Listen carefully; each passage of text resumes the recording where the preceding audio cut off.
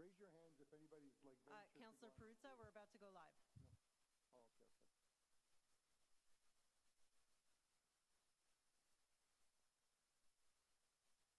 Good morning.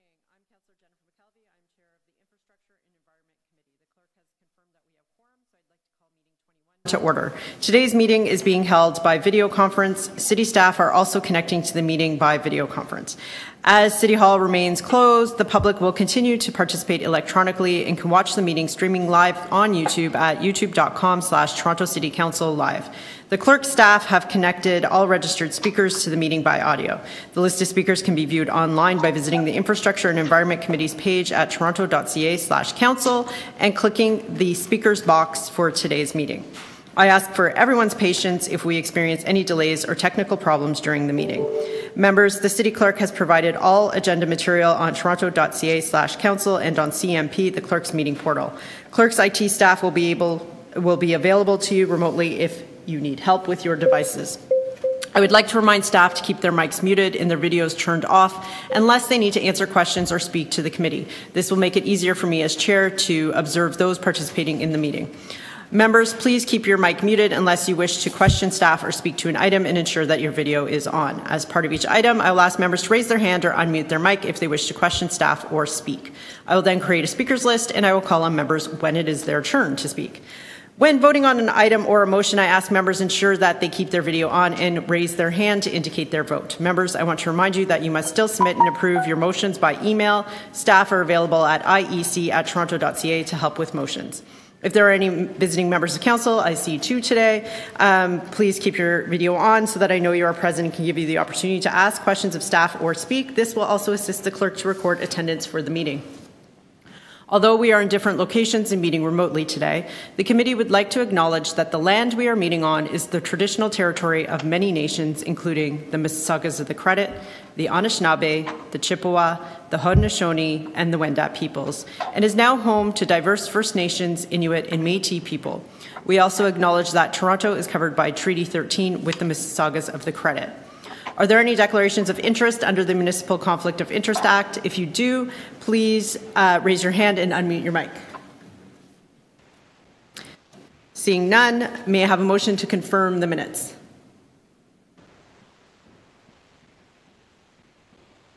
Councillor Layton, uh, all those in favor? That item carries. We have 18 items on our agenda and one addition. Let's proceed with a review of the agenda first, and then uh, we will talk about new business. The first item is IE 21.1, amendment to the non-competitive blank contract number 470229986 with AccuWorks Works, Incorporated for provision of a hydraulic vacuum and pumping truck tr- contractor with drive operators. Um, would somebody like to, anybody want to hold the item? Councillor Pasternak to move the item. All those in favor? That item carries.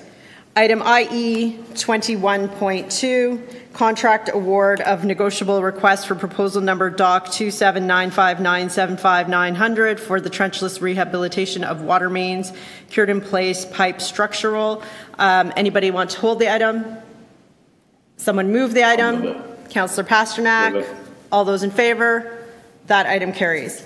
IE 21.3 amendments to the policy for accepting potentially contaminated lands to be conveyed to the city under the Planning Act. Uh, anyone want to hold the item? Someone like to move the item? I'll move it. Councillor Pasternak, I can always count on you. All those on favor, please raise your hand. Any opposed? That item carries. IE 21.4 extension of existing construction coordination agreement with Toronto Hydro. Anyone to hold the item? Can somebody move the item? Councillor Pasternak. Uh, all those in favor? That item carries. IE 21.5 authority to negotiate and enter into regional waste management cooperation and contingency agreements. I will hold that item as there is one deputant. IE 21.6 creating a plan for safe environment days. Would anybody like to hold the item? No, um, Madam Speaker, I'd like to move uh, the item and thank staff uh, for the flexibility on this matter. I think we can run safe and effective environment days as a drive-through. and I appreciate staff's uh, report um, and, uh, and their support for this important city program. Okay, thank you. Councillor Pasternak is moving the item. All those in favor? Any opposed? That item carries. IE 21.7, e-scooters, accessibility and insurance issues. I will hold this item as there are many deputants. IE 21.8, transportation innovation challenges, fostering local outcomes-oriented transformation. Uh, Any questions on the item? We have a speaker on this item. Okay, thank you. We will hold this item. Uh, IE 21.9, traffic concerns and parking amendments, construction hub haul routes on Broadway Avenue, Roehampton Avenue, and Redpath Avenue, wards 8, 12, and 15. Anyone like to hold the item? Okay, somebody like to move the item? Councillor Layton, all those in favor? That item carries. IE 21.10, Highland Creek Transportation Master Plan, Ward 25. Um, I would like to move the item as it is in my community. Um, Anyone have questions? Seeing none, I'll move that item. All those in favor? That item carries. 21.11, Safety and Wellbeing of Parks, Forestry, and Recreation Frontline Workers. I will hold this item as there is a presentation from staff. IE 21.12, Update on Opening of Washrooms. Anyone like to hold the item? Councillor Layton, Move move. the staff recommendation and thank staff for their quick action to provide facilities for people to enjoy their parks and not have to rush home, as well as the, the serious equity implications of providing places for people to properly go to the washroom. Okay. When you gotta go, you go. Thank you, Councillor Layton. All those in favor? This item carries. IE 21.13, safe opening of the Barry Zukerman Amphitheater, Ward 6. Councillor Pasternak to move the item? So, yes, uh, Madam Chair, I'd be happy to, uh, to move the item. I, I thank staff for the report. The amphitheater has 1,500 seats. It's all outdoor. It has a massive stage. Um, If things keep going as planned with vaccinations and, and if the public health agrees, we could probably do outdoor uh, events uh, this coming summer. Uh, We rarely get more than about 300 people in there, so there's lots of room for social distancing. I thank staff for this report. Okay, thank you. Councillor Pasternak is moving the item. All those in favor? Any opposed? That item carries. Item IE 21.14, review of potential Riverdale Park East Top Bank improvements in coordination with Broadview Avenue, Ward 14. Uh, I know, um, Councillor Fletcher, you're here. Did you want to speak to the item, or did you just want? Yes, uh, I just uh, sent a motion, Yes. Chair, that I believe the clerks have, that we just asked for a scope of work to come back in September. Uh, This park is premier park with the view of the city. It has had a new road built right through the park in order to put in part of the tank tunnel. So it's, it's pretty invasive. Broadview will be ripped up over two years for streetcar tracks and then water mains and uh, just somehow, I believe, when we're doing that amount of infrastructure work in and around a major park, there should be some ability to uh, coordinate some upgrades to the park. So uh, I've had that conversation with staff, but I'd like to see what the scope would be before it goes in for the budget 22. Thank you very much. Okay, thank you, Councillor Fletcher. I'm prepared to move that on, be- on your behalf so that the Infrastructure and Environment Committee requests the General Manager, Park Forestry and Recreation. It's disappearing on my screen. oh, here we go. Uh, on options for the scope of this work to the September 14th, 2021 meeting of the Infrastructure and Environment Committee. Okay, thank you. So when my screen toggles back, uh, we can vote on the amendment. All those in favor? All those in favor of the item as amended? Uh, That item carries. That brings us to IE 21.15, Indigenous Inclusion and Consultation in the Toronto Ravine Strategy and Stewardship Manual.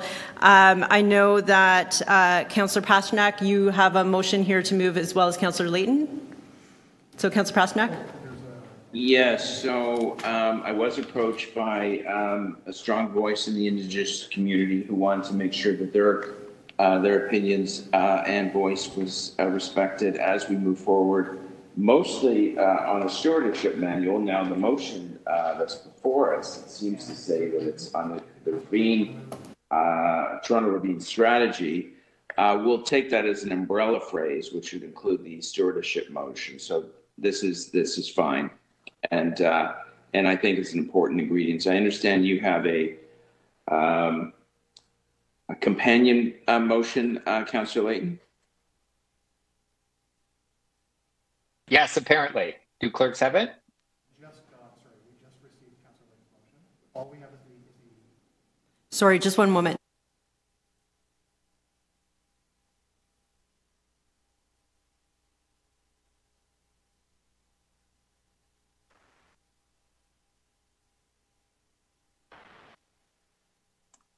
Councillor Layton, do you have two motions on this item? I don't believe so. The other one that I just sent was for a different item. Okay. then yes, let's put up, Okay, great. Okay, so we'll pull up, uh, which one do you want to pull? Councillor Pasternak's first, the, oh, no, we'll do Councilor, Councillor Layton's first? Okay, we'll do Councillor Layton's, which is the um, Aboriginal Advisory Committee's rec- uh, Affairs recommendation, and then followed by Councillor Pasternak's.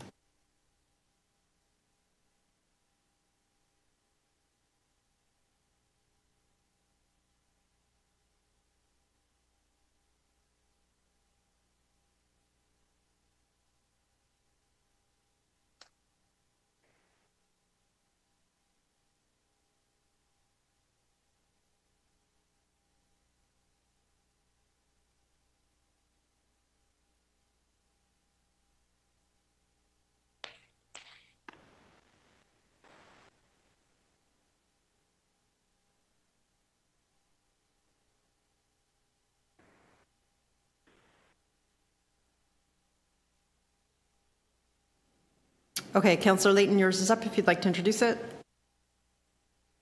Okay. Yes, that City Council requests General Manager Parks, Forestry and Recreation in consultation with the Director Indigenous Affairs Office and other appropriate city agencies to consult with the broader Indigenous community on the implementation of their Toronto Ravine Strategy. Okay, thank you.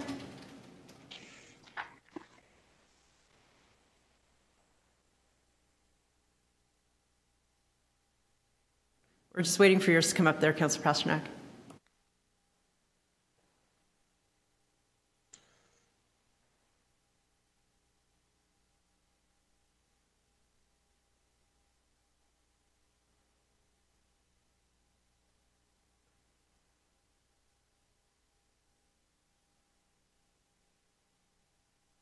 Okay, so it's the item, the original item that was submitted, so we'll vote on that one first and then followed by Councillor Layton. So all those in favor of, oh, here we go. They were able to find it. Okay, uh, so uh, Councillor Pasternak's motion is here. When we toggle back, we'll vote on this one. All those in favor? The amendment carries. All those in favor of Councillor Layton's motion? And then all those in favor of the item? The item carries. Great. That's 21.15. Uh, we now move to 21.16, further consideration of reducing salt use in our public realm. We have two deputations, so I will hold that item. i.e. 21.17, urging the federal government to take action to manage plastics. Uh, Councillor Layton, I know you have a deferral on this item, as it will be before us next month. Yes, uh, I'm prepared to I'd like defer to- the item. I'd like to hold it, please. Okay.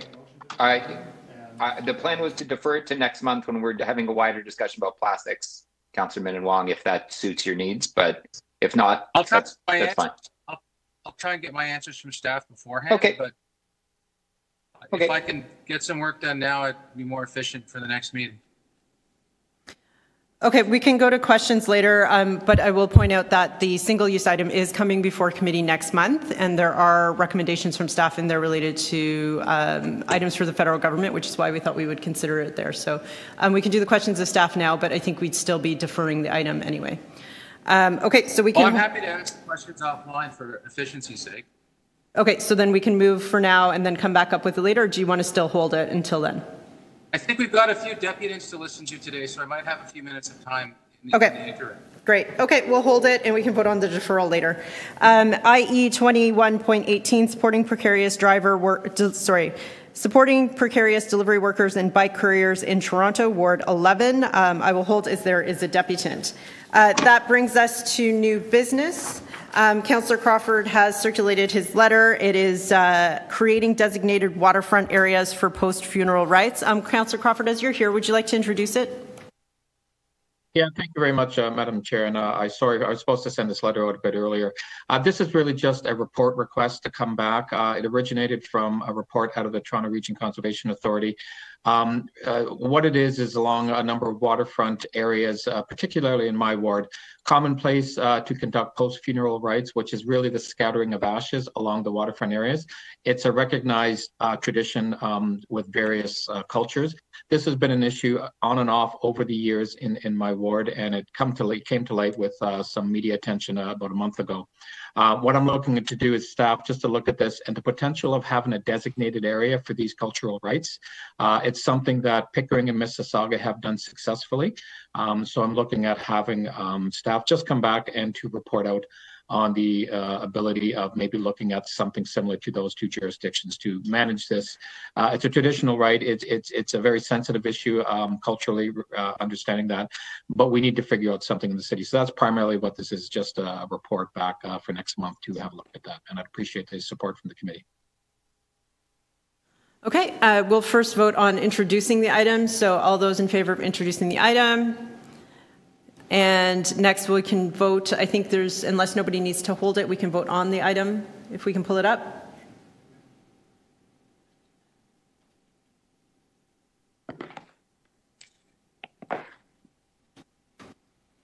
So I'll move on, Councillor behalf, uh, Councillor Crawford's behalf, that City Council direct the General Manager, Parks, Forestry and Recreation to report to the May 25th, 2021 meeting of the Infrastructure and Environment Committee on the feasibility of creating designated areas for the scattering of ashes along the city's waterfront.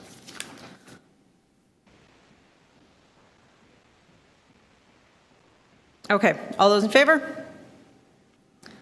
Okay, that item carries. Thank you, Councillor Crawford, for joining us. That brings us back to our regularly scheduled program. We have a lot of deputants, so I would like to move uh, three minutes uh, for deputation, so we can pull that up.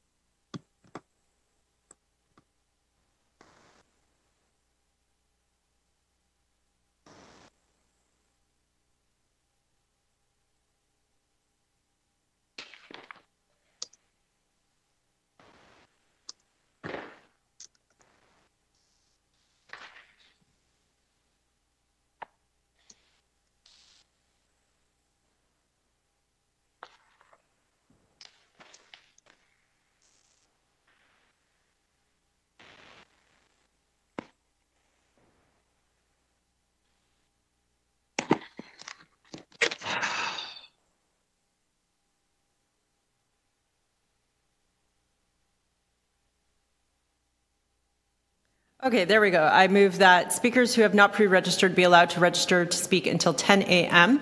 Uh, on April 28, 2021, after which no further registration is allowed and speakers list will be closed. Uh, two, that the length of public presentations be limited to three minutes. And three, that questions to speakers from each member of the committee, uh, including and council, be limited to three minutes.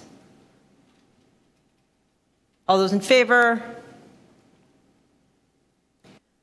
Uh, that carries. Okay, that brings us to our first item today, which is IE 21.5 and uh, authority to negotiate and enter into regional waste management cooperation and contingency agreements. We have one speaker.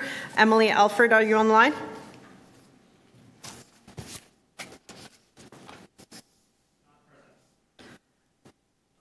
Not present. Okay. Um, are there questions of staff? Oh, she's here. Okay. Hi, thank you. Sorry, I was unable to unmute my microphone. Can you hear me now? We can hear you. You have five minutes. Okay, great. Thank you very much.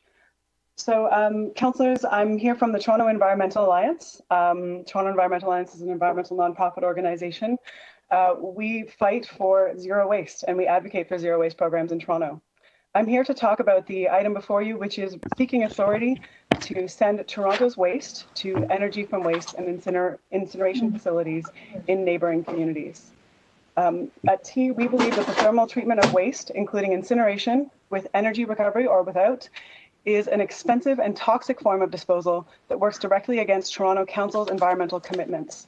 It is not consistent with Toronto's zero waste commitments, a circular economy, and it seriously undermines Toronto's climate change goals. Further, sending Toronto's waste to incinerators in other municipalities directly contributes to the air pollution and toxic burden facing those communities. I've submitted a letter that I hope you all have a chance to read, and I'll summarize some of the key points in there. So first, the thermal treatment of waste is in direct opposition to a circular economy.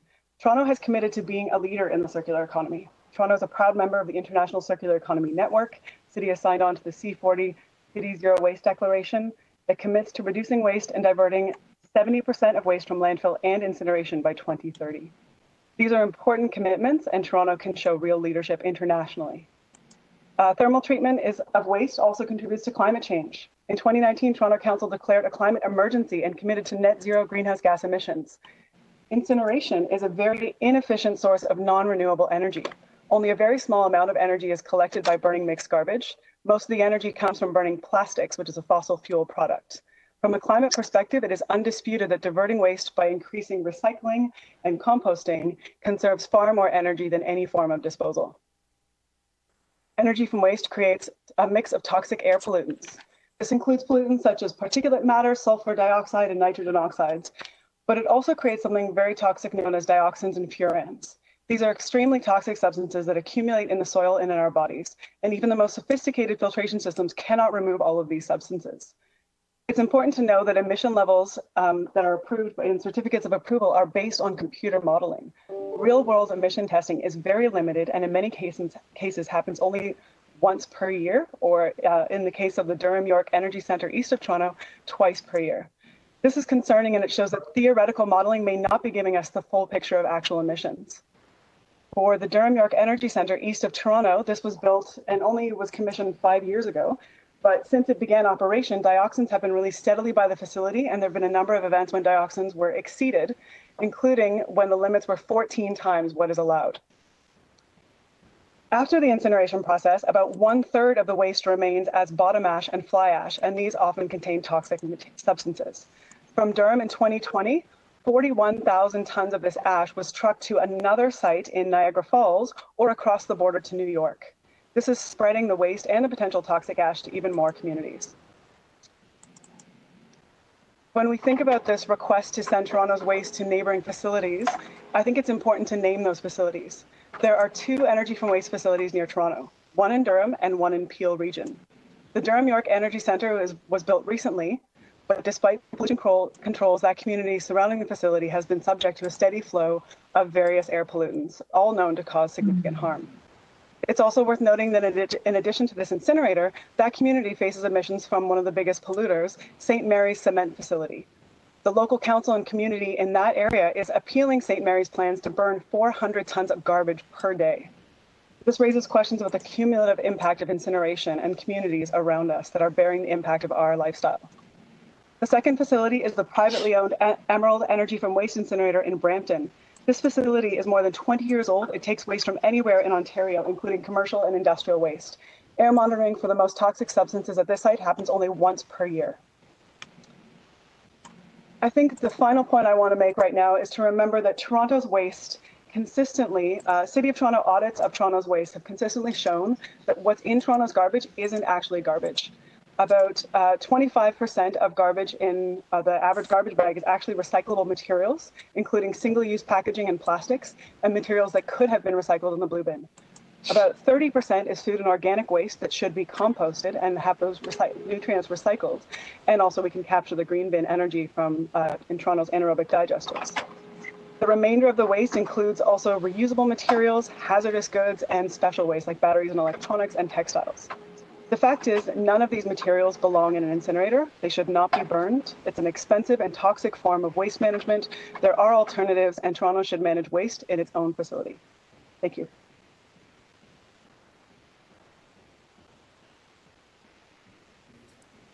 Are there questions of uh, the deputant?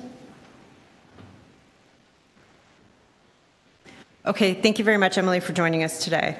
Um, Are there questions of staff? Um, Councillor Layton, I know you have a motion and, and staff need more time to prepare it. So um, I also think that it's significant enough that it should be advanced circulated to the committee. So um, I, I leave it to the committee. Do you want to go to questions of staff or would you like to hold back this item so that there's time for that motion to be prepared and circulated? I'm fine for it to be, for us to take some time to, uh, to circulate it. Okay, and Councillor Pasternak, you had something to add to that? I was going to uh, start with questions to staff, but if, if you're holding down the item, we'll wait.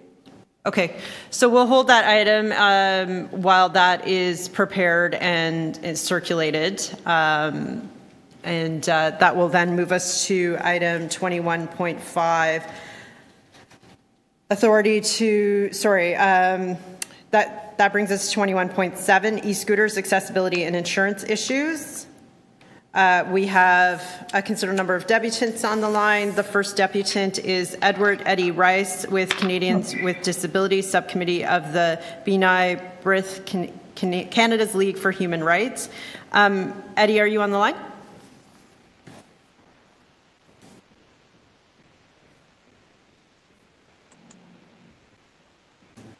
Eddie?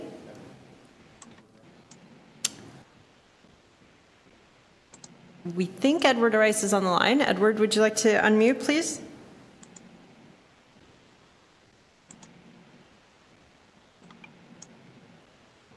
Okay, we'll come back to Edward. Uh, that will bring us to Paul Michaels with B'nai B'rith Canada. B'nai B'rith, uh, Madam Chair. Brith, thank you.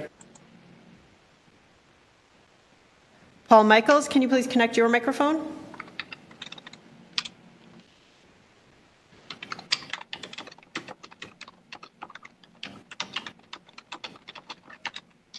Um, can you hear me? Hi, Paul, we can hear you. You have five minutes. Oh, well, you know, um, I had made an application uh, to appear this morning. And sorry, uh, I just want to correct back. myself. You have three minutes. I forgot we moved that. Okay, sorry, apologies Yeah, for you that. made a three-minute ruling. Um, Yes. So what happened, I, I made an application and I didn't hear back and Eddie called me. I think he's having trouble getting, um, getting connected. Um, I've sent him a note and I hope he'll be able to join you. So I'm stepping in at the very last minute. I had been in the preliminary meeting, um, to this.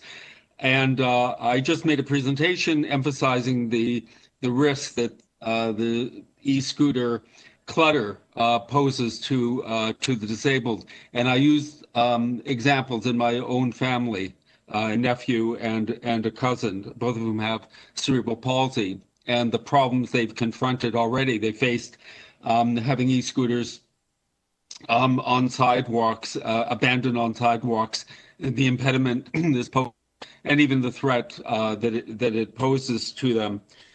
And uh, I, I myself have a, um, a a walking um, issue, and uh, I fear, you know, in the future, what is going to happen as this industry grows in strength and power. It's it's a very very large business, apparently, um, and the business interests should not be allowed to overwhelm, for sure, uh, the safety and accessibility matters uh, pertaining to people with with disabilities.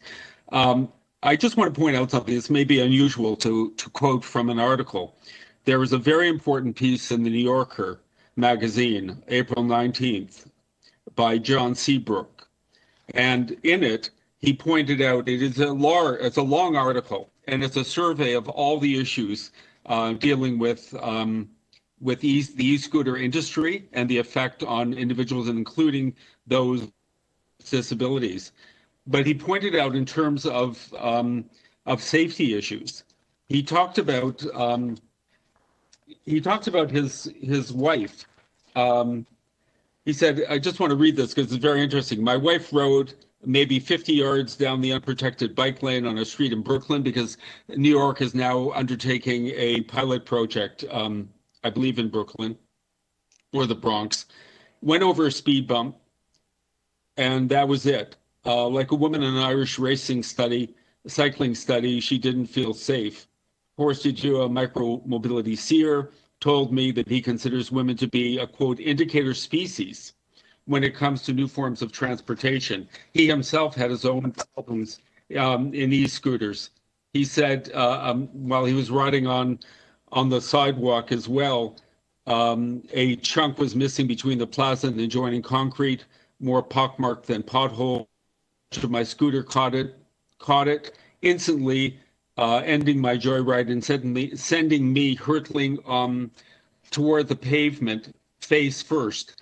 Um, we all know we've also heard reports that about one third of all the injuries occur in um, in first time users, but the threat to uh, to the disabled is an ongoing and is an ongoing problem and threat. And even the efforts to confine the scooters from the sidewalks to bike lanes poses its own own difficulties um, as well.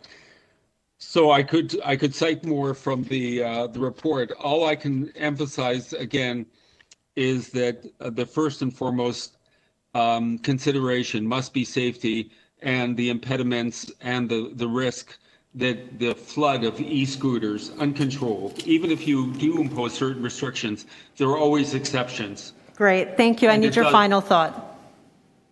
No, just I can only emphasize the need to take the concerns and the considerations of the disabled uh, into account as, as a high, high Great. priority in Thank you. deciding what you're going to do with these, these devices. Okay, thank you so much, Paul. Thank you for your deputation. I'll just do a check again. Do we have Edward on the line? Oh, he's still trying? Okay, we'll carry on with Amanda McKenzie with the March of Dimes Canada. Hi, good morning. Um, Thank you very much. Hi, Amanda. uh, You have three minutes. Hi. Thank you. Great, thank you. Um, So first of all, thank you, the chair members of committee for allowing me to speak today. Um, My name is Amanda McKenzie. I'm the National Manager of Public Affairs at March of Dimes Canada, one of the country's largest nonprofit organizations supporting people living with a disability. While we have a national reach, our headquarters is based in Thorncliffe Park, and we have a long history of providing services and programs for Torontonians with disabilities with seven sites across the city. Both in professional and personal capacities, I'm here today to urge the committee not to move forward with the e-scooter rental pilot project and to continue to enforce the ban on e-scooters in the city of Toronto. See, I also speak from lived experience. My little brother Graham is profoundly disabled with both physical and intellectual disabilities. I'm his guardian. He uses exclusively a manual wheelchair, which someone has to push to get him around his home and our community, which we consider to be the whole of our city. Before the pandemic, and once we're out of it, Graham and I go on city adventures. Every week, we get on the TTC and go to an area of the city we aren't as familiar with. We've done Liberty Village, the distillery, islands, and the Danforth, the bluffs, and to one of our favorite restaurants, and going to movies downtown. Common to all of our adventures are the challenges we face in getting around on our sidewalks. With the usual issues related to transit accessibility and construction, broken sidewalks, having to go across busy intersection backwards so his wheels don't get stuck in streetcar tracks, snow removals, and ice issues in the winter, we deal with more than our share of challenges in accessing our city's amenities and getting around town to generally live life. Our city sidewalks are being used for a multitude of programs, and as terrific as Cafe TO is, the program has created some more barriers. We understand there needs to be a balance, but we really can't manage any additional challenges on our sidewalks. Allowing e scooters on our streets is a very definition of an additional sidewalk barrier. Other deputants will provide statistics, but a real life example is that of Calgary. My older brother lives there and is the kind of guy you'd expect would relish e scooters. Instead, he calls them a menace, with scooters being dropped anywhere on the sidewalks once users are done with them, causing obvious problems. Additionally, there were over 700 emergency room and urgent care visits of adults and children alone with scooter related injuries in the first season of their pilot. The cost to our system and to the people in our city with disabilities and seniors just aren't worth it. Our city is larger and denser than the others. Our roads and sidewalks are simply not designed for this new form of transportation, and riders are still learning how to use e scooters. Now's not the time. We've heard unanimously from the Toronto Accessibility Advisory Committee twice not to lift the ban. City staff has concluded that accessibility barriers, safety concerns, and insurance issues remain unresolved. And as I've heard loudly and clearly from our March of Dimes Canada community and others in our stakeholder community, e scooters pose a dangerous safety risk for people with physical disabilities and those who use mobility devices, seniors, and those with vision or hearing loss. The City of Toronto is committed to creating an accessible city and a Vision Zero approach for roadway safety. I urge you to live these commitments by listening to the unanimous voices of the Toronto Accessibility Advisory Committee and the broader community and just, just say no to e-scooters in our city. Thank you for the opportunity to present and we'll be following the discussion closely. Great. Thank you for your deputation. Are there any questions for Amanda? Seeing none, we will move to Arda Ertek, Roll Technologies Incorporated. You have three minutes.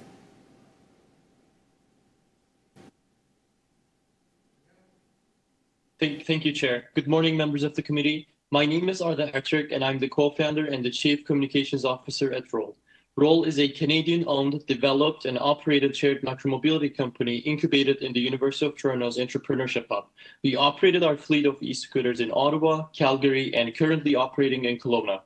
Since the introduction of shared e-scooter systems in 2017, the e-scooter industry has been pivotal, pivotal in changing transportation in many communities. The industry has been relentlessly working on finding solutions to common challenges. In other Canadian cities, the measures we have implemented work extremely well, and one of the cities, Calgary, has approved a permanent micromobility program after seeing the success and the benefits of shared e-scooters. I respectfully disagree with some of the conclusions reached by the staff. With respect to the improper parking, there are many solutions that are being used, such as lock-to system, docking stations, validating the end-of-trip pictures, and etc. The staff also concluded that the insurance products for e-scooter operators are not available in Canada. In other major cities in Canada where e-scooters are allowed, there are, indemnification clauses and there are various insurance products available for e-scooter operators, including general commercial liability. In terms of enforcement, there are many measures that are in place by e-scooter operators. Shared scooters have a speed governor that limits the speed. We're using geofencing technology that we can set no park, slow speed, and no ride zones there are technologies available for sidewalk detection on a real-time basis. The enforcement is done by the operators without using the city's resources. With respect to safety and accessibility barriers, we had multiple meetings with CNIB to introduce new technologies like a sound emitting device and still developing them with their consultation. The data from other major cities in Canada suggests that e-scooters are not more than dangerous than bicycles. For example, in Calgary, there were only three incidents involved a pedestrian being injured by e-scooter, and one incident involved a cyclist out of more than a million rides. COVID-19 has had profound impacts on small businesses in Toronto. Shared e-scooters play an important role during the economic recovery from COVID-19. More than 70% of road trips in Ottawa and Calgary ended at business improvement areas in 2020. Despite not being permitted currently in Toronto, e-scooters are increasingly present on city streets since last year with the COVID-19 pandemic. I counted 28 personal e-scooters yesterday on Yonge Street while out for a walk. There is no practical way to restrict the use of personal e-scooters, and the city can choose to not regulate while the use of micromobility vehicles continues to grow substantially, or the city can develop a sensible framework for personal and shared micromobility vehicles to advance public safety. As outlined in our written submission, we submitted along with other operators. We suggest a working group be established comprised of City of Toronto staff, the e-scooter operators, and members of the accessibility community, including AODA Alliance and CNIB, to work collaboratively to address mutual areas of interest and concerns and report back to this committee by July 5th, 2021. Thank you. Thank you for your deputation. Are there questions of Arda? Okay, seeing none, we will move to Nisha Mitchell, Canadian National Institute for the Blind, Greater Toronto Area Foundation. Nisha, are you on the line? Hello, can you hear me? We can hear you. Um, thanks for joining us, Nisha. You have three minutes.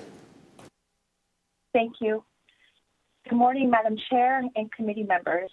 Thank you for the opportunity to speak before you this morning. My name is Nisha Mitchell. I am the Advocacy and Outreach Coordinator with CNIB. I am also a member of the sight loss community. I utilize a white cane as my mobility aid. I am also a resident of the Scarborough region. In early March of this year, the CNIB, along with the AODA Alliance, held a joint town hall meeting with roughly 30 members of our sight loss community and our sighted supporters to discuss the e-scooter, the dangers of e-scooter. During that meeting, there was an overwhelming feeling of danger and clients were feeling that e-scooters posed a dangerous threat to their safety, as well as their accessibility barriers to the disability community as a whole, and not just the sight loss community. In that meeting and beyond, I've heard countless stories from members of the sight loss community of e-scooters being left on sidewalks, being driven recklessly at high speeds on busy Toronto sidewalks. And in some cases, I've heard stories from the members of the community who have been hit by someone driving an e-scooter. And one thing they have all said to me is, Nisha, I did not hear it coming. E-scooters have been very silent. And for someone with sight loss, not being able to hear the device poses an even dangerous safety threat. And for those who have been hit by someone riding an e-scooter, I've heard them being left with physical injuries, mental anguish, loss of wage, and loss of work. Yes, e-scooters may be considered a form of convenience. However, they should not be given precedence over pedestrian safety. By introducing e-scooters to our streets, you will further marginalize and isolate the sight loss community. In cities where the e-scooter pilot project has continued or failed, the problems that have been well documented and still not resolved have been e-scooters being left on sidewalks, e-scooters left haphazardly on doorways or leaning up against poles, blocking assisted pedestrian single signals, as well as crosswalks. And with that said, these problems are still in existence. What does the City of Toronto think will make our experience any different with e-scooters? In conclusion, I would like to say that by introducing e-scooters to our city streets, will add an additional accessibility barrier brought on by this pandemic. E-scooters will join social distancing protocols along with physical measures that have once made spaces accessible to the sight loss community now inaccessible, therefore spelling a recipe for further isolation for the sight loss community. Madam Chair, thank you for your time. Thank you very much for your deputation. Are there any questions, Venetia? Okay, seeing none, thank you for joining us. That brings us to Ashley Brown with Spin. Ashley, are you on the line? Yes, hi, can you hear me? We can hear you. You have three minutes. Thank you. Thank you. Uh, to Madam Chair, members of the committee, General Manager Gray, and staff, my name is Ashley Brown, and I am the head of government partnerships at SPIN, a shared micromobility company. We thank you for your consideration to bring e-scooters to the City of Toronto. I also appreciate the opportunity to speak today. At SPIN, we, we understand and share the concerns raised in the staff report. We respond to these concerns with viable solutions to increase accessibility and safety, not to paper over these issues. Our expertise at SPIN is modern micromobility systems, design, operation, marketing. We are a wholly owned subsidiary of Ford Motor Company. We share Ford's core values to earn trust, do the right thing, make an impact, carry the torch, and create a better tomorrow. We exemplify these values in the over 80 cities throughout North America and Europe. And just two weeks ago, we launched in Edmonton, our first city in Canada. Shared micromobility programs require rich partnerships with cities. Our mission is to give people the freedom to move. That freedom extends beyond our riders. One person's mobility cannot compromise another's. Pedestrians, people living with disabilities, and seniors deserve to move hazard free in their communities. At SPIN, we recognize new mobility requires a multi pronged approach and patience from the industry. We are eager to do that work over the next 12 months to work with disability groups and residents and develop new technologies that meet unresolved concerns. Explore how e-scooters can serve varying mobility needs through an adaptive vehicle program. Conduct closed demonstrations showing how new technologies can and are stopping sidewalk, and improper lighting. Cities and neighborhoods require fitted solutions. We therefore commit to a year-long effort to assess neighborhoods individually. Our tools of choice include community-driven tactical urbanism. Our workshops will engage a minimum of 100 diverse stakeholders to meet the needs of all residents. Good infrastructure makes responsible parking easy. Our spin hubs work like docking stations. They declutter sidewalks and keep order in the public right of way. Hubs also relieve pressure and augment existing bike share programs. A strong workforce and a local team with fair wages and proper benefits shows our commitment to the city. This hiring model also helps cities with oversight. Local, locally hired staff take pride in neighborhoods where they serve. And finally, we believe e-scooter itself needs to assist in enforcement, and our newest model provides real-time parking validation and sidewalk detection with 95% accuracy. This will protect our pedestrians, especially seniors and people with disabilities. We at SPIN commit to evolve our products and services in ways that meet the needs of the people of Toronto. We commit to discover, listen, learn, and experience more of the community around us. Micromobility brings communities and their urban environment closer together. At SPIN, we look forward to uh, continued collaboration, and I would be happy to answer any questions you may have. Thank you for your deputation, Ashley. Are there any questions of the deputant? Seeing none, that will bring us to our next one, Andrea Hatala. Andrea, can you please connect your microphone?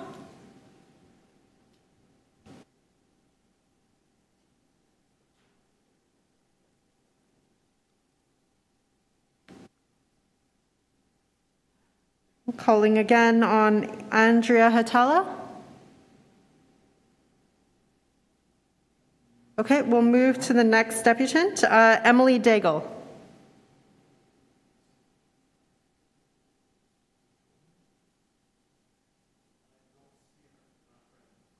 Okay, we don't see Emily. I will move to Jonathan Hopkins.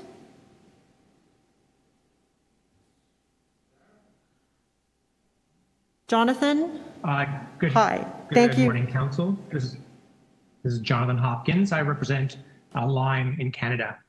I wanted to dive directly into the four issues raised by staff in their report today, uh, considering their importance to everybody involved. Uh, this involves new updates um, that I think uh, and insights that I think Council will find valuable. In reverse order, starting off with insurance. We think it is important to have first and third party insurance in Canada and that that model can copy the model used in Europe. Um, to do that, we recommend that council direct staff to put that requirement directly in the framework because cities help make the market for insurance. And this is the critical step to the city getting exactly what it wants. If it's not in the framework for the city, there's no way this will be solved. For indemnification, that issue is also solved by having first and third party insurance. It ensures that people are not risked with liability for injuries to themselves or others. Again, put this in a framework and it will not be an issue. Third, lack of city resources for enforcement. Experiences in other cities have proven that the industry can do enforcement without cities, um, as Spin just noted. Um, this includes fines for parking violations or using street teams to assess fines for people who have riding violations on the sidewalk. Again, this can be solved by putting the requirement in the framework at no cost to the city, having the necessary enforcement. It's important to note that enforcement and infrastructure are the two biggest solutions that riders state will reduce their behavior to ride on sidewalks or to miss parked vehicles. This is proven in other cities. It can be done. Put it in the framework. Finally, safety for people with disabilities and seniors. Um, this is solvable. The industry has provided Lock2 as a solution that reduces complaints in Chicago by 80%, um, that has reduced parking citations in San Francisco to virtually zero. E-scooters, when Lock2 is provided, are parked correctly 99% of the time. Staff's argument against doing this has been lack of parking infrastructure, but this program is actually a solution to that as well. Seattle has proven that they can take funds, permit fees from the e-scooter companies to build more bike racks that can be used for both private bikes and for e-scooter parking off the sidewalk. The right solution for Toronto, for example, is that in downtown, there should never be a scooter parked on the sidewalk or ridden on the sidewalk. The city can make that possible. Again, the solution is put it in a framework. Um, we think it's very important to recognize that not moving forward with e-scooters is really a vote for the status quo. And the status quo is untenable. Honestly, a lot of what we are hearing from disability advocates is frustration with the status quo and fear that any change will make matters worse. For the status quo, where 40 pedestrians are killed a year on streets and 160 to 200 other serious injuries, is a status quo that we should do anything that we can to change, including embracing solutions that 200 cities, other cities around the world, have already taken. I, I thank you for your time and welcome any questions. Uh, thank you for your deputation. Are there any questions for Jonathan? Councillor Ainslie, three minutes. Uh, thank you. Um, Jonathan, could you explain a bit? Um, you talked about um, the lack of enforcement. How, how are scooter companies self-enforcing or self-monitoring um, people that are violating the laws, like you said, riding on sidewalks? How are they doing that in other jurisdictions? Councilor Ainslie, that's a, a really important question, and I appreciate it. Um, first for parking, and then I'll go to sidewalk riding. For parking, um, one solution that's been done in Calgary is an audit of a select percentage of, of parking um, cases and assessing about $10 fines for misparking of vehicles. In other jurisdictions like Portland, um, city basically by law in Portland has uh, you know gone out and photographed people riding on sidewalks or people misparking and assigned 15 and $50 fines, $50 fines for misparking or for sidewalk riding. What we are saying is that the industry, you know, can collaborate together to, to create teams to do the same thing as the city of Portland is doing at no cost to the city.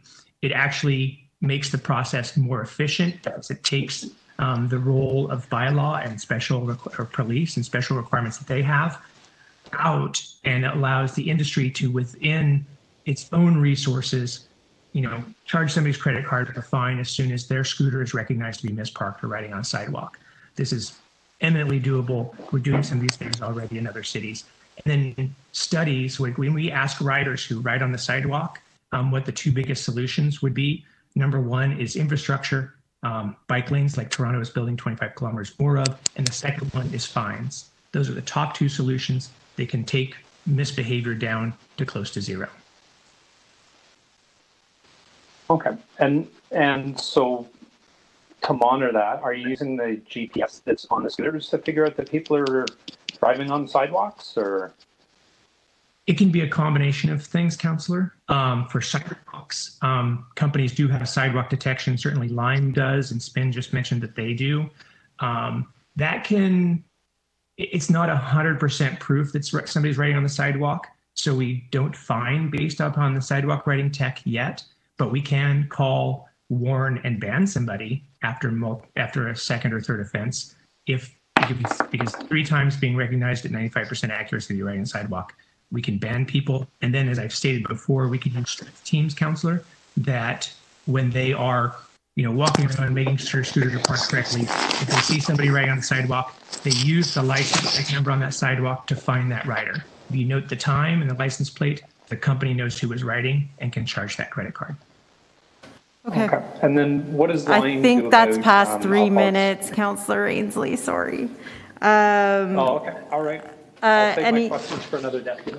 Any additional questions?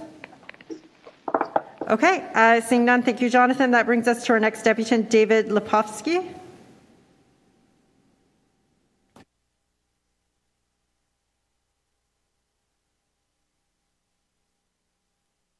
Me. Hello, can you unmute me, please? Hi, David. You are unmuted and we can hear you. You have three minutes. Okay, thank you. Uh, members of the committee, you have been advised in the strongest terms twice unanimously by your Accessibility Advisory Committee and by uh, impartial city staff in an excellent professional report that to allow e-scooters will endanger safety and accessibility for people with disabilities and others. You are obliged under the Accessibility for Ontarians with Disabilities Act to bring Toronto to become fully accessible to us people with disabilities. If, in the face of this advice and the unanimous feedback you're receiving from people with disabilities at this committee and elsewhere, that e-scooters will endanger us, whether rental or privately owned. If nevertheless you were to give in to the uh, calls of the corporate lobbyists, you would be, the city would be intentionally creating new barriers against us at a time when Toronto is getting less accessible already, not more accessible to us. That's the wrong way to go. Listen to us, listen to the business improvement area uh, from Danforth that filed with you that said they don't want e-scooters in their area. They're bad for their business. If it's bad for us, and it's bad for business. It's bad to do. So now let's turn to what the corporate lobbyists are saying as they mount the biggest feeding frenzy of lo corporate lobbying going on at City Hall right now. The biggest corporate lobbying about uh, e-scooters? What do they say? Well, they're being ridden illegally by people who own them, so let us rent them. In other words, if people are using crack cocaine illegally, I guess we should legalize it rather than enforce the law. Listen to the advice uh, of your own accessibility advisory committee. No e-scooters, no pilot, enforce the ban now. The other solutions are new technology. You just heard a corporate lobbyist concede that they will not effectively ensure they're not ridden on sidewalks. Or leave it to the corporate lobbyists who want as many ridden as possible to enforce restrictions on how they're ridden. That is laughable. Why don't we ask uh, uh, uh, those who are committing, uh, who are involved in making money from other such behavior to enforce the law to restrict their improper behavior? That is not the way to go. And a $10 fine that they're supposed to impose, which presumably goes to their pockets, that's laughable too. That's not going to change anything. The solution, uh, members of this committee, is to stand up to the corporate lobbyist and to stand up for people with disabilities. We've suffered enough during this pandemic. We don't need to suffer more so they can flood the city with e-scooters, make money, and claim to be enforcing rules that they know around the world are regularly violated. Thank you very much. Uh, thank you for your deputation, David. Are there questions for David? Okay. Um, seeing none, uh, that will bring us to our next uh, deputant, Patricia Israeli. Sorry, Israel. Hi, am I unmuted? Hi, Patricia. We can hear you. Thank you. You have three minutes. Okay. Thank you.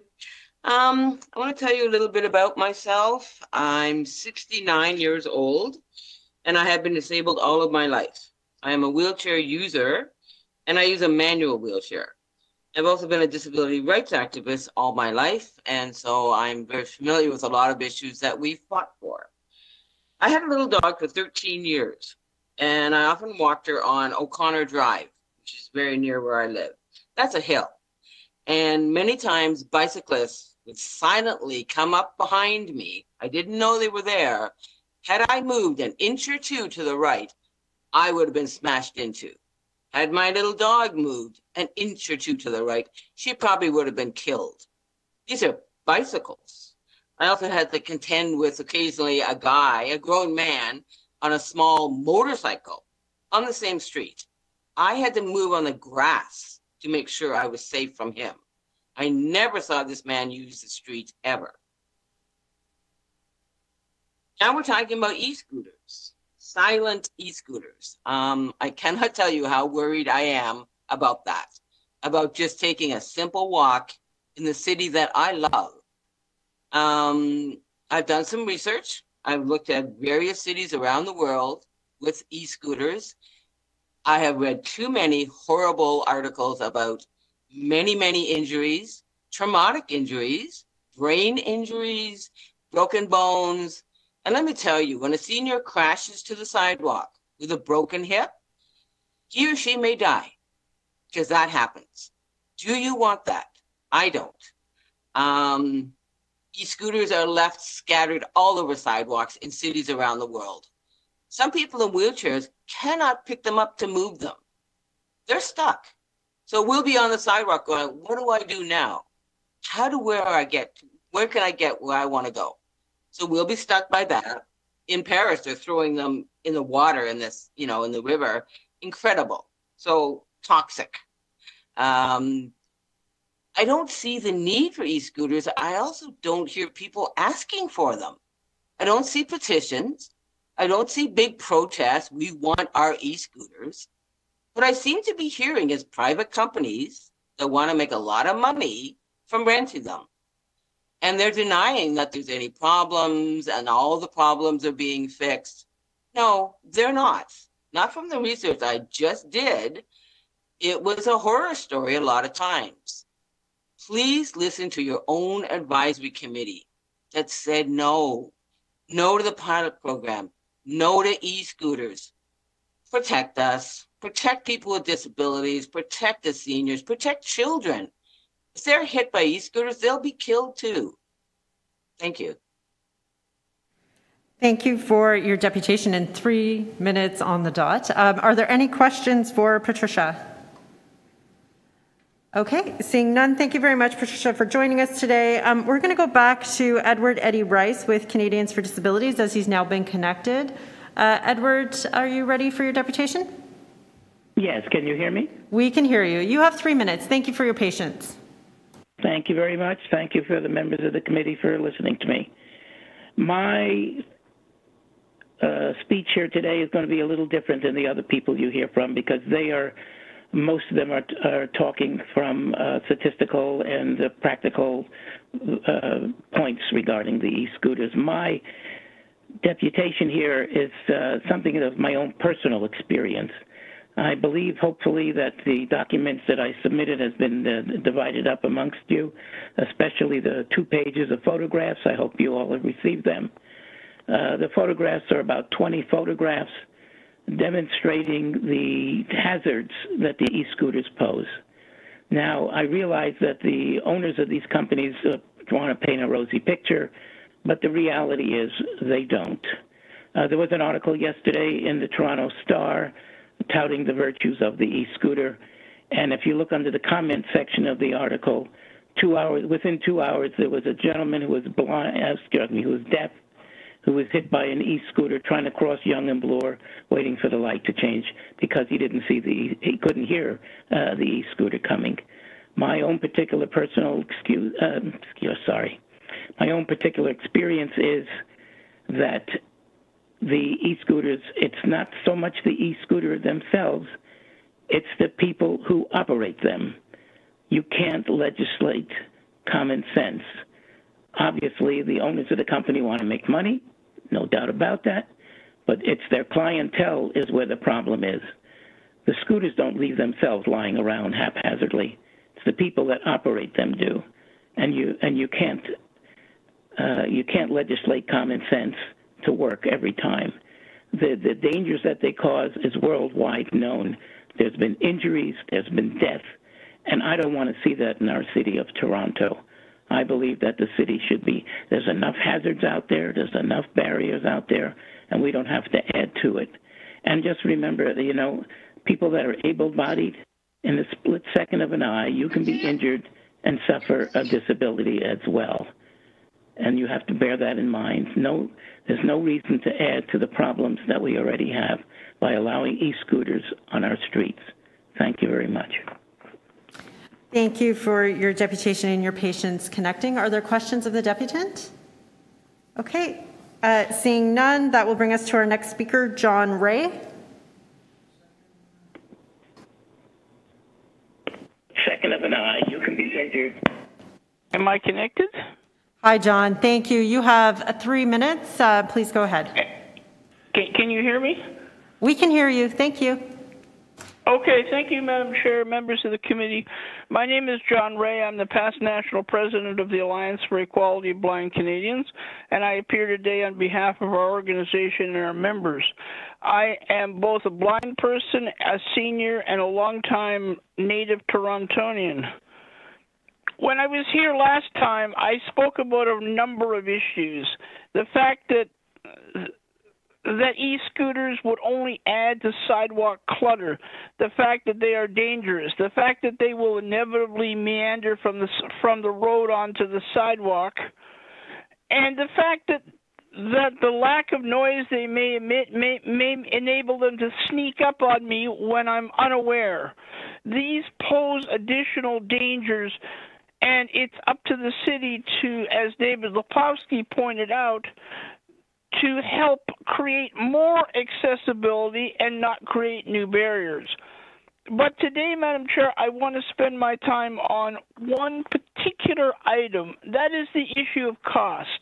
When I was here last time, a couple of you fine councilors made the remark that that that the city's enforcement cupboard is barren. That was an apt comment last year, and even doubly so after the city's uh, 2021 budget process. It's true. The city's uh, enforcement cover is barren. And the money that would be required to enforce this new bylaw should be much more productively spent on dealing with providing accommodations for the homeless, for improving, improving public transportation, and preparing for the end of the pandemic for all Torontonians. The, requ- the replies from the industry are not persuasive.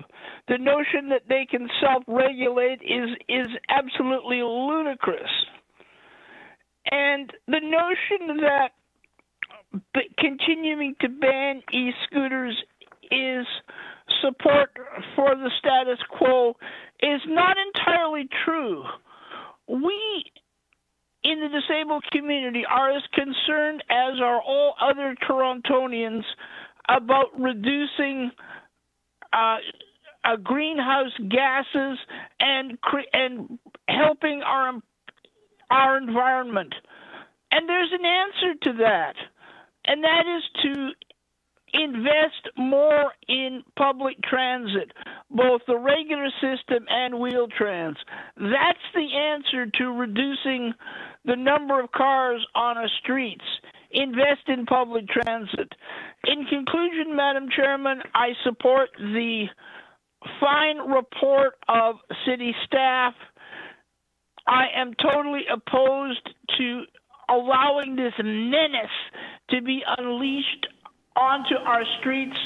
And I hope that the committee will overwhelmingly support the report of the uh, uh, of staff and recommend that council continue the ban of this menace onto Toronto streets. Thank, Thank you, you very much.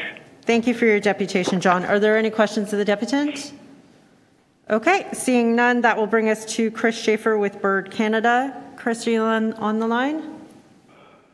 Hello, Chair. Hello, you have three minutes. Thank you for joining us.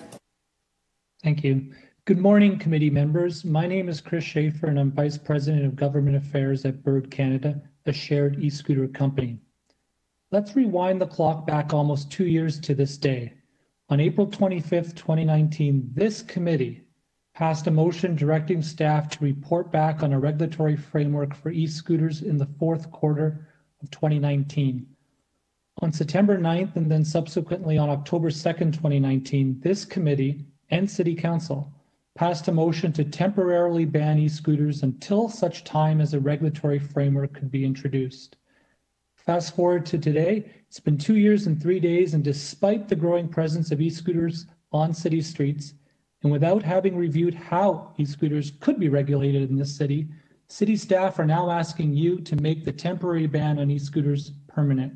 Canadian cities like Kelowna, Calgary, Edmonton, Ottawa, Waterloo, among others, have all hosted shared e-scooter programs to date. Windsor recently concluded their RFP and a shared e-scooter program is set to begin next month. A dozen other Canadian cities like Hamilton, Mississauga, Brampton, London, and Waterloo region are at various stages of regulatory development towards shared e-scooter programs. These Canadian cities and well over 150 other global cities have all managed to figure out how to regulate e-scooters successfully with shared e-scooter programs in place. These cities include Barcelona, Berlin, Budapest, Bucharest, Brussels, Cologne, Copenhagen, Dusseldorf, Frankfurt, Hamburg, Helsinki, London, Lisbon, Madrid, Marseille, Munich, Milan, Oslo, Paris, Prague, Porto, Rome, Stockholm, Vienna, Warsaw, Zurich, Tel Aviv, Atlanta, Austin, Boston, Cincinnati, Cleveland, Chicago, Denver, Detroit, Kansas City, Los Angeles, Memphis, Milwaukee, Miami, Nashville, New York, Orlando, Portland, Sacramento, Salt Lake City, San Antonio, San Diego, San Francisco, San Jose, Santa Monica, Scottsdale, St. Louis, Tampa, Melbourne, Sydney, Brisbane, Rio de Janeiro, Santiago, Auckland, Singapore, Seoul, and Abu Dhabi. I could go on, but I'll stop there. I think you get the point. All of these cities have shared e-scooter programs in place that adequately address issues like insurance and accessibility. All of these cities have done what Toronto has been unable or unwilling to do. This despite the fact that a poll by Nanos Research this month found that 70, 70% of Torontonians support the city establishing a pilot for shared e-scooters. I would suggest the most prudent course of action at this point is to simply refer this item back to staff. Instead of piecemeal reports, city staff would come back to you with the report you've asked for now twice and not received. How e-scooters in this city could be regulated. Thank you. I look forward to any questions. Thank you for your deputation. Are there questions of the deputant? Okay, seeing none, we'll move to the next deputant, which is Thea Curdy.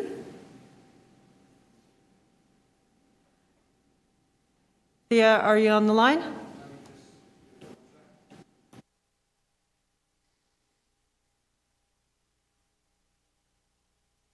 Okay, uh, that will bring us to Kat Hamilton. Kat is with the Canadian National Institute for the Blind. Kat, can you hear me? You're live.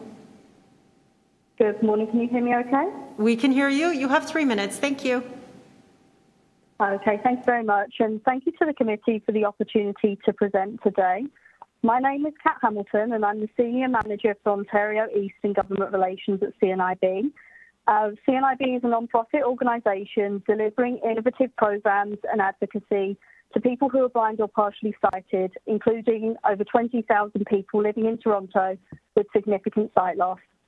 As a former resident of Toronto for the best part of 10 years, until I moved to Ottawa last year, I can speak to both my experiences in both cities, in addition to bringing forward concerns from our community members of people who are blind or partially sighted.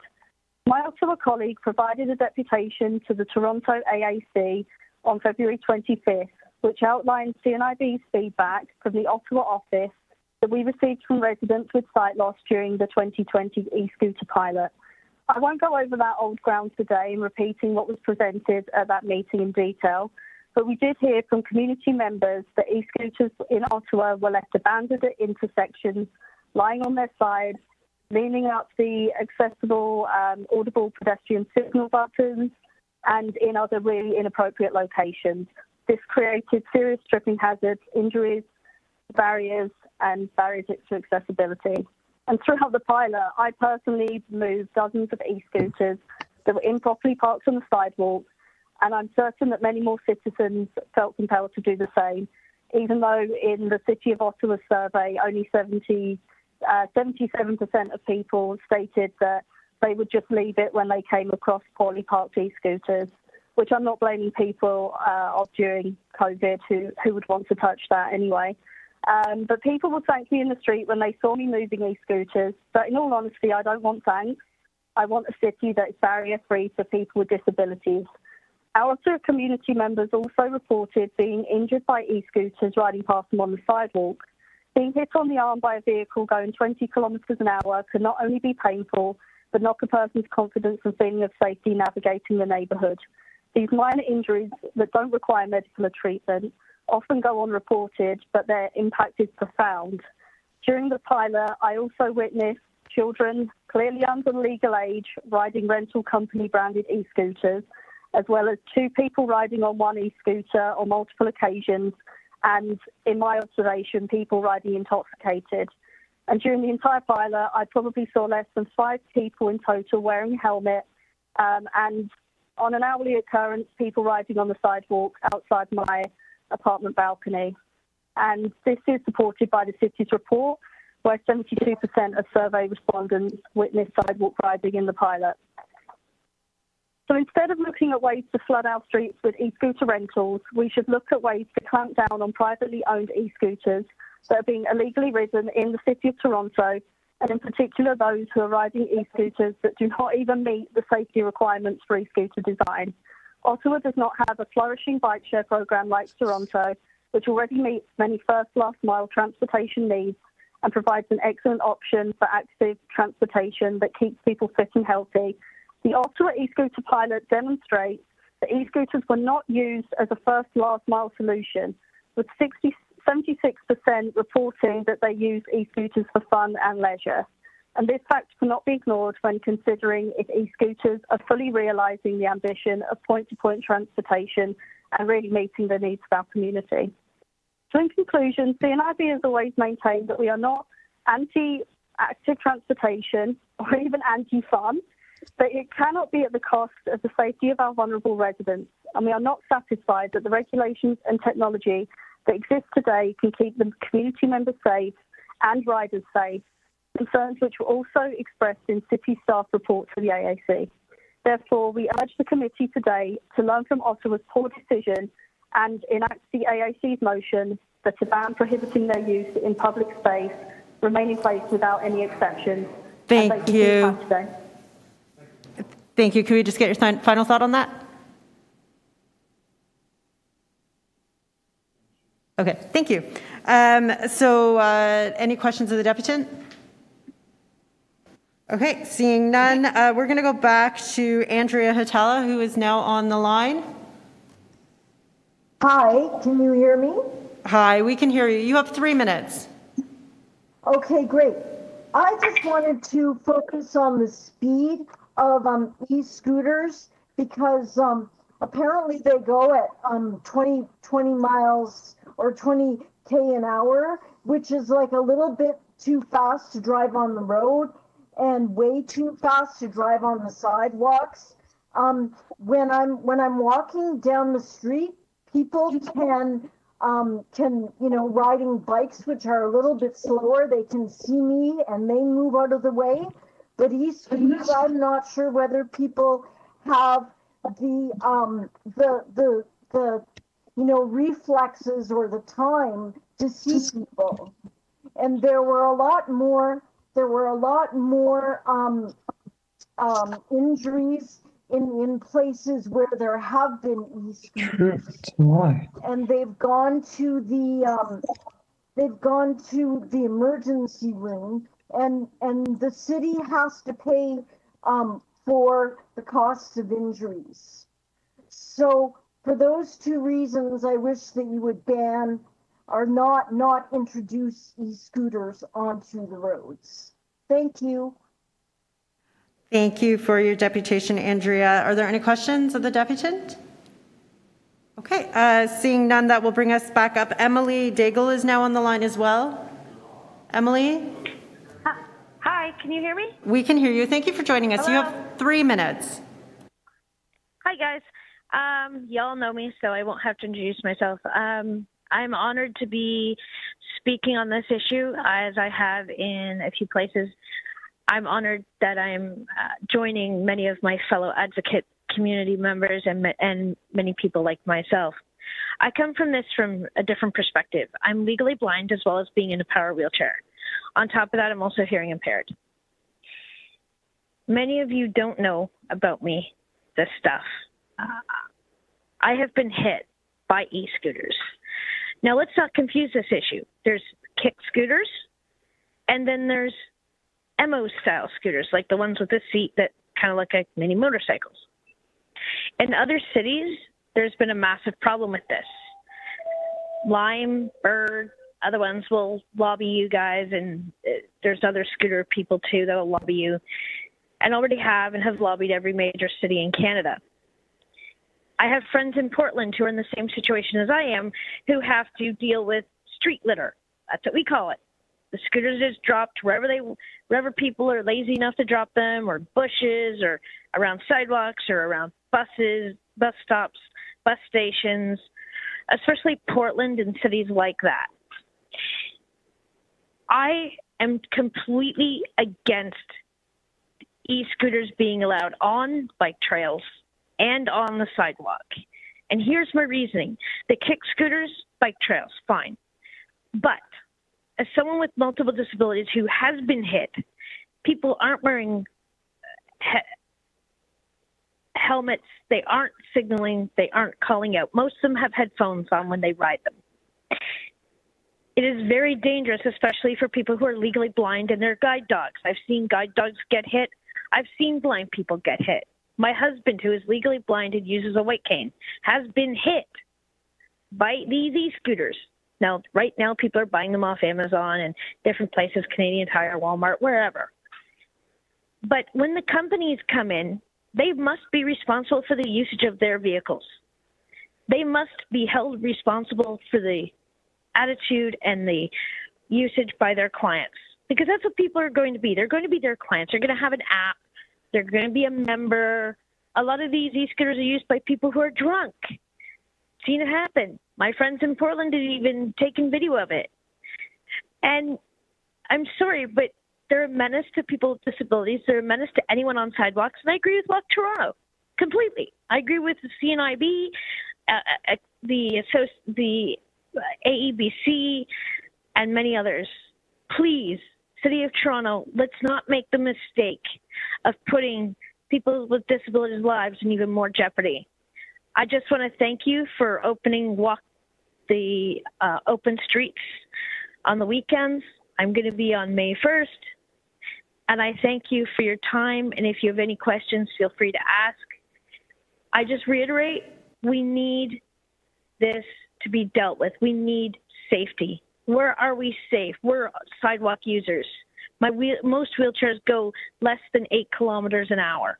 Great, thank you. I appreciate your time. Thank you for your deputation. Are there any questions of the deputant? Okay, thank you for your patience. I know there was some connectivity issues there. That brings us to our next speaker, Ryan Thank Fraser. you. Bye-bye. Ryan Fraser. Okay, Ryan is not present. We'll move to Louise Bark.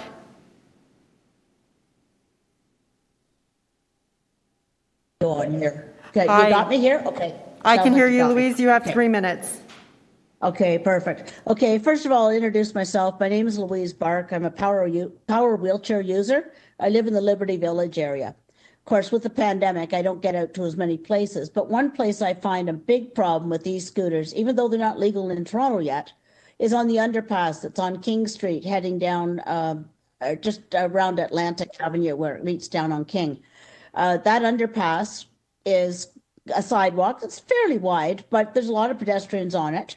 And I was very surprised when I looked up the high, uh, section in the Highway Traffic Act and the recommendations of the province that when a bike or sorry, scooter is is going on through an underpass, they are to go on the sidewalk. They can't stay in the bike lanes.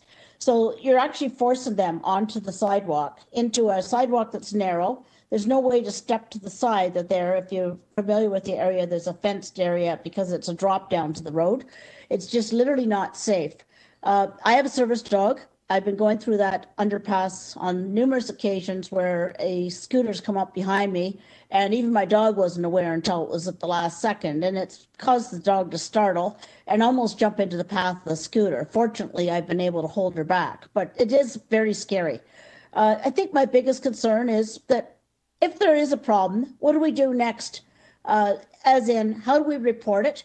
Uh, they're not all identifiable. Some of these are, uh, um, businesses might have an identifying mark on it, but what happens if someone's visually impaired and can't see the identifying mark on the scooter? How do you report it? What do you do about insurance if there is an injury? If there is someone acting inappropriate on it, how do you report it? And how do you, um, you know, get some sort of resolution as a result of it?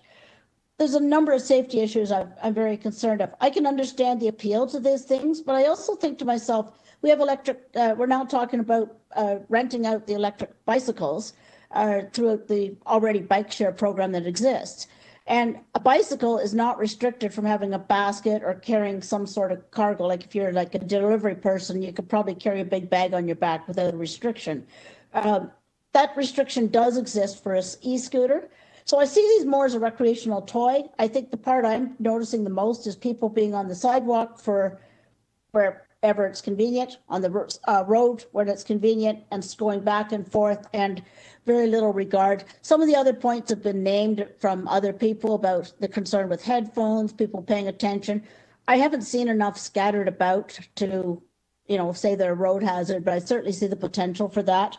And I do hear the electro, uh, the companies that are wanting to get underway talking about some of their uh, safety concerns, but I still don't see the answer that I need to hear the most. And that is what is going to prevent the scooter from hitting a person, or if they're behaving badly, how is a person going to properly get it dealt with? How are they going to report it to the authorities? What kind of penalty will exist? Apparently, if they're stopped according to regulation uh, 389-19, it recommends that the person would require to show the driver's license to a police officer. Well, many people in Toronto don't have a driver's license. So where is there an ability to enforce or ensure that there isn't a repeat offender? The biggest concern, again, is the safety. And as I said, I've been issues where you have policies and laws that actually force the scooters onto sidewalks in, say, underpasses and so on. Those are big concerns, and the lack of insurance is a big concern. In the provincial recommendations, in, in the uh, highlight for Ontario e-scooter pilot program, they actually say that insurance should be a strong consideration. And unless I've missed it, I don't see that as being a requirement at this point.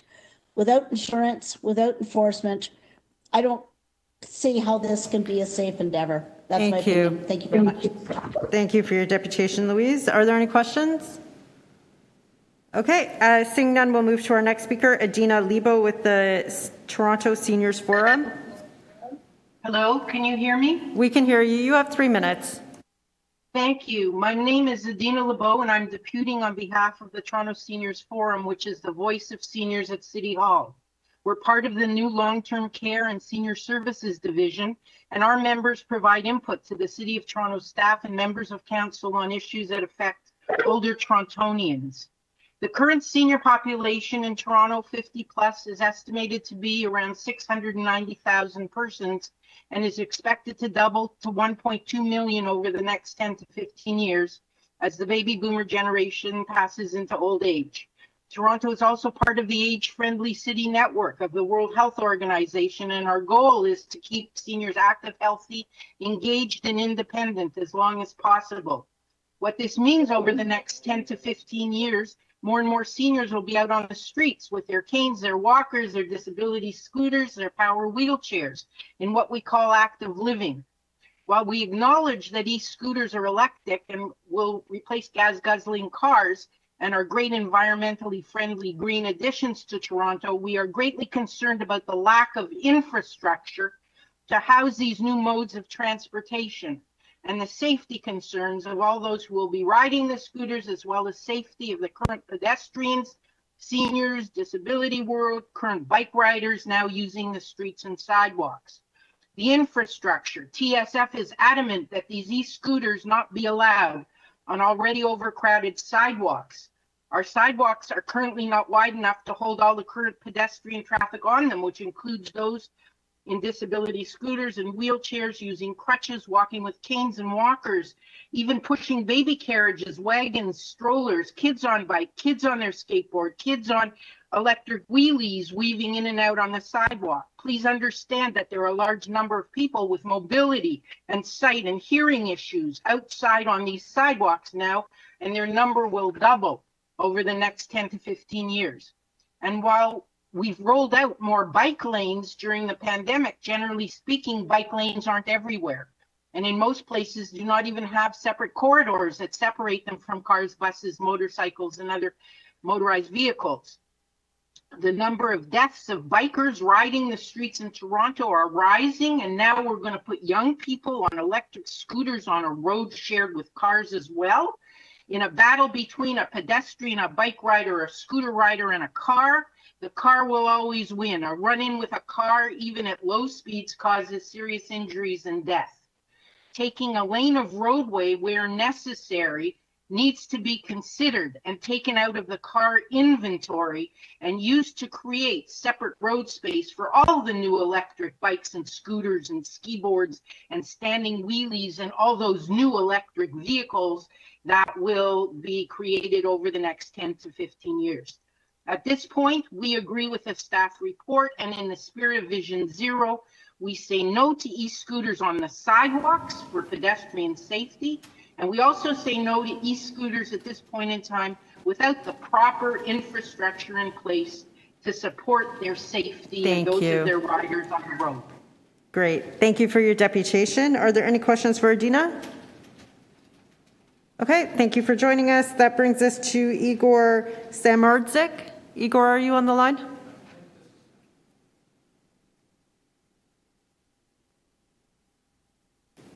Calling again, Igor.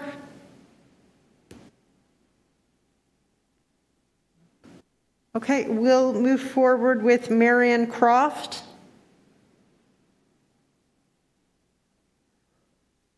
Marion, you're live. Can you hear us? Yes, I can. Thank you for joining us. You have three minutes. Thank you. Good morning, ladies and gentlemen. My name is Marion Croft, and I am a member of the March of Dimes Canada Post Polio chapter. I wish to comment on the e-scooter pilot project. It is my opinion as a person with a disability that including e-scooters on the sidewalks of the city of Toronto would threaten my safety and the, that of countless others. These e-scooters can attain speeds of 20 miles per hour. No matter how highly technical these machines are, they present an accident waiting to happen. For example, any person exiting a store is in jeopardy because they could be hit and injured or killed by an e-scooter going too fast, crashing into the doorway. Also, if an accelerated e-scooter goes around a corner at breakneck speed, it would definitely injure anyone it comes in contact with. I urge the Infrastructure and Environment Committee members to say no to e-scooter pilot project for the safety of everyone. Thank you. Thank you for your very concise deputation. Much appreciated. Are there any questions of the deputant? Okay, seeing none, thank you again for joining us. I will move to Marvin Sokoloff.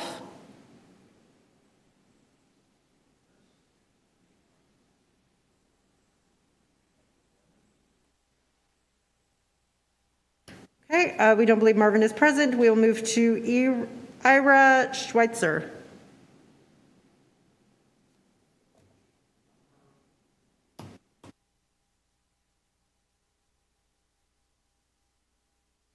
Okay, we don't believe Ira is present. We will move to Austin Spademan.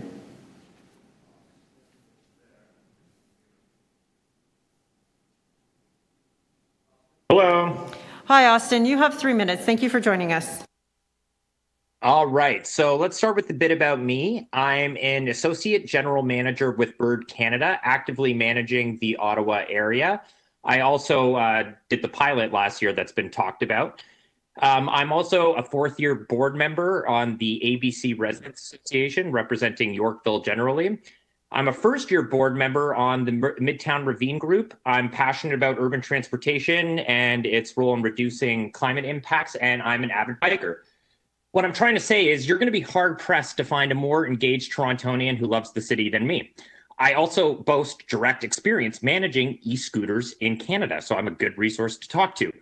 Secondly, uh, I've managed a successful 2020 pilot in Ottawa that was called the Golden uh, the Golden Standard for Municipalities by the chair of the Transportation Committee. And I joined the industry purely for a mission-driven purpose. I want to save the Earth. I think that you've heard 70% of Torontonians want electric scooters. Don't don't just believe that stat. Go walk the street and talk to 20 people. You will see that most people are open to electric scooters. I also think that e-scooters have a strong strategic alignment with active TO and that they're an excellent way to reduce congestion in an environmentally friendly way. I think that before making a decision today, you are not doing your due, due diligence without hearing directly from city staff in other cities in Canada Moreover, I think you need to hear from city staff in other North American cities on how they address accessibility. I agree, accessibility is extremely important. And to, to actually make a decision, on this, you need to hear what other cities in North America are doing around accessibility. So I recommend that you defer a decision on this item until you've heard from cities that have had successful e-scooter programs. You use the opportunity to consult these city staff members on their approach and data around safety and that you make a decision after this consultation. I don't think you're in a position to represent 70% of Torontonians today without doing this due diligence and hearing it directly from the horse's mouth, as it were. So uh, there's been a lot talked about Ottawa. Uh, what I want to highlight from the Ottawa pilot report on 2020 uh, is the first sentence of the report, which is In the 2020 pilot, e scooters provided residents with a convenient, physically distanced mobility option that some residents use to replace short car trips. They also encouraged residents to support local businesses and were observed to have a very low rate of reported injuries. So, what three things should you take away from that sentence? One, they effectively replaced car trips. 46% of riders surveyed said they drove less as an individual driver. That's huge. Moreover, it enabled COVID 19 small business recovery, something we should all care about. And lastly, were, there was safe ridership with a low injury rate. In fact, there was, um, from the report, there were seven minor injuries caused by e scooter falls or collisions. This represents an injury rate of 0.003%. That is fantastic. That is better than biking. So, you know, if we're talking about safety, you should be looking at the baseline from Canadian municipalities before you make this decision. And you should hear from, you know, for example, the chair of the Transportation Committee, Tim Tierney, and Ottawa City staff before making a decision. That's my deputation. Thank you. Great. Thank you for your deputation. Um, Councillor Ainslie has a question. We'll move to him three minutes. Thank you. Through you, Madam Chair. Um, Austin, could you comment? Um, one of the big concerns that's in the report, or two of them, is around insurance and indemnification. And it, it mentions some of the other jurisdictions where uh, they've had um, legal battles with scooter companies over dealing with insurance and indemnification and how you're dealing with that in Ottawa. Yeah, so uh, you know, I, I, think from the city of Ottawa's perspective, uh, I'm not going to be able to adequately represent them. You should hear directly from city staff. But uh, speaking broadly, I think they've been uh, satisfied with our robust uh, insurance coverage. In fact, they made the decision in 2021 to double the size of the e-scooter fleet and extend the length of their program. Do you think they would have done that if they had insurance concerns that were not attainable with the current insurance products available for the industry? I think not, personally. And what's the size of the, um, not just your companies, but do you have an idea of ballpark what the size of the scooter fleet is in Ottawa currently? So it was about 600 last year, and this year it's going to be 1,000 to 1,300, I believe, is the full uh, size of their program. Okay, and one of the, one of the safety concerns dealing with helmets, and you know, there there seems some of the reading I've done, you know, tourists you don't expect them to be carrying around helmets because um, they're tourists, so they're not traveling with a scooter helmet. Um, and then people living locally that are riding on scooters that they say should be wearing helmets. How do you deal with that? Um, so it's actually very cool. So uh, we have a lot of language. Uh, first of all, we state on our terms and conditions, so you're required to wear a helmet. Moreover, we actually provide a free helmet to anybody looking for it through our app. Any rider is entitled to a free helmet through us. We do helmet giveaways. And then uh, this year, we're looking to implement new features that include a helmet selfie at the end of the ride so a rider can prove that they were wearing appropriate headwear to protect themselves. So there and, are and, logical solutions in that space as well. Yeah, and and how does the helmet? So what do you do, Austin? I I know that you know people are you know do you have designated parking areas in uh, in Ottawa? Like you leave the scooter somewhere with a helmet. How do you keep somebody from stealing it, other than putting them back in designated areas? So to that point, we we actually recommend that the person keeps the helmet on their person. They aren't shared helmets. That's why we will basically mail you a helmet if you request a helmet through us. So you have your individual helmet and you don't need to leave it on the scooter at risk of uh, it being stolen. Okay. All right. Thank you, Madam Chair. Those are my questions. Uh, thank you for uh, your deputation. Any additional questions? Okay, seeing none, we'll move to Corrine Schmid. Oh, sorry, my apologies, Corrine. Um, I do need to go back to Igor because we did get him connected now and he was previously on the list. So we'll pop up to Igor Samardzik. Igor, you have three minutes. Perfect. Thank you, Chair McKelvie. Uh, good morning, councillors, and thank you for the opportunity to speak with you today. My name is Igor, and I'm currently the chair of the Advisory Committee on Accessible Transit that provides advice to the TTC. Uh, this committee passed a motion, uh, the ACAT passed a motion in November 2020 that recommended the TTC board ban the operation of e-scooters and e-bikes on TTC property due to safety issues for customers with disabilities, seniors, and pedestrians near and on TTC property. Although our motion extends to TTC property only, the main points of the motion and other safety concerns are relevant to this conversation as they can be brought in to include the wider public realm. As we begin to see, as we begin to use more and more of our streets for active transportation, including city programs such as Cafe TO and Curb TO, we are already placing significant pressure on limited space within the public realm. The addition of e-scooters would present another obstacle to people with disabilities. People with disabilities already have limited options when navigating the public realm, and with the addition of e-scooters, this will further impede the options available to individuals if e-scooters are left on sidewalks there is simply not enough space or robust enough process at this moment to implement this at this time. Although I appreciate the workarounds and solutions that the e-scooter industry has tried to implement, including taking photos of parked e-scooters, cell phone prompts, and various technological features to try to limit some of the challenges presented by the disability community, they nonetheless are not able to guarantee and enforce these measures in a consistent way that achieves a high enough standard of success I've traveled to other cities around the world and seen firsthand e-scooters left on sidewalks, blown over by high winds, and knocked over by people passing by. People with disabilities who may come upon these barriers along their paths of travel do not have the same ability as others to simply shuffle around or step into the street to overtake these barriers. Their only option in most circumstances is to turn around. This is not good enough. This is not a good enough solution for people with disabilities. This community is already heavily marginalized against in many aspects when it comes to the way our cities are built, and allowing e-scooters in the current form would only further the same. It is unacceptable to download another responsibility of navigating the public realm with these new devices onto the shoulders of people with disabilities. This affects a specific group of people more significantly than others within the city, and council should prioritize their voices in this matter as they have the most to lose and will be affected the most. We join the chorus of others who have already spoken um, and support the staff report against e-scooters. Thank you for your time. Happy to take questions. Thank you. Thank you for your deputation and your patience connecting. Are there any questions of the deputant? Okay. Uh, thank you again. Seeing none, uh, that brings us to our next speaker, Corrine Schmidt. And my apologies, Corrine. I called you and then I talked you down again. There you go. Now you're yes, up. You, okay, three minutes. Thank you. Excellent. Yes, you, you, you deked me out there. So I've been sweating it for the last two and a half minutes. So thank you for having me and allowing me to speak. Um, I do believe I am the first that is, um, well, I am a private citizen who is asking for e-scooters. In fact, I represent a cohort of my, of my friends and my peers who all have e-scooters and who use them for various reasons, whether that's from going to one, one home to another, to meet to in the very limited opportunities on a patio when it was okay to do so.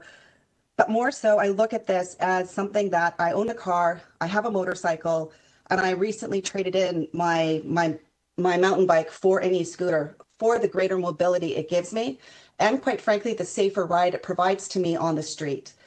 As a motorcycle rider, I took safety training, I pay for insurance, and I ride in full gear.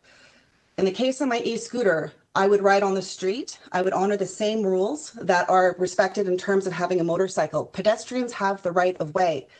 There would be nothing more terrifying. I'm not looking to hit people on the road.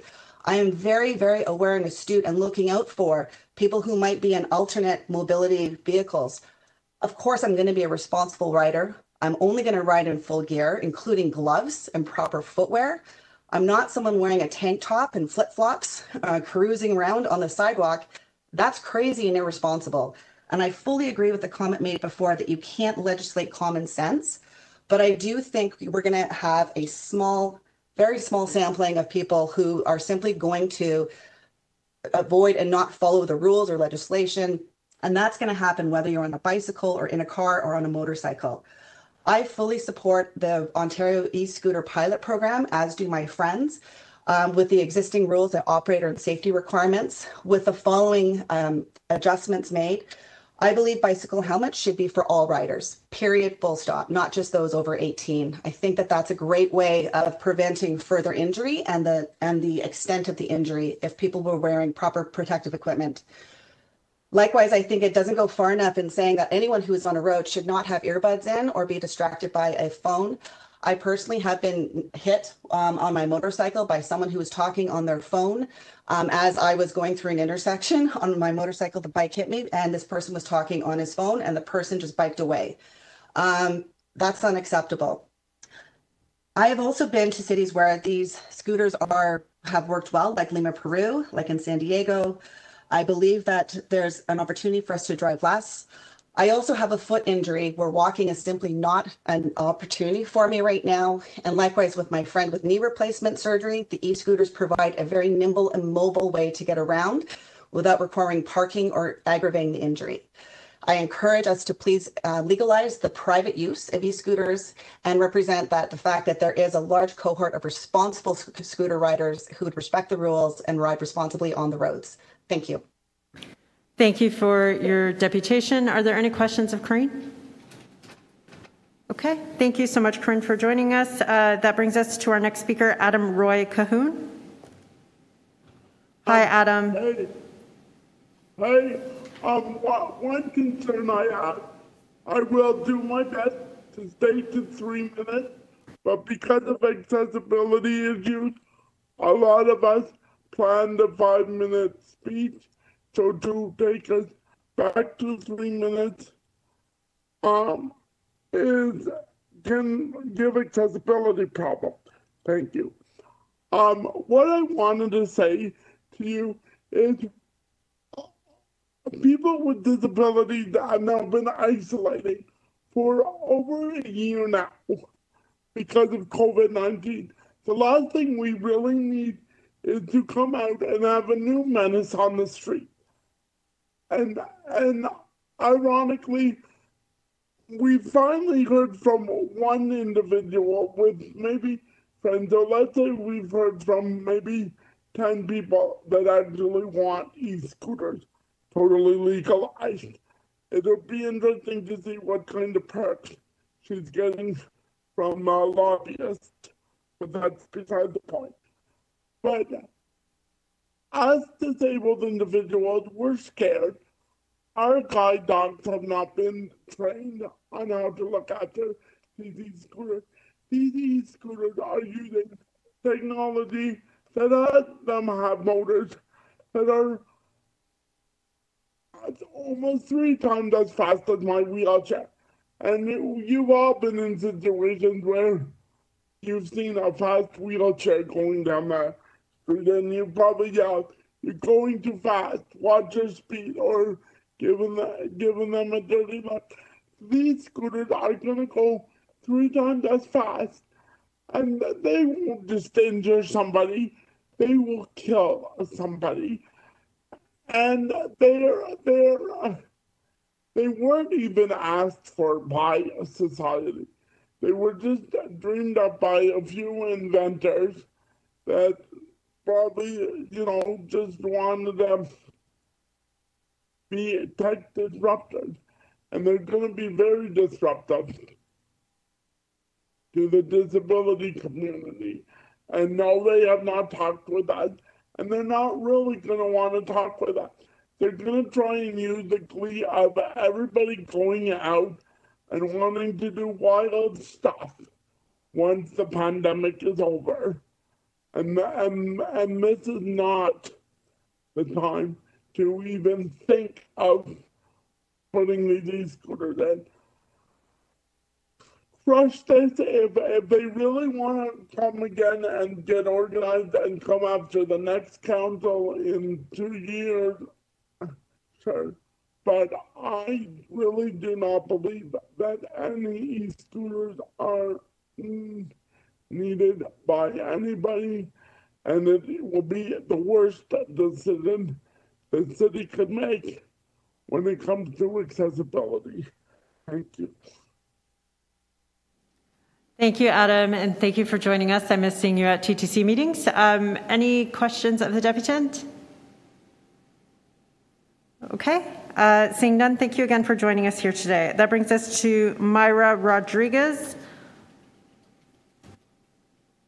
Hi there, can you hear me? We can hear you, Myra. You have three minutes. Thank you very much, uh, Madam Chair and Committee. I, I, appreciate this opportunity to speak with you. Uh, I am very concerned about opening Toronto streets to e-scooters, and I'm really concerned for families, young children, seniors, and people with disabilities like myself.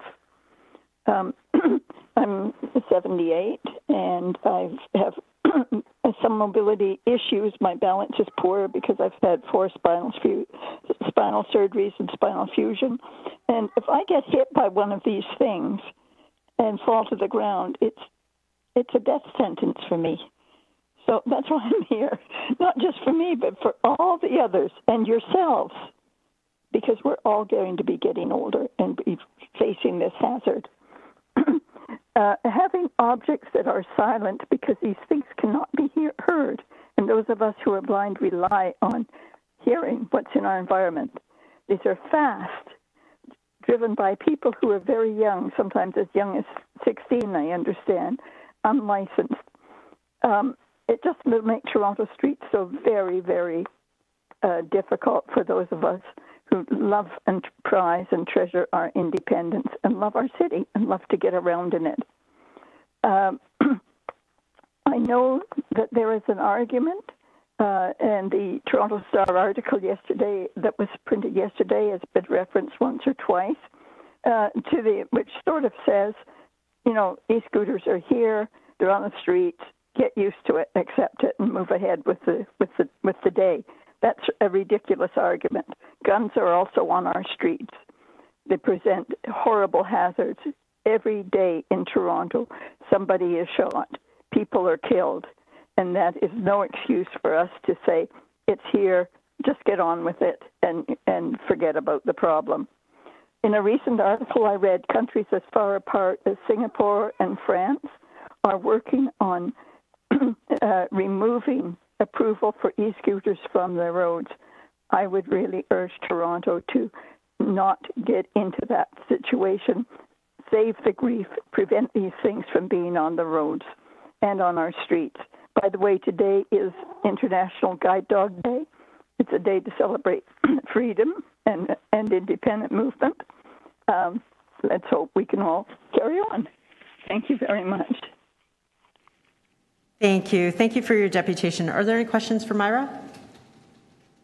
Okay, seeing none, thank you again for joining us. That brings us to Jennifer Griffiths. Can you can everybody hear me? We can hear you, Jennifer. You have three minutes. Okay. Thank you. Boy, I, I couldn't have said it better than the previous speakers. So I'll just get right to the point. I called the murder machines on February the 25th. I will still call the murder machines as long as they're brought back or brought into this city, which, as John Rae so eloquently stated, is getting increasingly inaccessible. I would much prefer our municipal government to spend vast sums of money on Wheel-Trans and public transit. And I just want to say here's what my life could look like, and presumably that of other disabled pedestrians, if you bring these menaces to this increasingly inaccessible city. I can tell you right now, I will be too afraid to leave my home for reasons are so eloquently stated. I won't be able to hear this menace coming up behind me. I can't see. And I have a guide dog, and he's lovely. But there's a limit to how safe he can keep me if we have the onslaught of these machines. And secondly, if I fail to go out for even a walk uh, business related individual or things, uh, the less I use my guide dog. He'll turn into a very expensive, well behaved pet and harness. Secondly, if he were hit by one of these machines, it would be very soul destroying to witness this. I couldn't live with myself. The guilt would be too much. Or if I went out, I would have to wonder will this be the last time for me and my guide dog? Will somebody be attending my funeral, be it virtual or face to face? Will I be injured? Will I have one or more injuries? And no doubt I would get the PTSD to go along with it. And what bothers me is our freedoms would be so curtailed. The city of Toronto would still expect me and any other property owner to pay the same amount of property taxes as before, meanwhile jeopardizing our freedoms. And it's not fair. You can't have it both ways. Um, and it is International Guide Dog Day. We all have a right to be safe. And I'm frankly sick and tired of the spin that the e scooter executives are putting on this. They know the truth. Let's face it. I really have nothing more to say. I'll take questions, then I have to look after my guide dog. Uh, thank you so much, Jennifer, for joining us. Are there any questions of the deputant? Okay, uh, seeing none, we'll move to our next deputant, Louise Russo. Louise, okay, thank you. you. Bye-bye. Thank you. Louise, are you in the line?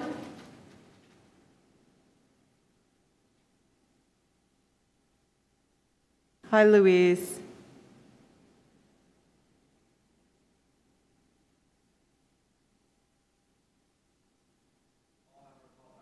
Okay, uh, Louise, we're going to have you call back in and reconnect. We can't seem to get your audio turned on. Uh, while we're doing that, I will jump to Richard Pass.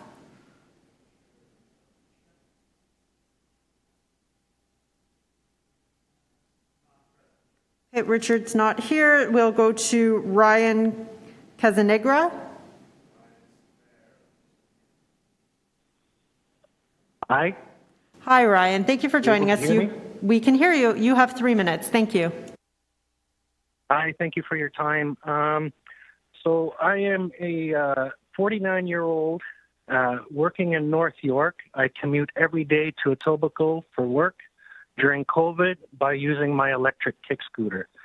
I am opposed to any ban on personally used and operated kick scooters because I believe that they provide an alternate mode of transportation to those with disabilities that you can't see. Um, I've heard a lot from disability uh, accessibility advocates over the last couple of hours, and not once has it been addressed that people with disabilities that you can't see also use these things as mobility devices. I will be more than happy to take a training program or a seminar for a half a day at a community center or something of the uh, sort in order to gain some sort of permit in order to be able to get insurance so I can feel safer on the road myself. I wear full padding, full face helmet, gloves, and I respect all rules of the road and bicycle uh, use. Um, I think that a lot of the arguments being made, I, I don't think they're invalid arguments. However, I think that there are a lot of fear mongering going on amongst these disability groups. Um, I just uh, personally, I, I would love to have some insurance, and I don't want to have my mode of transportation to keep me safe from COVID and my partner who has COPD safe from COVID.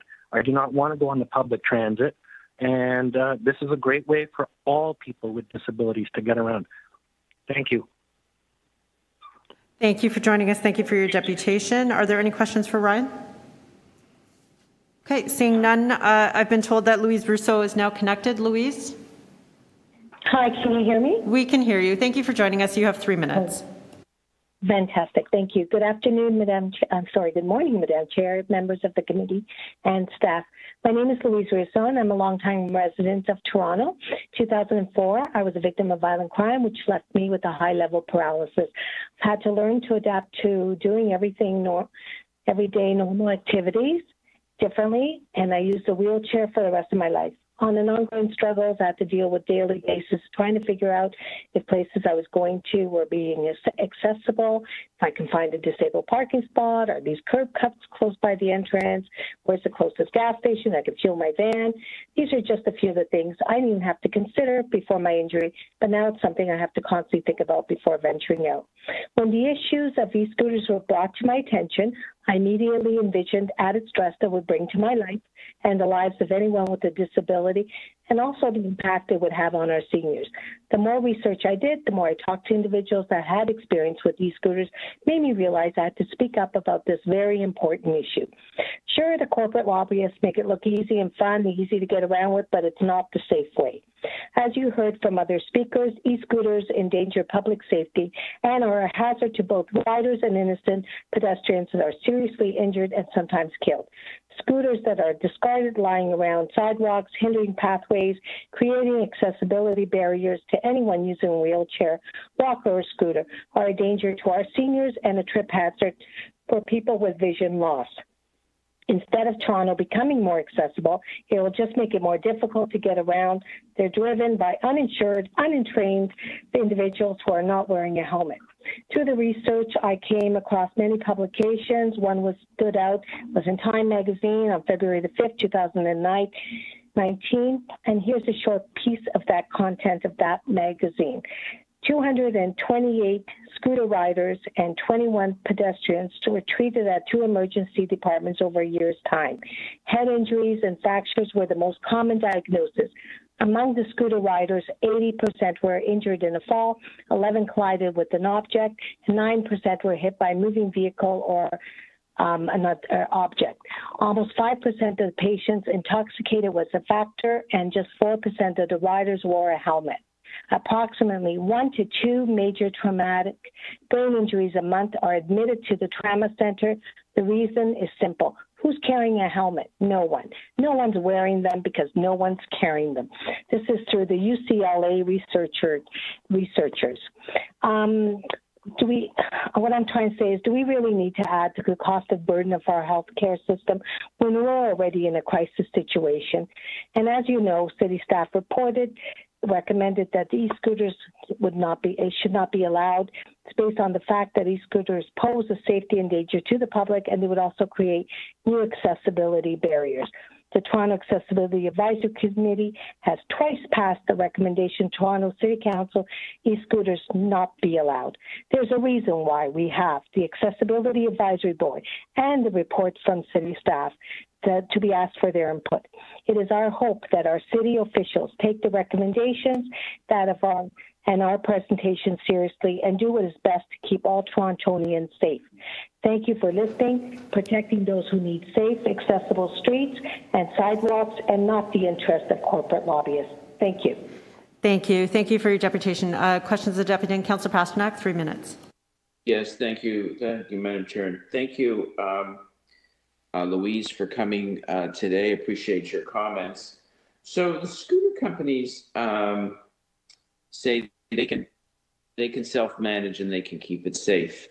Um, from the research you've done, uh, I guess you've looked at the experience in other cities. What what can Toronto expect on on this level of self-governance?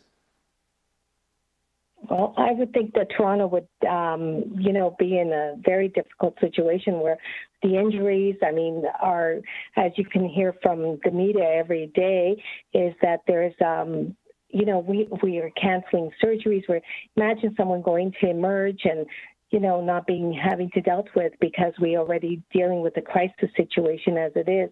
We don't need to put more and more emphasis, you know, uh, stress and pressure on our healthcare system, and this will just be a safety issue for many. Do you think that um, cities are defined by how they treat their um, disabled?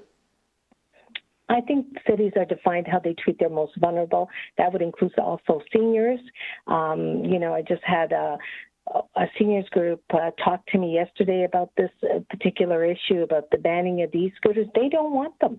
They said, you know, we're just minding our own business, walking, have a leisurely walk, and all of a sudden two kids on e-scooters are just whipping by us. We didn't hear them, and if I had just turned around at that moment, it would have scared the daylights out of me, and I would have been injured. You know, uh, people don't need that type of stress in our lives. So we, uh, Toronto is a beautiful, beautiful city, and let's keep it safe and let's protect it um, the best we can. And thank you, okay. uh, Councillor Pasternak, for your support. I, I want to mention that it's been, you know, really, we all really appreciate it. Thank you. No, you're very welcome, and I certainly appreciate our conversations. Thank you so much. Thank you. Okay, thank you, Councillor Pasternak, uh, and thank you, Louise. Um, I will be going back up to our deputy that was missed earlier, Thea Kurdi. I hear you're now on the line, Thea. Hi, good morning. Yes, this is Thea Kurdi. Thank you for joining um, us. You have three minutes. Perfect. Thank you so much. I, I don't intend to take all of them. Um, I would like to support the AODA Alliance's submission about the problems with including e-scooters on our streets and sidewalks. Um, I have been an accessibility specialist for the built environment for the last 20 years. Um, and uh, we've been working with all levels of government all across the country and internationally. And uh, what we have seen over and over again is the difficulty in even implementing the AODA design of public spaces for our sidewalks to make them accessible for people with disabilities. Adding on top of that, the encroachment on just the storage of the e-scooters, um, let alone all of the other fabulous points people have been making about the problems of people using these e-scooters, I can see only adding to the difficulties. I also worry that it really goes against the principles of the AODA, which is to create an accessible Ontario by 2025. And if we're not able to do it without e-scooters, we're certainly going to be having an even harder time with the addition of e-scooters. Um, as we have seen reported, uh, the number of instances of um, accidents in all other cities that have tried to implement this, all other test projects that have tried to implement this have skyrocketed. The fact that people with a variety of different disabilities and, and older persons that have reported feeling unsafe on our sidewalks, which shouldn't be happening as a result of them. Uh, and that includes not just people with mobility disabilities or people who are using canes or unsteady on their feet, but people with sensory disabilities and people who are deaf who can't um, hear the e-scooters uh, coming easily.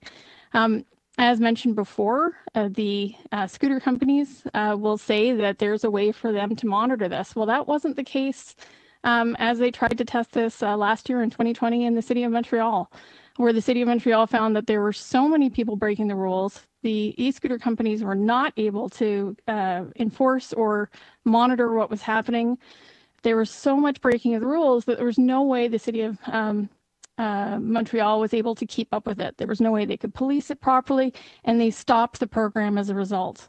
So the addition of uh, accidents, the addition of uh, liability concerns, there's just so many reasons why this doesn't work at a city level, but also why it doesn't work for the equality that our Charter of Rights and our Human Rights Code are trying to enshrine. Thank you very much. Thank you for your deputation and for joining us today. Are there any questions of the deputant? Okay, uh, seeing none, that brings us to Luca Ceramelli, um, yes. alla Mobilità Roma Capitale. I don't know if I got that right. Please correct me. Okay, okay. Can you hear me? I can hear you. You have three minutes. Okay, good morning. Thank you. Good morning. My name is Luca Cerimele, and I'm working on behalf of the Mobility Council of Rome, Italy, on our e-scooters pilot program. So first of all, sorry for my English, I'll try to be as much clear as possible. Our program started during the last summer, May 2020, with four sharing operators and a starting fleet of 4,000 e-scooters. Actually, after almost one year of activity, we have seven operators with an overall fleet of uh, 14,000 e-scooters. In light of our experience, we strongly believe that micromobility is a real opportunity for a more sustainable mobility, but it's required to work on two main levels parking and management, and uh, in general, use of public space, safety, and safety clearly. On the first point, we face issue, issue with bad parking habits of e-scooter users. In particular, e-scooters were being parked on sidewalk, which posed a threat to pedestrian users. This issue has many different roots. Besides the user habits, there is a structural lack of space dedicated to micromobility in our city. It is evident that our city is designed for cars and not for bikes or e-scooter. We need to work on it. Moreover, some operators decided to focus their fleets in the city center in order to maximize their profits. Um, that choice brought relevant cluttering in our streets. For these reasons, we decided to adopt a stricter regulation about parking. We asked each operator to limit their fleet deployment to a maximum of five e-scooters in every 70, uh, 70 meters, and we defined interdicted areas for parking in the city center in order to avoid cluttering. Our suggestion here is to use geolocalization to define no parking zone and to provide dedicated parking zone in the most critical part of your city. Safety needs a different approach to understand the real problem.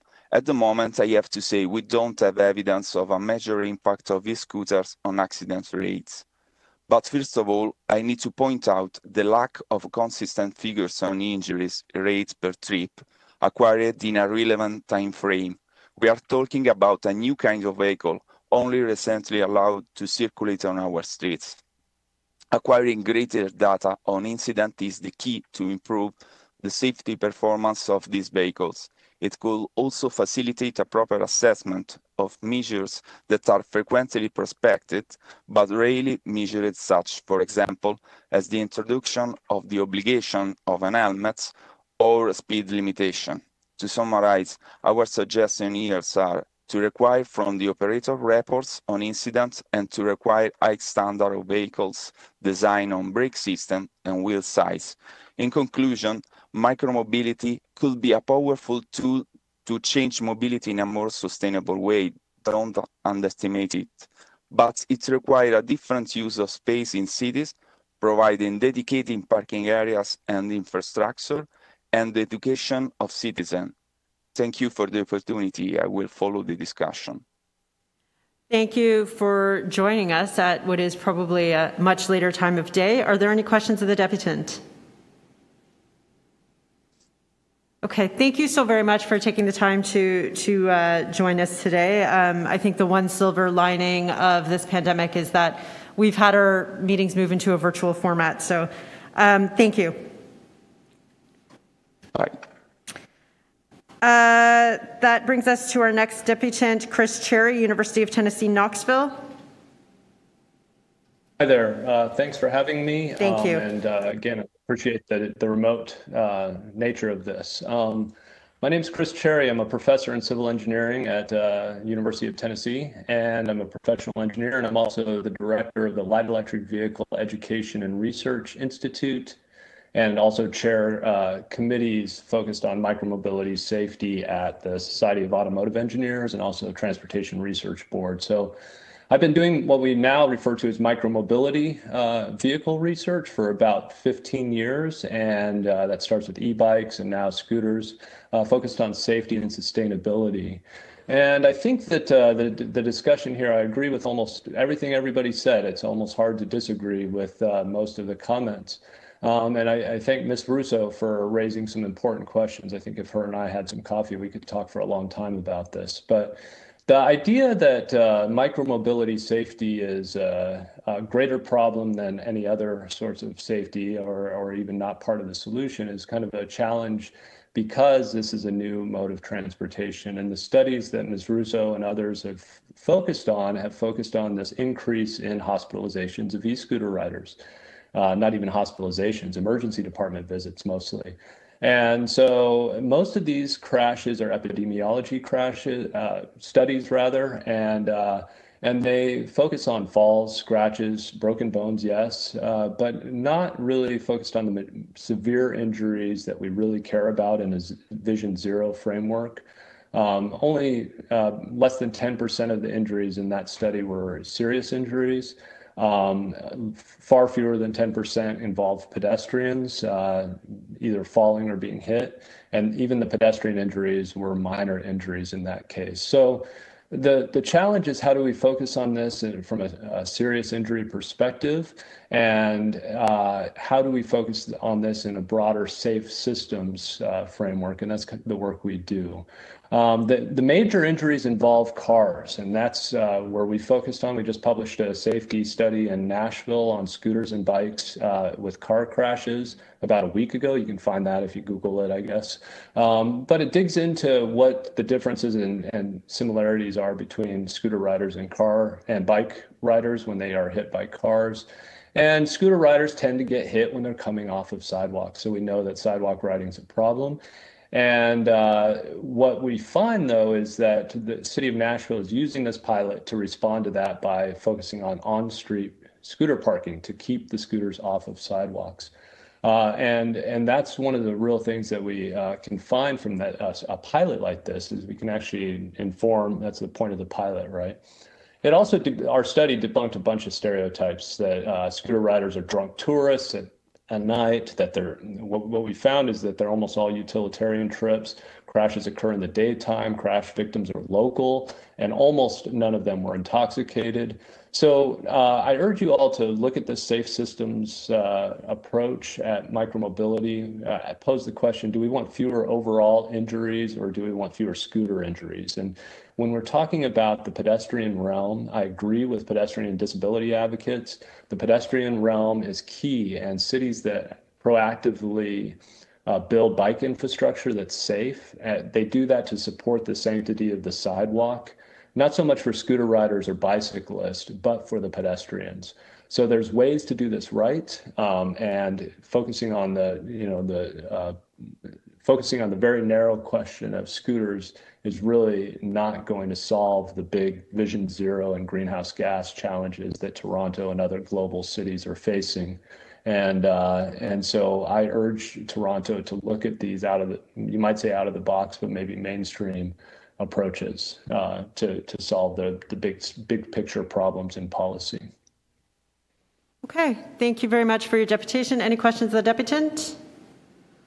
Okay, uh, seeing none, uh, that will take us to our next deputation by Jen Freeman. Hi there. Hi, thank you, Jen. Hi you there. have three minutes. Thank you. So, good morning. Uh, my name is Jen Freeman. I'm Lime's general manager for Canada. Um, I'm a Toronto resident. I was born here. I've lived here almost my entire life. Um, I'm also a mother of two young children, and I live in Councillor Layton's neighborhood of Christie Pitts. I took on this role with Lime because I wanted to bring innovative solutions to cities where the current solutions aren't working. Um, I wanted to make a safer and a more sustainable city and world for my kids and a more accessible and mobile city for all of us who live here. But I'm worried that right now, Toronto doesn't want the same things. Um, we're faced with a moment where the city is spending over $100 million, including my tax dollars, to reduce car congestion but are choosing not to provide new options that are safer than cars, that are more sustainable, and that cost zero tax dollars. This is what doesn't make sense to me. Um, as a mother, I'm not worried about my two young children um, being hit by someone on by a scooter in Toronto.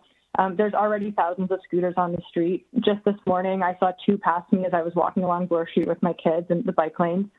Um, what does scare me, though, is a frustrated driver ripping down one of the side streets by my house and hitting one of us as we cross the street you know, this concern or this nightmare really wouldn't exist if everyone in our city felt safe walking, biking, or taking scooters um, or transit.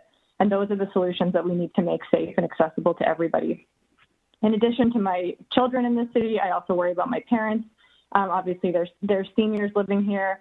Um, I'm not concerned about them tripping over scooters on sidewalks. I think, as others in the industry have mentioned, we have sort of solutions and ways that we can work with cities to prevent and manage those risks.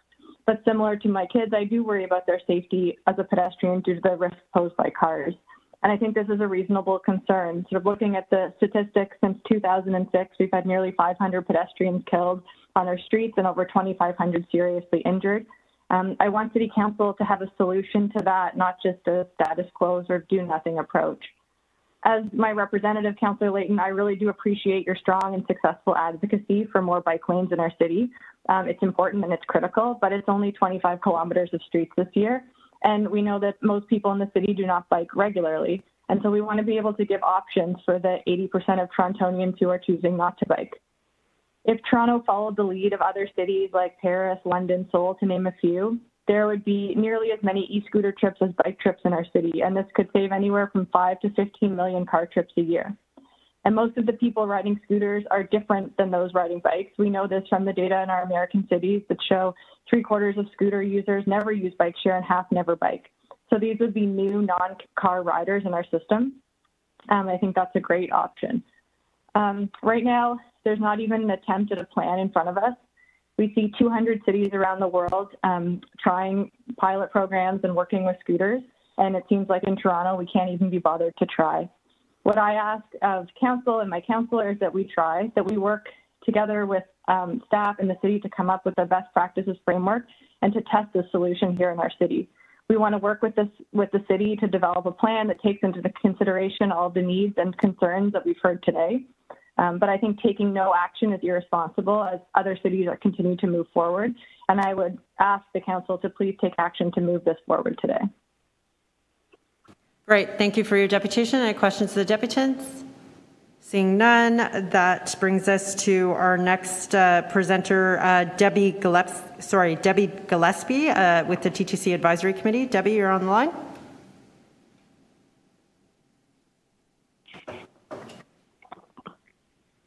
Try again, Debbie.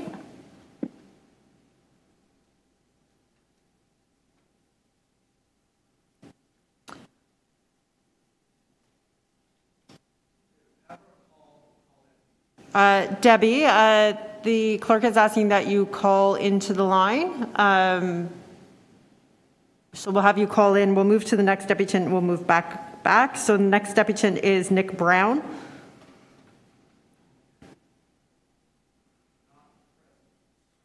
Okay, uh, we do not believe Nick is online. That brings us to Anna Zivarts with the Disability Rights Washington.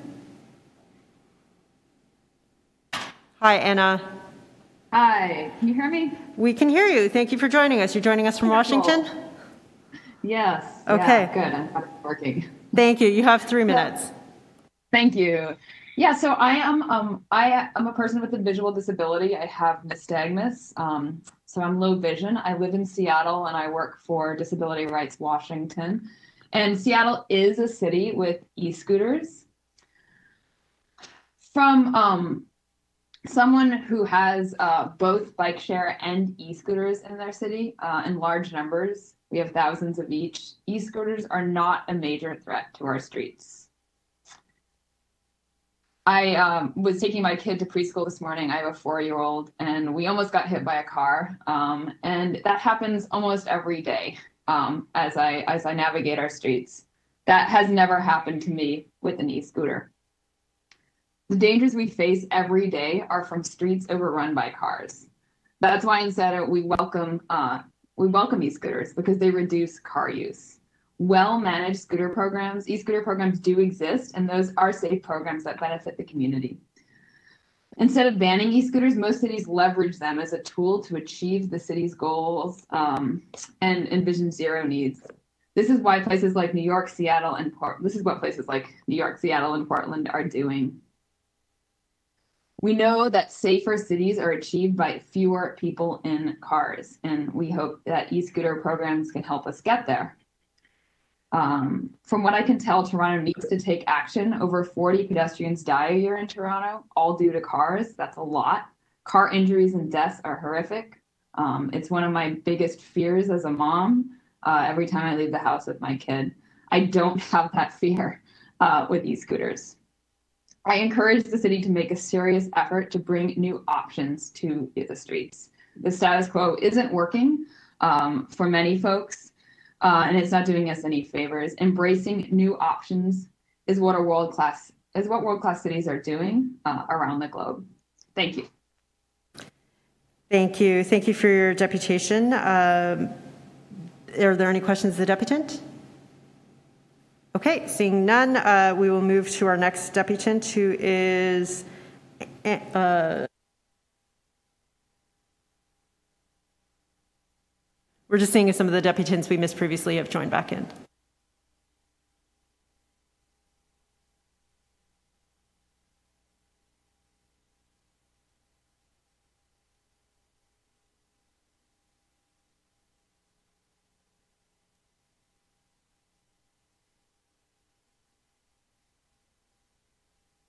Okay, great. We're going to go with Tammy Adams. Tammy, are you online? You have three minutes. Okay, we'll move to Wendy Hong. Hi, Wendy. Hi. Thank you for joining us. You have three minutes. Thank you. Uh, hi, everybody. My name is Wendy Hong. I'm a single parent and I'm visually impaired. We should not allow um, e-scooters on our already crowded streets of Toronto. I'm also a member of the Canadian Council of the Blind Toronto Visionaries, and what we run programs is to tackle social isolations, mostly um, commonly in with a lot of seniors and blind and visually impaired.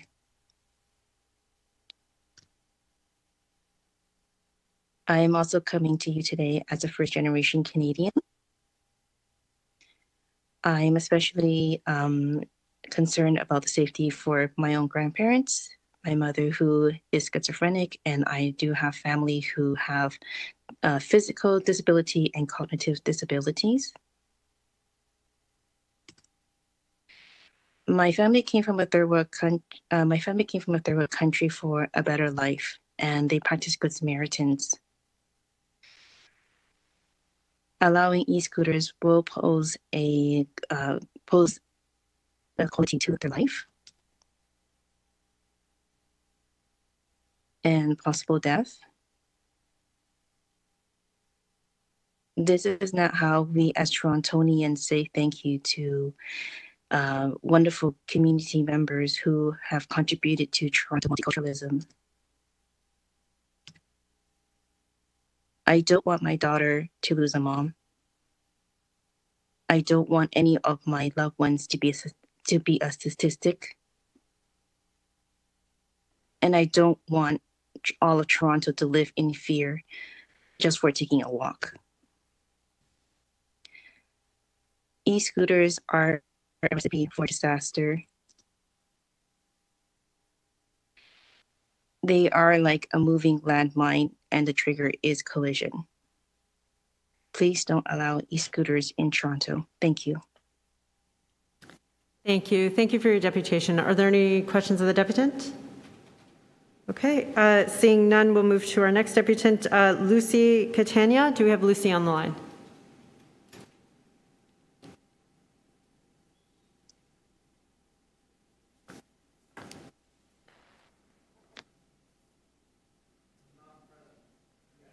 Okay, uh, we do not believe Lucy is present. That brings us to Aaron Binder with Segway of Ontario. Hello. Hi, thank you, Aaron. You have three minutes. Thank you. And hello, Infrastructure Committee. Uh, as mentioned, my name is Aaron Binder, and I'm the Chief Experience Officer at Segway of Ontario. Uh, we've been a retailer of micromobility and personal electric devices like kick scooters and segways since 2004. Uh, first off, I do want to thank you for the opportunity to be here. And today I'm specifically talking about privately owned e-scooters already on the streets of Toronto. Uh, we recently polled our customers and learned some pretty incredible stats. 60% uh, of the people polled uh, use their devices to commute to and from work. Another 30% are primarily using them to move around downtown university and college campuses. Uh, we, we dug into our sales metrics, and one of the most interesting takes is that people above 50 years of age are actually our second fastest growing market segment. Our fastest, uh, folks in postal codes with traditionally low frequency TTC service. Over one third of the people I've just described are now exchanging car trips for scooter trips. In addition to reducing wear and tear on city streets compared to cars, privately owned e-scooters do offer additional benefits to the city, like they're low cost, they're equitable, they're affordable transportation, and they don't have emissions. They do improve citizen mental health and allow riders to explore new parts of Toronto and spend their money in uh, new BIA zones. They also reduce the potential for COVID 19 transmission compared to public transit or ride sharing. Uh, privately owned scooters are also easily insured by tenant or homeowners insurance. And as Anna just said, safer cities become achievable with less car trips. We're helping fill that gap. We do agree with the conclusion from city staff and the Toronto Accessibility Advisory Committee that e-scooters definitely shouldn't be used on sidewalks. The staff at Segway of Ontario provide a safety training session for every customer that walks through our doors. And we recommend stuff like the best helmet, best lights, what kind of bell to use, and how to safely ride on Toronto streets, cycle tracks, and multi use paths. Unfortunately, other retailers like uh, Amazon, Best Buy, Canadian Tire, the big guys, they don't offer the same training or advice, um, and that has definitely created a safety knowledge gap. We're recommending to close this gap with the following measures. We recommend that the city adopt a legal private use model to facilitate existing and future e-scooter owners, identify key safety features that must be present on e-scooters, and treat e-scooters under the same MTO classification as bicycles or electric bikes, and explore the idea of a formal training program delivered through retailers like us or similar to CanBike. Pedestrian, cyclist, and driver road rights are already discussed as an ongoing conversation. We need to add micromobility users to that mix instead of adopting a head in the sand ban on private owners, especially as ownership adoption rates are expected to skyrocket over the next decade just like drinking a drinking ban in public parks, people aren't going to stop riding just because the city recommends against it. Let's work together on this. Thank you. Thank you very much for your deputation. Are there any questions of the deputant? Okay, seeing none, we're going to go back to Lucy Catania. I believe Lucy's now on the line.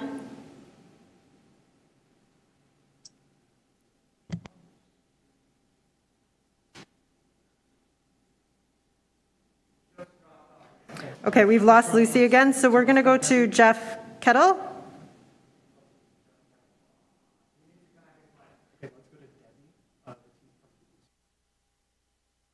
Uh, Jeff also needs to collect, uh, connect his mic while he's doing that. We're going to go back to Debbie Gillespie with TTC Advisory Committee as she's now connected. Uh, can you hear me? We can hear you, Debbie. Thank you for joining us. Okay, not a problem. Uh, um, Thank you, by the way, Councillor McKelvie, for the opportunity to speak to the committee on the issue of e-scooters. Um, I'm going to stick to facts. I'm not going to use anxiety, and I'm not going to use fear-mongering as one of the uh, deputants um, intimated earlier. And um, we'll, we'll just proceed. And I do have questions at the end that I'd like the councillors to consider. Um, I believe that um, allowing the pilot of e-scooters could seriously jeopardize the safety of pedestrians in the city of Toronto. And I believe they pose serious accessibility concerns. I'm not saying they can never be overcome, but I'm saying they are unable to be overcome at this moment in time. My the out, the barriers I'm going to outline are the following. Um, I'm a blind person who uses a guide dog. Um, the, the reality of e-scooters is that these are silent vehicles. They make no sound. Um, if you're walking on the sidewalk, you have no way of knowing when they are approaching if you are unable to see them. And this is a serious concern for people who have vision loss. These vehicles travel, uh, can travel up to 20 kilometers an hour. And the reaction time is non existent if they're too close to you and you don't know they're there in the first place. Um, how would this affect people, seniors and uh, safety, people who have disabilities and balance issues, and parents who have children in strollers? I understand those insurance issues regarding e-scooters, and I believe that is still to be uh, addressed before any pilot would be able to continue in the city of Toronto. I believe also that when I go out on the sidewalk or others who have vision loss, um, we feel relatively safe on the sidewalk. Uh, we have to navigate around obstacles, and there are more of those granted in the city of Toronto of this size. Um, but it is the reality of living in a big city. And I don't think there's anyone who doesn't recognize that fact that you need to learn how to navigate around obstacles in, in larger cities. Having e scooters as a silent vehicle is an obstacle for, for not only safety, but if, a, if e scooters are left on the sidewalk at transit stops unattended. They create mobility hazards for people who are unable to see them and have to determine the best course of action to navigate around these. I have a couple of questions to finish my deputation. Excuse me. How, if an accident does occur, how would one report it? What options are there for the injured party? If it were myself, as an example, what, what options would I have when I'm not able to identify the driver, there's no license number, and so on? I urge the committee to accept the city's excellent staff report and not proceed with the pilot at this time in Toronto. Thank you very much. Uh, Thank you. Thank you for your deputation. Any questions of the deputant? Okay. Um, We have uh, Lucy Catania, and then we'll go to Jeff Gettle, and then we'll need to do some procedural items before lunch. So uh, Lucy? Yes, Emma. Thank you. You Good have morning, three Madam minutes. Speaker. Okay. Good morning, Madam Speaker, and everyone else. Um, uh, I'm a senior myself. I've uh, been in Toronto 55 years, and um, I'm the president of the Golden Age Academy of the Seniors. I also run a volunteer group, heart group at Carmine Stefano Community Center. I'm from West Road and Mr. Perruzza. And um, so anyway, I um, the other day was sunny. I decided I have an impairment on my back. I have a, so I decided to walk down uh, my driveway with my cane, and uh, all at once I seen a scooter on Talent Crescent with two kids on top of it. I'm sure they were going over 20 kilometers, something. Like, I couldn't believe it. I don't know if they were from Talent or Summer Drive down the street. And uh, one thing I have to say, I'm against, and I'm speaking for all the seniors I know. I know quite a, se- quite a lot of seniors. And uh, I've been volunteering for years for seniors. I um, I uh, I made myself ready for when I was going to be a senior, helping the seniors. And for all those people that are healthy, they can ride the scooter. I I believe that they have grandparents and parents, and uh, I wish them the best. But one day they will be seniors, and I tell you, seniors they've been deprived of a lot of things. That's all we need now to deprive us to walk on a sidewalk. Just thinking about two seniors coming to the community center to paint. One with, one hand with a cane, the other one with a bag, so they can take out cam- the canvas. Hey, can you imagine that? And one of these scooters is going to hit them. And one thing also, I one more thing I would like to say. Thank you for the great work you're doing, and and I'm telling you, seniors, we are the one. They paved the road for all these people and these scooters. Have a little respect for the seniors. We should be put up front at any times. Thank you for listening. Thank you for your Thank you. deputation. Are there any questions? Thank you very much. Thank you. Any questions for Lucy? Okay, uh, seeing none, we'll move to Jeff Kettle, which will be our last speaker before we break for lunch. Uh, Jeff, are you on the line?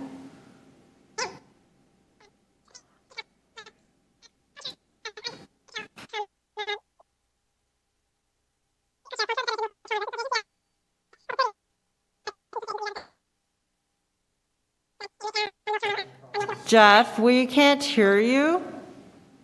Best speech I ever heard him make. This is the first. I think No he's trying to get it all in and under his five, under his three minute limit. Jeff, can you use the call-in number that was provided, please?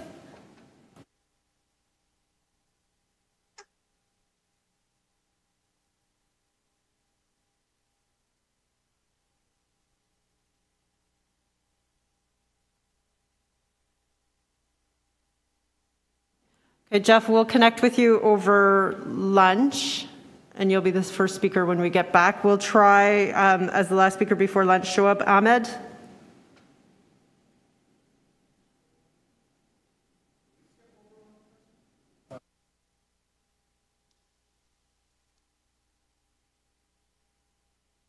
hear me?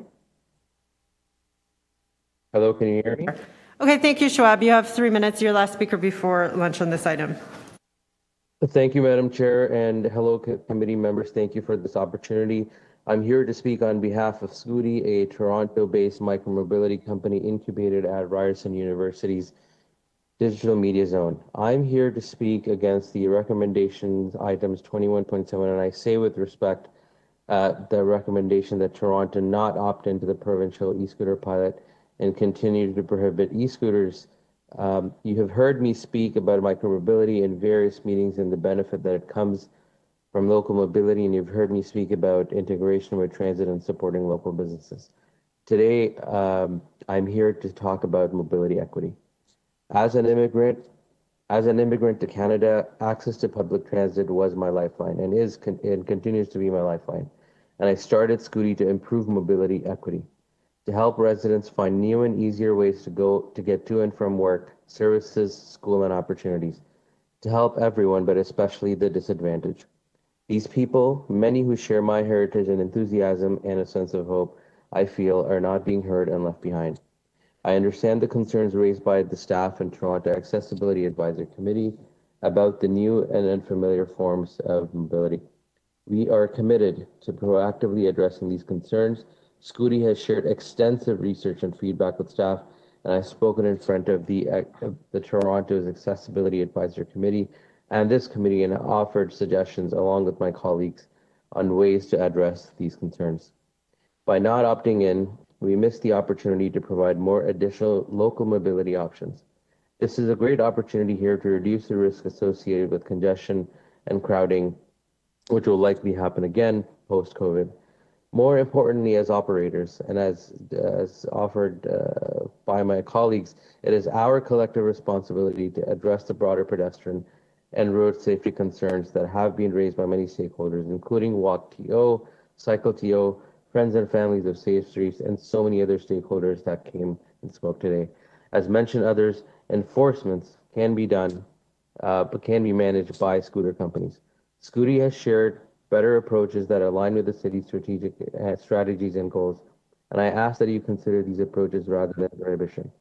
I believe there are practical solutions and pathways forward for each of the concerns raised by staff and the broader public, and I welcome the opportunity to further engage in dialogue. Thank you so much.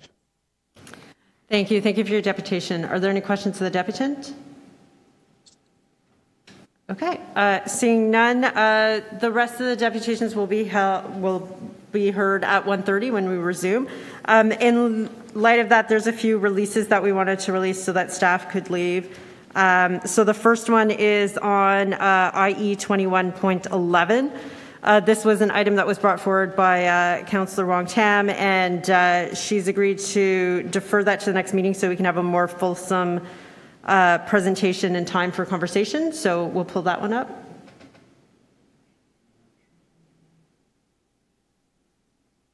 Uh, IE 21.11, I'll move that we defer consideration of the presentation from the General Manager, Parks, Forestry and Recreation, the Director of Management Services, Park, Forestry and Recreation to the meeting on May 25th.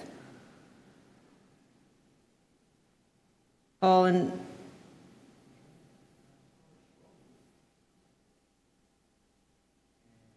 All in favor of that one?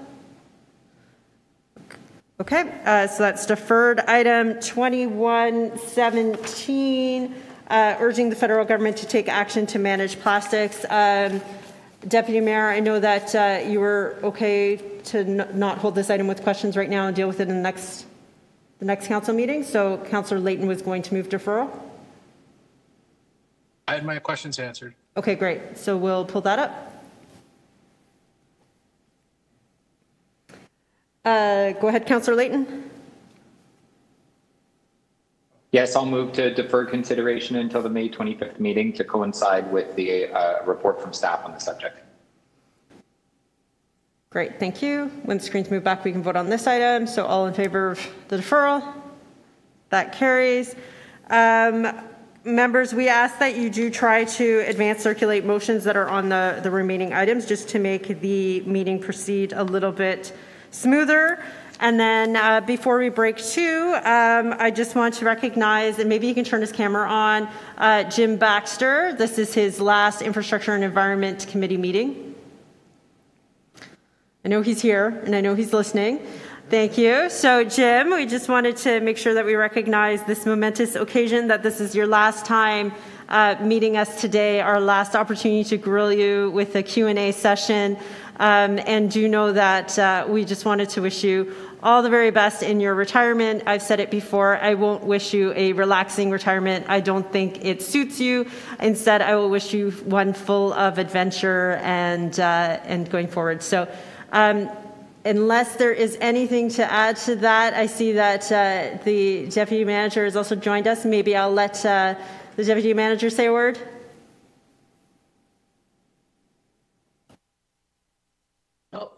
Thank you, Madam Chair. I just, I wanted to make sure I got to see Jim's smiling face as uh, we say farewell to him on his last Infrastructure and Environment uh, Committee meeting. Uh, thank him for the 11 plus years of incredible service and setting the city up in, in a great way that he has with the footprint with Transform TO. And uh, always a pleasure to work with you, Jim. And I know Josie wanted to be here. I don't know if she's been able to dial in right now. Uh, but just on behalf of SLT, definitely to say uh, thank you. Uh, we're going to miss you, but we trust we're going to see you around and you're going to keep our feet to the proverbial fire to carry on the good work that you've done. Thank you, Councillor McKelvie. Thank you. I, Madam Chair, I just, if I could chime in for one sec. Absolutely. Yeah, no, thank you very much.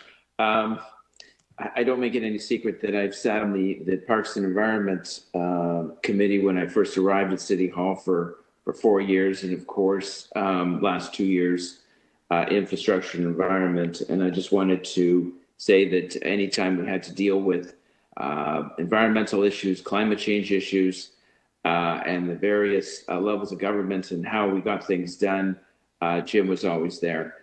And I appreciated the advice uh, he gave, the knowledge base he has, and his drives to to make programs work. So I wanted to uh, personally wish Jim all the best. Um, sorry you're leaving, but of course, uh, happy happy for your your future. So thank you so much uh, for your work at the various committees that I sat on and chaired, and I wish you all the best. Thank you, Councillor Pasternak. And unless anybody else wanted to to wish him well, I will ask um, Jim. Would you like to say good riddance and goodbye to us? Oh, you can't mute. You're unmuted.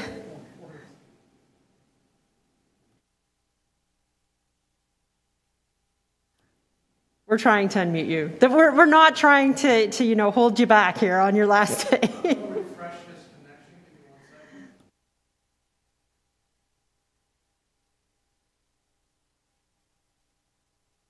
Uh, Josie was able to to join if she wants while we're trying to reconnect Jim. Uh, Josie, you're welcome to also say a word.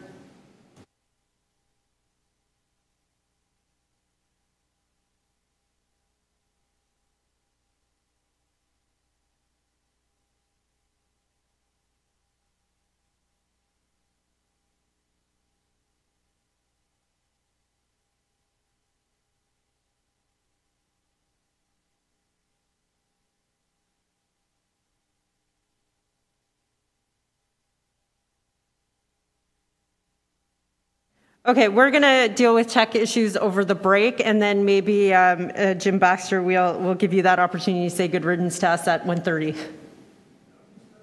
Oh, is he live? I think I'm there. Yo, there you go. Okay, here you go.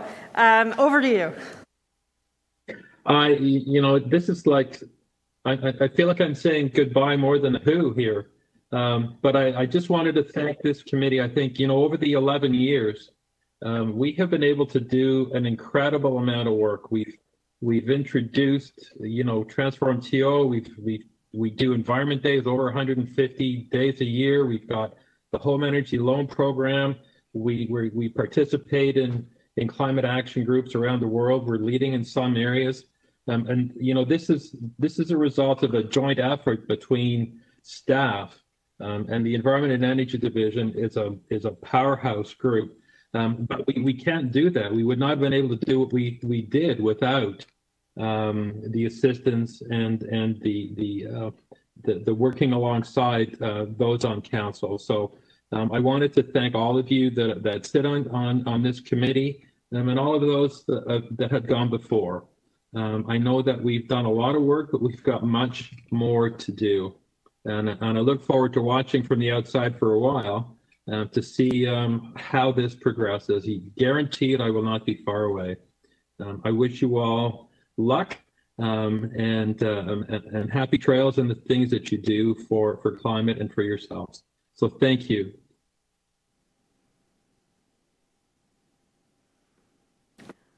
Okay, thank you. I'm glad we were able to get you connected. Um, I did, I know Josie, you had problems connecting. If you wanted to say something, just nod and we can try and get you back on. Otherwise, we will break for lunch. I don't know if she can hear us. Okay, that's a break for lunch. Thank you so much again, Jim, and uh, we're Uh, we're going to what miss time you. Are we back, Madam Chair? Um, sorry, what was that? What time are we back? Uh, 1.30. okay. Okay, happy lunch.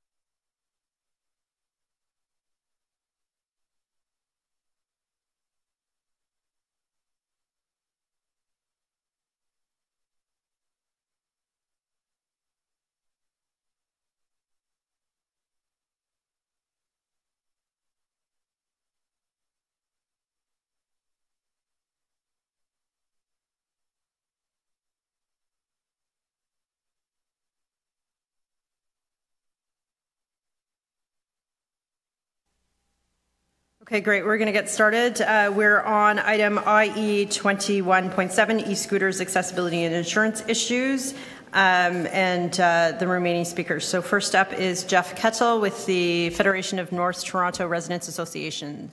Uh, Jeff, do we have you online? Yes, um, am I am I being heard? Yes, we can hear you. There is a little bit of feedback, so if, oh, he's okay now? Okay, you're great. Go ahead. You Um, have three minutes. Uh, thank you very much. Um, um, my name is Geoff Kettel. I'm co-chair of FoNTRA. We represent over 30 resident associations in Midtown, North Toronto, North York. We um, strongly support the staff report, its analysis and recommendations. We continue to have serious concerns with the proposal, consistent with our comments submitted on the earlier report last last July. Uh, we appreciate the update um, from staff, the extensive research and stakeholder consultations are being reported on right now by transportation services, including the learning from other jurisdictions with much more experience on this matter. Uh, large cities like Chicago, New York, London, Amsterdam, which are comparable in size and population, have had numerous um, unresolved issues associated with the use of e-scooters. They're like those that experience is likely to be similar and relevant uh, to, to Toronto, um, more so than the, than the small cities like Ottawa. But even Ottawa, one of the smaller cities, has banned these scooters from its most popular destination, the ByWard Market, and from National Capital Commission walkways and paths. So the staff report outlines in, in uh, really good good detail the un- unique risk factors associated with Toronto's existing public infrastructure, its road and sidewalk design that does not con- that did not um, contemplate the addition of e-scooters. So, uh, risk to public safety, public health, um, vulnerable seniors, people um, with disabilities, community nuisance, all those left left around, uh, the, the cost uh, to the healthcare system of increased um, accidents, uh, liability and cost to the city as well and the lack of insurance, uh, medical and disability coverage for e-scooter users and non-users when in- injured. Um, so, uh, for example, the additional barriers created for pedestrians and persons with disabilities who use sidewalks out of necessity, especially people living with low vision, um, users of mobility assistive devices, or older adults encountering illegal sidewalk riding or poorly parked e-scooters. The challenges with enforcing moving violations, the lack of policing resources to, to um, witness or enforce illegal e-scooter use on sidewalks, hit and runs, and the in- inability to identify the e-scooter rider. How someone injured by an, by an e-scooter rider or trip hazard caused by an improperly parked e-scooter would be compensated for damages, um, for rehabilitation, lost wages, and medical costs. And then e-scooters tend to replace bike share programs and would certainly make walking less safe. So while while we obviously support in today's age the alternative modes of transportation, especially climate-friendly modes that reduce uh, greenhouse gas emissions, but we we we, um, we would believe that devoting increased city resources to improving pedestrian and biking infrastructure would provide more benefit and safer transportation to more of the city's population than e-scooters and without the increased risks and costs associated with them. So we would say double down on, on our existing plans around walking and biking and and um, and let this one go by. So we're recommending that Planning and Housing Committee recommend to City Council that it decline the option to participate in the pilot project. Thank you. Thank you for your deputation. Are there questions of the deputant? Okay, and thank you for your patience getting connected. Uh, our next uh, speaker is Stanley Rose. Can you hear me? We can hear you. You have three minutes. Okay, thank you very much. Um, I am advocating for no one but myself. I um, I am a lifelong resident of Toronto, and I'm also a member of the disability community. But um, as is indicated in my letter that I submitted to the committee, th- this is a problem for everybody on the sidewalks of Toronto. I had my first encounter with e-scooters last week in the two block distance from my office to Yonge Street. Three people on e-scooters came from in front of me and the first two were fine. They slowed down. They they had ample room to pass and, and they did safely. The third one was coming at me at high speed and I didn't know whether they could avoid a collision. I pulled hard to my left and, and um, got right next to the building that was near me as it, it was by. And it caused me a lot of concern about what could happen, not just to me, to anybody, particularly if these e-scooters approach from behind. Um, people often veer to one way to the or the other and they're walking on the sidewalks in order to avoid oncoming traffic. They turn into buildings, and I'm aware of that from the use of my electric wheelchair. And I, I exercise caution as I go past people who are walking because I wish to avoid the collision as well. But um, it's usually the difficulty is when you are approaching them from behind.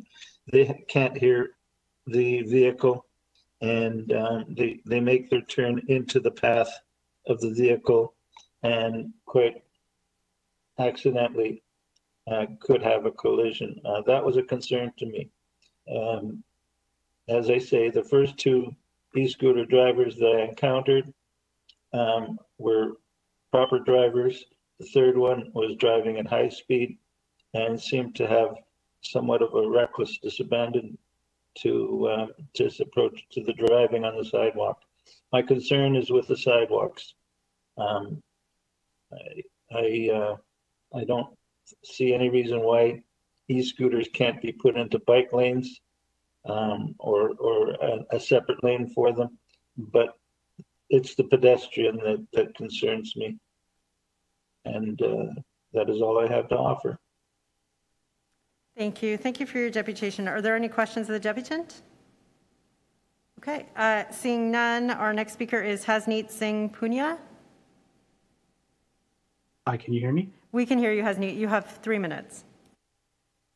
Thank you, Madam Chair and members of the committee for allowing me an opportunity to delegate this afternoon. My name is Hasneet Singh and I am the Public Policy Manager at Superpedestrian Canada Inc., a shared micromobility company and we look forward to continuing to engage in a collaborative way with council, staff, and members of the Toronto community. I'm also a resident of Ontario, and I think shared e-scooters should at least be provided an opportunity to be piloted in the city so everyone can see what they are capable of because right now we have a lot of discussion about different aspects of e-scooters and pedestrian safety and I for one am confident that the technological advancements occurring every day we can overcome these issues.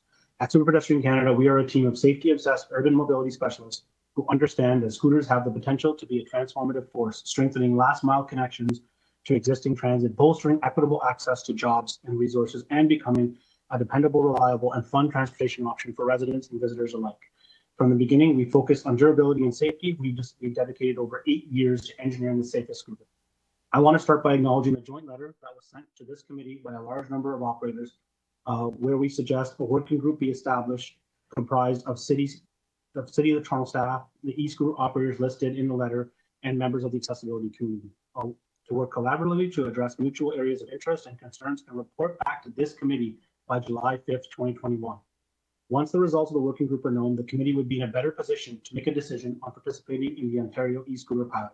I think having the ability to meet with staff and the community to address a number of these issues, and we would really appreciate the opportunity to be able to discuss solutions directly so that we can ensure that we can bring shared e-scooters to Toronto in a safe and thoughtful way, which will give the city another affordable mode of transportation that Torontonians can utilize to address the first mile, last mile connections to ensure more residents have improved access to public transit and increased usage that currently sits at 10% of the public and decrease our reliance on cars. Finally, e-scooters and other micromobility options will help the City of Toronto and the province of Ontario meet their new 2040 GHG emission caps. I believe strongly that e-scooters will give low income and marginalized diverse communities an affordable option when it comes to moving around Toronto. We have all read story after story of frontline workers not being able to afford a car or for that matter, afford sky-high auto insurance rates in Ontario, especially parts of Toronto. I think this issue requires members of the committee to consider all aspects of the decision that is before them before accepting the staff recommendations today, as this decision will impact all Toronto residents. I know members of the committee are torn between all the delegations they have heard today, and rightfully so. But please, let the operators work with staff and members of the community before making a final decision on this matter, as it deserves more attention. Thousands of people per year are killed by cars, including many pedestrians. Despite more than three years of shared e-scooter operations and hundreds of millions of trips, I was unable to find any documented case of a shared e-scooter rider killing a pedestrian in North America. The number one thing that Toronto can do to make streets safe is to reduce automobile trips. That generally requires expensive investments or painful mandates. By allowing e-scooters, you can reduce automobile trips, by people out of cars, reduce greenhouse gas emissions. And we have a lot of personal anecdotes thrown around in this meeting, but I would urge this committee to look at the data. E-scooters have been successfully introduced in hundreds of cities around the world, and overwhelmingly they have been safe for pedestrians and other vulnerable road users. I know Toronto can do this. Give us the time. Let us work together. Thank you for your time. Great. Thank you for your deputation. Any questions of the deputant? Okay, we're going to do a roll call on deputants that had difficulty um, connecting earlier, just to see if any of them have joined us. Uh, so we'll start with Ryan Fraser. Ryan, if you're present, please unmute. Okay, uh, Marvin Sokolov.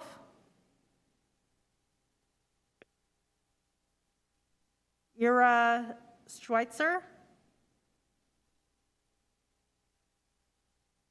Richard Pass. Nick Brown. And Tammy Adams. Okay, thank you. Uh, five minutes.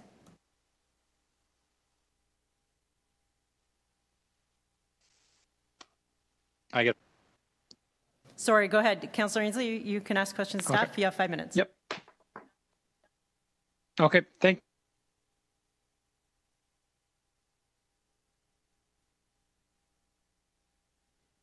Councillor Ainslie, do you want to turn off your camera while you ask questions? That might improve your broadband or, uh, or improve your connection. Does that help? Yeah. Yep. So currently, can e-scooters, can they be purchased in retail stores in Toronto? Uh, yes. I mean, they're allowed to be used on private property, and um, we don't believe there's any authority that the city would have to be able to um, to really prevent uh, e-scooters from being pri- uh, purchased for for those purposes. Okay, and and that would be the same as you know if I wanted to go buy an e-scooter on Amazon or eBay or Kijiji. There's nothing that could stop me as a resident of Toronto from from buying one and using it. Um, that that's correct. I think also what's challenging is that I'm trying to understand that. Sure. Um, basically, it was just to summarize that the city's concerns in terms of um, adequate insurance and adequate indemnification um, are not being met. And for those reasons, we, we don't advise opting into a pilot. Um, I can get into each of those if, if that would help explain um, some of the significant concerns, such as um, Um, sorry. indemnification. Yeah. Mhm. I was more I was more interested in where it just said unresolved, trying to understand whether because there's other cities, for example, where Ottawa, uh, my understanding is they've managed to work out many of these, and they're in the the second year of a pilot project. I, I think the important part is to look at the city's context. Um, Toronto's downtown is 12 times larger than Calgary's downtown, for instance, and we're 50 times larger than Windsor's downtown. So we are looking at ur- like large peer cities. So Chicago, after their pilot, banned rental e-scooters from their entire downtown and waterfront. New York City does not allow e-scooters um, in their downtown, and that's under state legislation. A lot of northeastern states and cities like Massachusetts, Pennsylvania, so uh, Boston, Philadelphia, um, and many other cities um, also. We've, we've actually been talking directly. Um, I noticed um, one of the companies said we, we actually have been consulting closely with the Department of Transportation uh, in New York City. Uh, we've, we've been in connection with Transport for London um, and others to directly get uh, information. Um, Montreal is, is not piloting, um, again, uh, not in 2020 and not in 2021. So I, I, wouldn't say that issues are resolved in other jurisdictions. And in fact, what we're seeing is even in cities like uh, Berlin and Stockholm and Copenhagen and others, that there's still outstanding issues and concerns. Okay. And did you did you talk with staff in Ottawa? Yes. Okay. And they right. uh, they they have they have said that they totally understand why we would take our stance given our pedestrian mode share, um, the greater friction of the, the the number of people on our streets, whether it's uh, pedestrians, cyclists, um, and and the like. Okay, and that also takes in the because often we talk about the last mile and dealing with the last mile, and I would think that e-scooters would be a key component of that when you're taking the mix of everything that we have or that we're trying to use to deal with the last mile. But staff are Yes, not seeing that as e-scoot as uh, usable e-scooters as being a viable component of that. So yes, there, there are two, two components of the reasons. One is that there's a lack of consumer safety. Um, it's very important to us that people aren't going to get hurt um, by using the devices. And what, what we're seeing so far is that um, I've been speaking with people who want to use them for uh, actual commuting purposes, and that the uh, provincial regulations don't actually account for the kind of um, safety aspects that they need in their product. And in fact, because they have a product that does not meet provincial regulations, they can't get it insured, even though they're trying to get insurance to protect themselves and be responsible. Um, so we're definitely having those conversations um, with citizens. But the challenge is that uh, the city is, in, is put in a difficult position uh, because there aren't adequate um, device safety standards. And for, I'll give you an example. Um, current devices may only be asked to be tested on dry, smooth, and clean surfaces. And that isn't going to help someone who wants to use it on a daily basis for commuting or getting to and from transit stations. We want Torontonians to be safe, both in terms of the riders and in terms of non riders. And in cities with a high pedestrian um, mode share, there is a higher percentage of injuries uh, to non riders. Uh, one in five or even greater are injuries to non riders. Okay, all right, thank you. Thank you, Madam Chair. Thank you. Uh, when my screen switches back, I will. I know Councillor Layton had questions. Yes, thank you very much. Um, just to that last point, I hadn't heard that before about how they test the vehicles. Can you can you just repeat that and explain it? Yes, so um, there are currently standards for things like electrical um, safety, but there isn't a mechanical standard, for instance, for the braking, uh, the wheel size, the sus- whether there's suspension, um, whether there are indicator lights.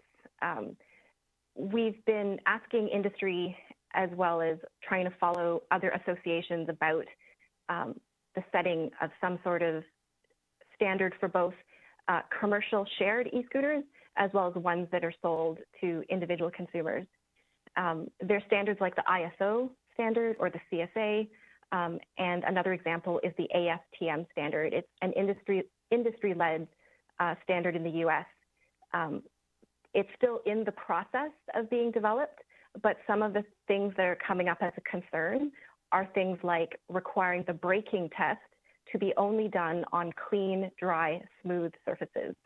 Um, and in fact, it's the cities, um, they're roughly about 50 members.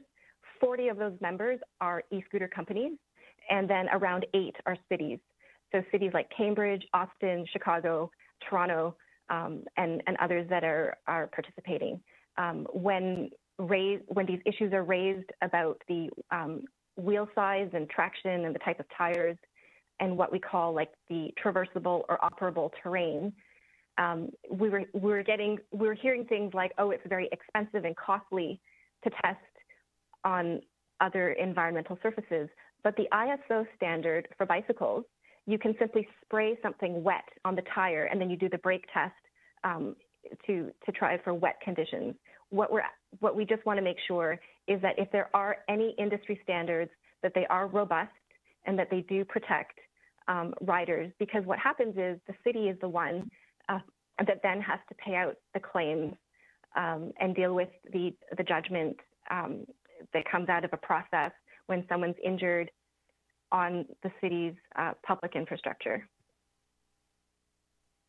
So, so I think there there are problems when two thirds of a committee that is putting together the safety standards uh, are from the industry. I, I, I acknowledge that, um, but this issue of of liability, if if we had first and third person liability, would the city still be responsible for paying out if there were injuries on city infrastructure?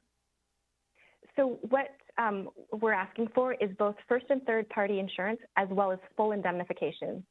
And I think what we've seen is that in even some of the written submissions, um, there's this needing to negotiate what full indemnification is because um, e-scooter companies are reluctant to cover anything that might be with respect to the city's uh, infrastructure. And I think Barbara can speak to our context. Aren't kind of aren't kind of we in the driver's seat here? Like if if we were to put those indemnifications on that they would just have to comply what we have heard what we've heard and what we've seen in news is that there have been difficulties in getting that upheld. So it would be um, i think some comments about this being the upfront cost is free. I think there's a lot of hidden subsidy and the hidden subsidy is the amount of staffing to deal with the um, negotiation and compliance um, and having to deal with potential um, pursuing legal action if needed to get contracts upheld or in having to deal with um, uh, general compliance. I think, I think having you know seen and experienced even in what we've heard today, um, I think there would be concerns about the the level of um, compliance. And uh, I'll just give you another example. In Calgary, I mean, what you're not hearing today from some of the deputants is that 40% of e-scooter users surveyed in Calgary um, spoke about device um, quality and maintenance issues. Um, so I, I think, I think there's legitimate concern about the, um, yeah, about whether that indemnification would actually be upheld. Not not to be put about it, but I would complain about four out of the ten bike shares that I get uh, just because uh, for equipment reasons. Um, now, I only have time for one more question, but did you consult the medical officer of health on this? Because I believe we were awaiting a report, and I get how busy she is right now. Um, but did we consult the board of health or the, the medical officer of health, and what was the advice we got from them? So I have reached out to my counterparts and also um, her director, and they have just not been able to work on this. They've wished us luck, but they're just too busy. Um, I can say that as recent as March of March and February of 2021, um, emergency room surgeons and doctors at Tel Aviv, um, one of their big urban hospitals, published in OrthoSpine News um, that e-scooters inflict a high burden on healthcare systems and um, a high burden on the patient's quality of life, given the high incidence of complex fractures. This is not um, specific just to Tel Aviv. We've seen similar um, severe injury studies and the burden on um, surgeries. In fact, in Auckland, um, there was a study regarding orthopedic fractures and that the incident of e-scooter surgeries were increasing wait times for other operable um, operations and surgeries. So there are a number of studies that have mentioned these issues. Okay, thank you. Thank you, Councillor Layton. Uh, are there any other questions? Councillor Pasternak and then Councillor Perruzza. Uh, great, great, thank you, um, Madam Chair. Um, I wanted to focus back on the enforcement. Um, who, what division would be uh, responsible for enforcing any bylaws governing scooters? Would it be uh, police? Would it be municipal licensing? Would transportation set up a whole new team? How would how would that work? Well, for the moving violations, it is it would be Toronto Police, and then for the um, sidewalk obstructions um, and issues, it would be um, it would be transportation services uh, bylaw um, enforcement stuff.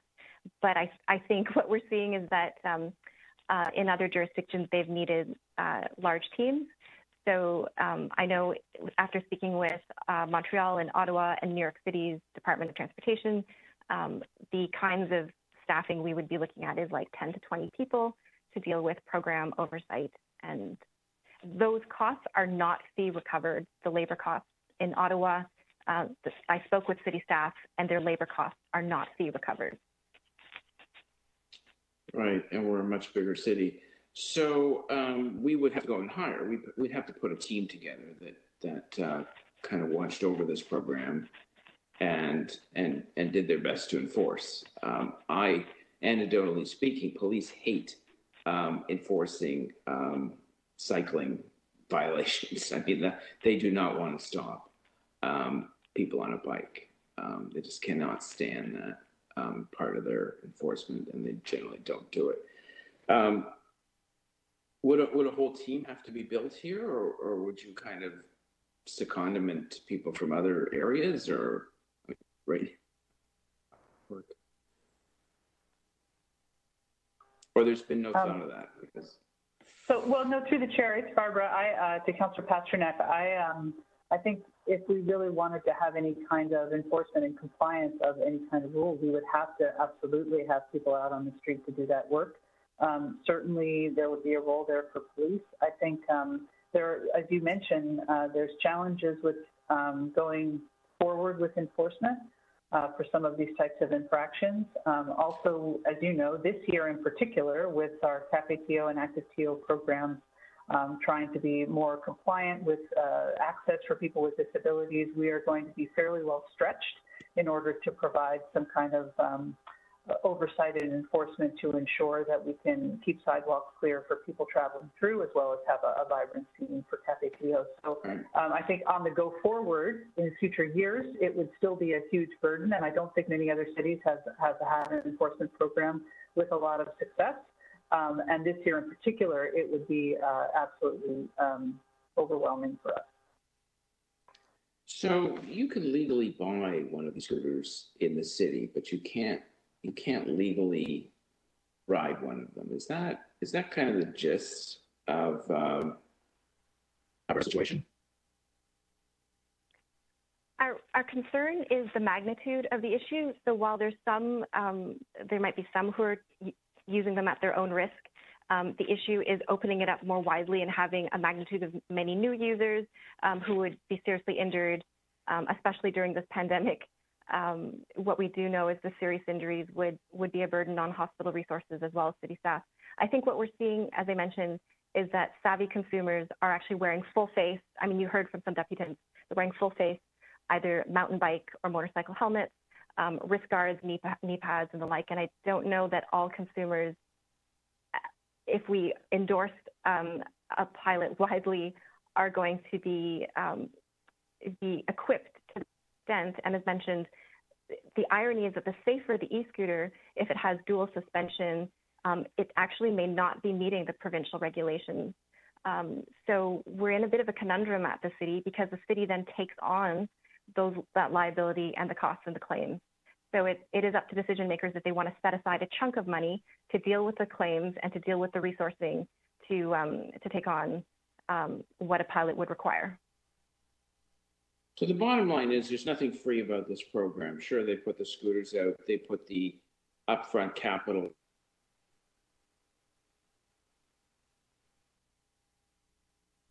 and they to, to enforce. We're open to liability. Uh, um, I don't know. Our, our, hospitals are stretched to the limit now. Hopefully, one day uh, that that will ease up. Um, but um, the city often gets attached in lawsuits, whether we're liable or not. If there's a motor vehicle accident or pedestrian accident, they'll sue the driver, the automaker, uh, the municipality. Um, you know, any anything else in their in their sights, could we be attached to all kinds of lawsuits um, whether we're indemnified or not. I mean, I can't, I can't speak to that. I, I could just say for the e-scooter issue, we are very concerned that with joint and several liability, the city, um, even at 1% at fault, would would be at risk of having to pay out the entire claim. But through the through the chair, I just wanted to add also, Councillor Pasternak, that I, I do think it's very um, important to take context into account. We look at the context within which we would be operating a program here in Toronto, uh, you have to take that into account in comparison to other cities who have gone down this path um, in terms of our infrastructure and, and the frequency by which we may have people who are impacted either by uneven pavement quality or streetcar tracks, narrow sidewalks, high volumes of pedestrians. We tend to be somewhat unique in that regard, uh, which is why we've done so much engagement with other cities and with stakeholders over the course of, of this investigation. Okay, thank you. That was your last question. Um, Councillor Perruzza? Thanks. Uh, so, so I'm just um, the there. There's a there's a picture of a scooter in the report. So that's generally the scooter we're talking about, correct? Uh, Janet, you know way too much about this stuff, and you're confusing the heck out of me. Okay. Like we, we need to kind of like dumb it down a bit. All right. Hey, speak for yourself. She's doing a great job. No, no, I, I don't doubt that. I, I, I don't doubt that, but I'm like, I have provincial regulation, non-provincial, they're legal, they're illegal, you can buy it, you can't buy it, you can't drive it, you can drive it, yes, you can at your own risk. I, you know, it's, it's like, really, it's like, it's all over town. I just, so the guy who That's why we're just, the, no. the, the guy who just zipped by on this scooter outside my window, uh, he, he, he's riding on our road illegally right now, correct? Uh, through the chair, yes. Okay, so. Especially, so especially if- if he was on the sidewalk. Okay, all right. Uh, uh, right. So there's there's gravity. So on the street, somewhat legal. On the sidewalk, way more illegal. On my driveway, he's done. Okay, I get that.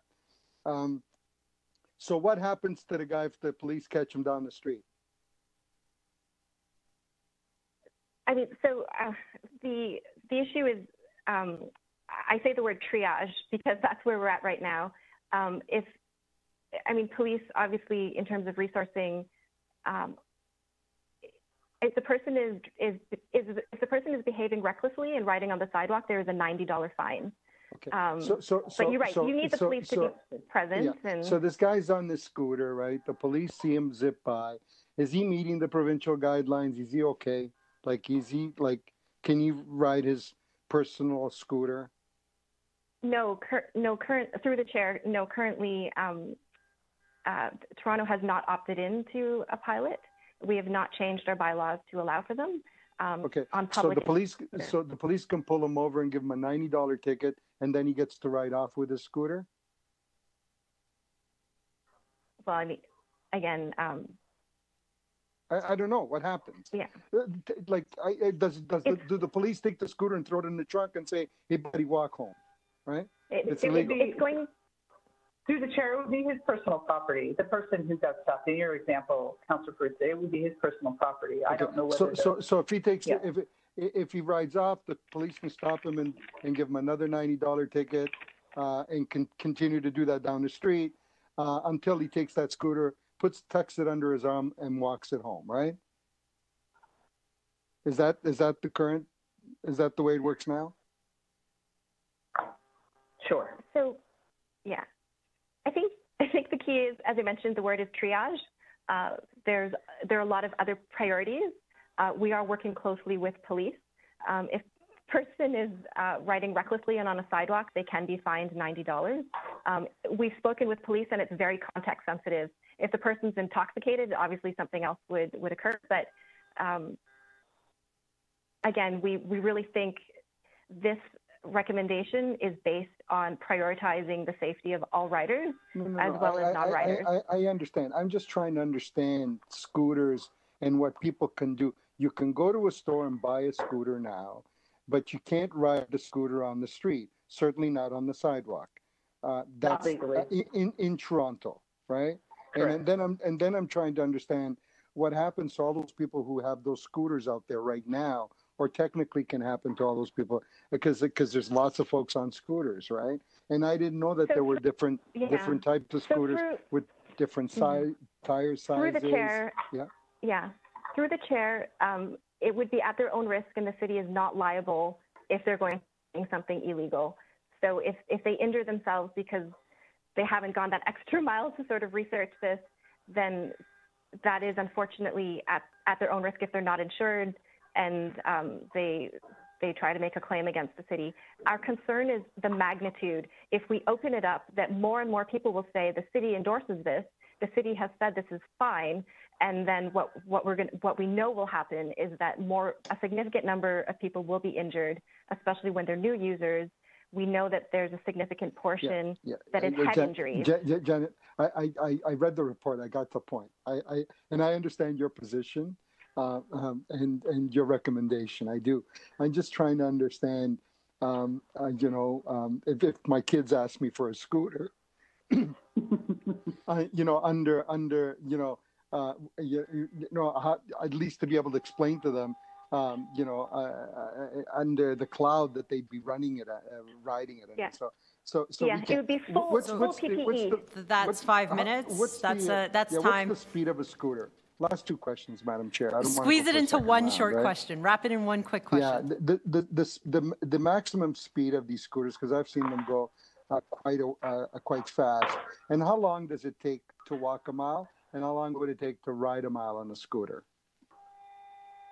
Um, so um, the under the provincial regulation, it's a maximum of 25 kilometers per hour, but that is um, you can purchase these scooters that can go as fast as uh, 80 kilometers per hour. I, I speak in kilometers, so uh, one kilometer you can walk in about like 10 to 15 minutes. Um, w- with an e-scooter, you can travel uh, 25 feet in a second, um, seven meters in one second is how fast you can go at 25 kilometers per hour. Thank you. Are there Seven additional questions of the Wow. committee? Okay. Additional questions? Okay, seeing none, I have a few questions. I'll reset the timer. Um, Can you just, uh, in the report, can you kind of outline the differences between bikes and how bikes are insured right now versus e-scooters? Sure. I might actually ask if um, insurance and risk management would would speak to this. Okay. Oh, hi, it's Melissa here from Insurance and Risk Management. So through the chair, uh, or to the chair, yes, um, under a homeowner's or a tenant's insurance policy, e-bikes are insured. So if you are operating an e-bike and you're involved in an incident, your homeowner's policy would defend you and pay any claims that you are legally liable to pay. E-scooters, on the other hand, are not insured under a homeowner's or a tenant's policy at this time. And if we opt into this, that does not change that. There still is not that insurance there. So who, who dictates the way insurance policy is done, um, and who could make that change? Uh, to the chair, yes. Um, so the industry, in my view, would have to lobby insurance companies in order to make that coverage available. I mean, I believe the insurance industry itself is aware of, you know, the um, the advent of micromobility within municipalities, but they have yet to come up with an insurance solution for that uh, for that method of transportation. Okay, and then back to this issue of people are currently taking an e-scooter out at their own risk because it's not, you know, technically legal in the city of Toronto. Um, how does liability work on that right now? And then if we implement this pilot and there's no insurance, how does the liability change towards us at the city?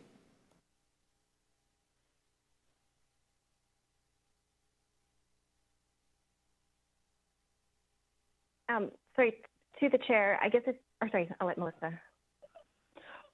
No, sorry, through the chair, can you just kindly repeat your question? Uh, so there was an earlier question about liability, right? And so somebody's out on an e-scooter right now. Um, it's at their own risk. They hit a, a streetcar bump and they get injured. what's the liability of the city? And then if we bring this in and bring this changed, are we then assuming all liability in that sense as well? So, so to the chair, without insurance options available to um, either users uh, or to users, either on a first party or third party basis, the city could potentially be on the hook. Um, as Janet mentioned, um, you know, if the city is found even 1% liable for an incident involving an e-scooter um, on city property, we could be responsible for the entire uh, settlement amount if if that liability is determined. I apologize for the noise.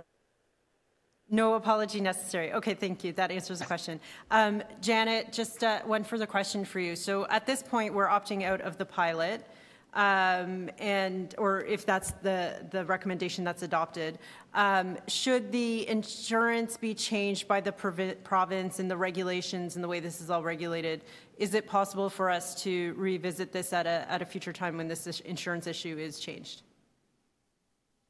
Um, to the chair, uh, yes, we we list a number of uh, conditions that we think would um, protect for safety. Uh, one of them is insurance a second one is the adequate safety standards for the devices, um, taking into account all the concerns of the riders as well as uh, persons with um, dis- living with disabilities and pedestrians. And the other one that has been brought up by a number of deputants is having a continuous protected uh, bike network so that people aren't riding on the sidewalk. Okay, so if we accept your recommendations, we're saying not now, we're not saying not ever. I would say correct, yes. Okay, thank you. To the chair, yeah. Uh, is there any additional questions? I just need to my screen to change back to grid view. Any additional questions? Okay, thank you. We'll move to speakers on this item. Anyone to speak to this item? Uh, Councillor Ainslie is outside. You can go first. Uh, thank you, Mr. Madam Chair. How long do I get? Is it three minutes or five minutes? Five. Five minutes. Okay. Um, thank you, Madam Chair. Um, I do have a motion that I would like to move. Uh, you're outside. You can't. yeah. You can speak to it, but somebody else would have to move it for you. You can't move it. Sure. Yep. I was just going to say I'm, I would like to put a motion on the floor. Somebody could take carriage of it for me after I speak to it. Um, so basically, No, no, actually, you've got to move the motion first and we've got to circulate it. somebody has to move it for you. You've got to get someone on the committee to take carriage of it and it's got to be circulated. so I'm not sure who's chairing the committee, Madam Chair. What would you like me to do? I'm just talking to clerks. You can speak to what it is, but it's not on the floor until one of us moves it. But you can speak to the intent of it. But it's Yep. up to our, it's up to the colleagues on on the committee to actually move it. But you can speak towards its intent. Yep. Okay. Thank you, Chair McKelvie. Um, so my intent is hopefully somebody will take care of, of a motion. I would like to refer this uh, motion or this report back to the September 14th, 2021 meeting of the Infrastructure and Environment Committee on a framework which resolves the outstanding issues in this report.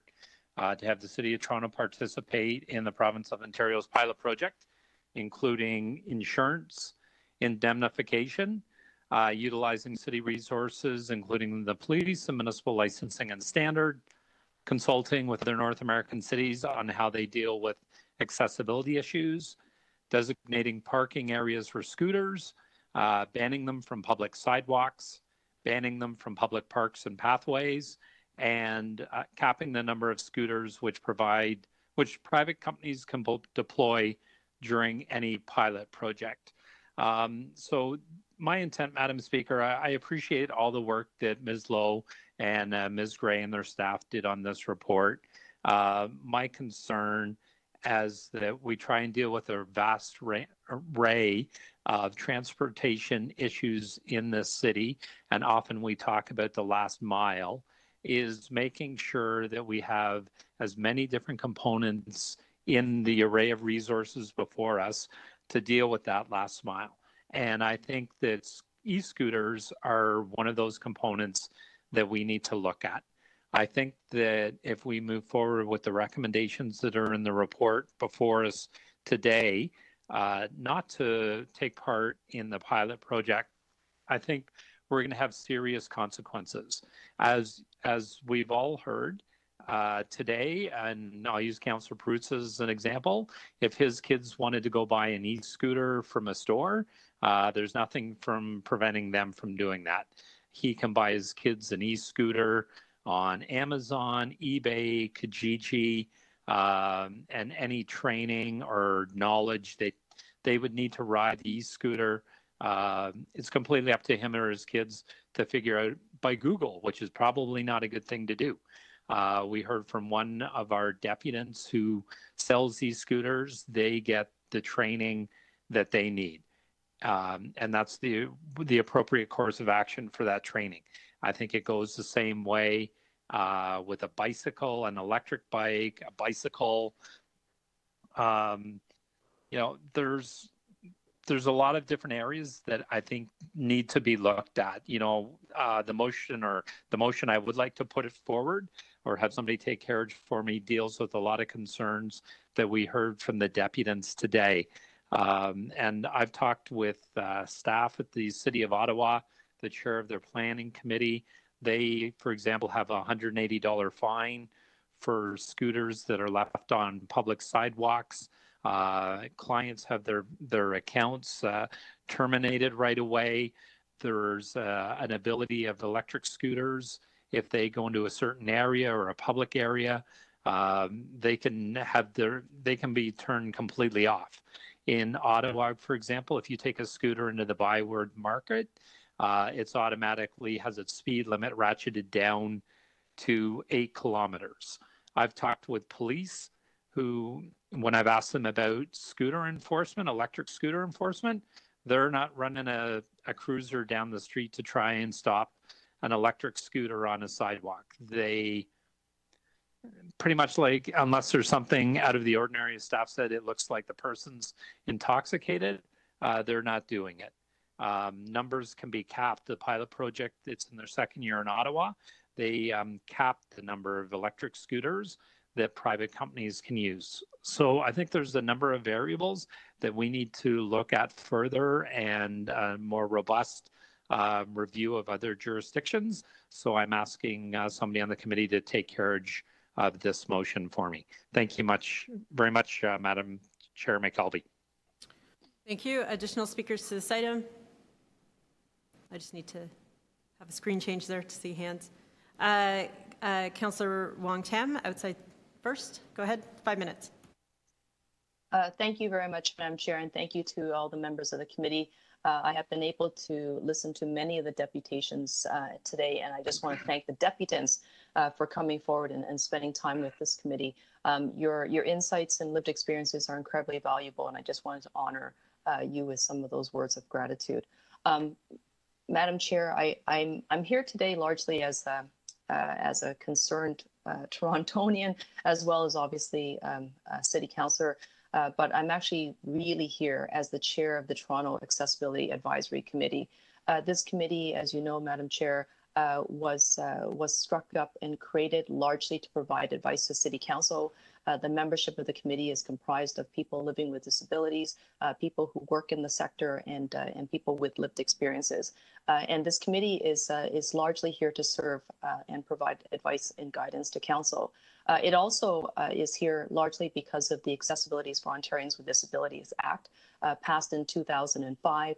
Uh, the body of, of law there uh, guides and uh, is bound by all governments as well as institutions and corporations to ensure that province, the province of Ontario, is going to be accessible and, and obstacle free and, and equitable to all by the year 2025.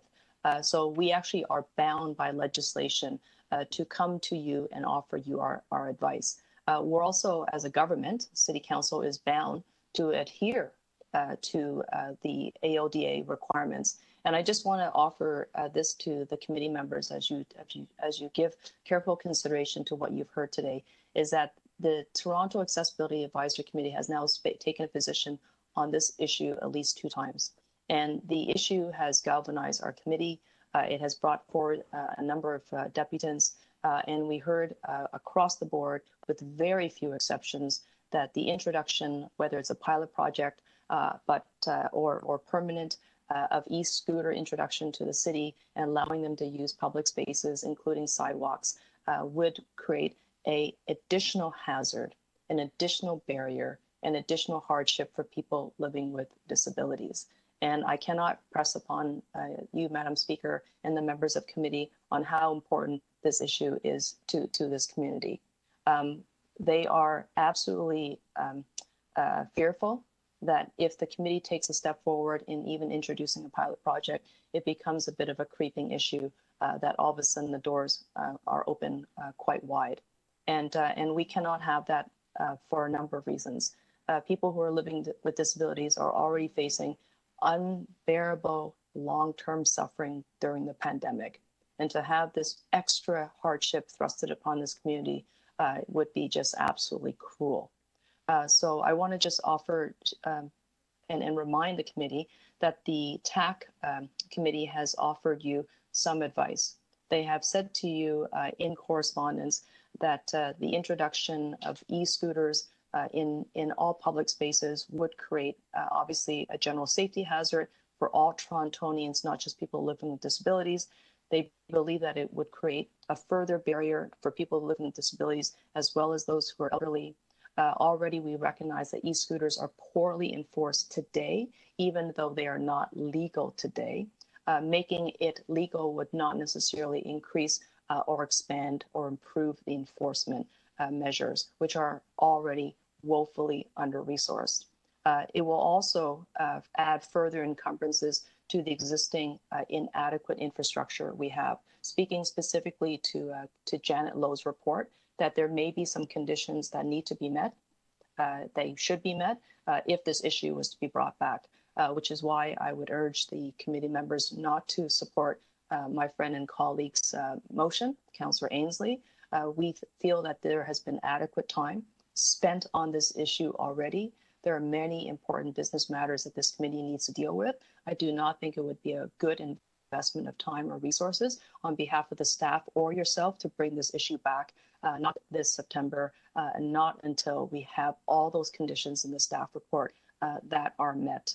Uh, and then finally, the request from TAC to this committee is to ensure that there is active enforcement of the existing bylaw. So therefore, people who are riding e-scooters must be informed and educated that what they're doing is not legal and there needs to be enforcement and education to ensure that those hazards are removed as quickly as possible. Uh, thank you very much, Madam Speaker. That concludes my remarks.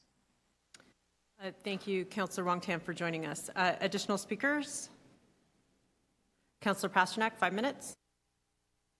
No, thank you very much, uh, Madam Chair. And um, I would like to thank all the deputants who came uh, today on both sides of the argument. I would like to particularly thank Luis Russo and David Lepofsky, who who called me up.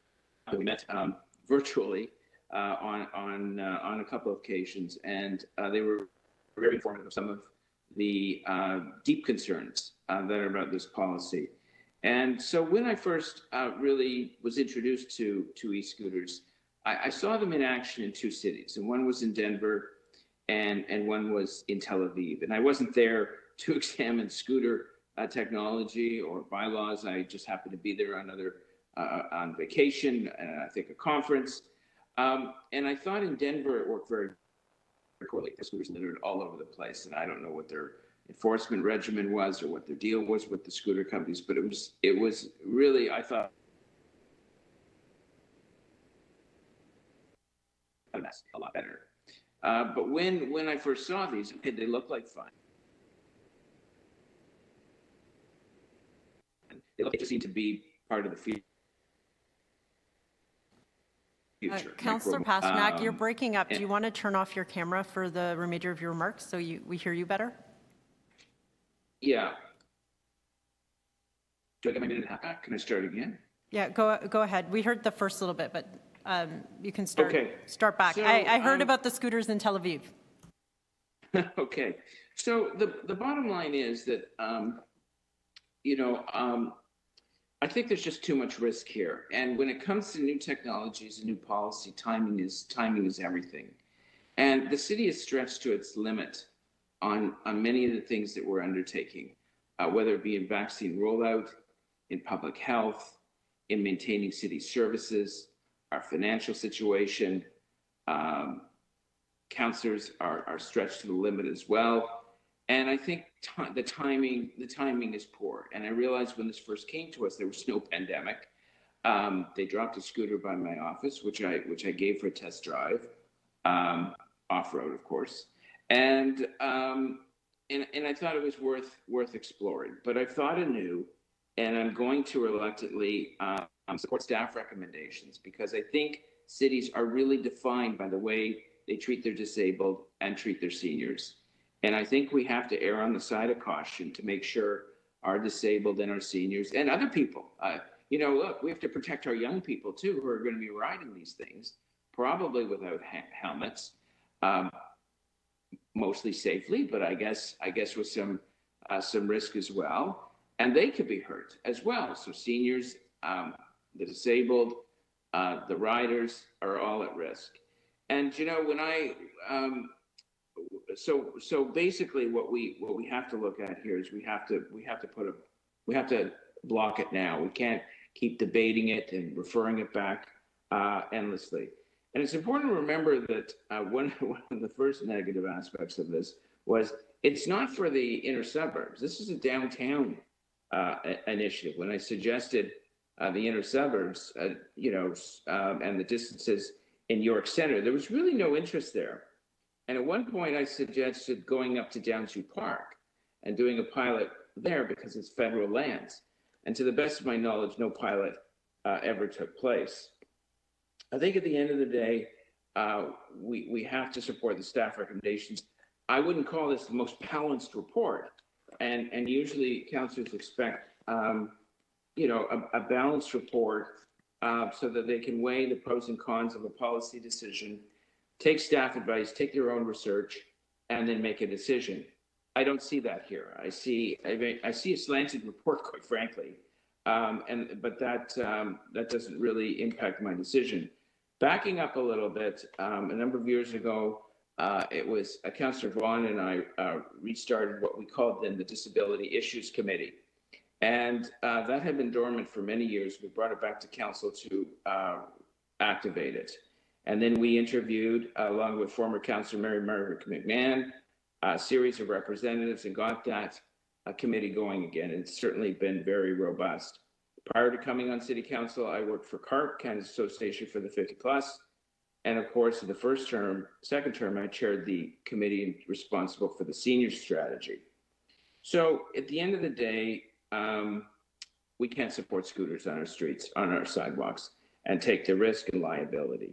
The city is stretched to the limit now. So we therefore um, should not take this on. So I'm going to be supporting uh, the staff recommendation not to opt in on scooters.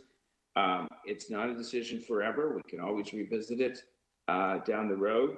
Uh, but right now, I think in light of our hospital capacity, our stretched city services, our financial situation, and the staffing that's going to be required to make this work, the timing is not right. And I think we have to uh, say no at this time. Thank you very much.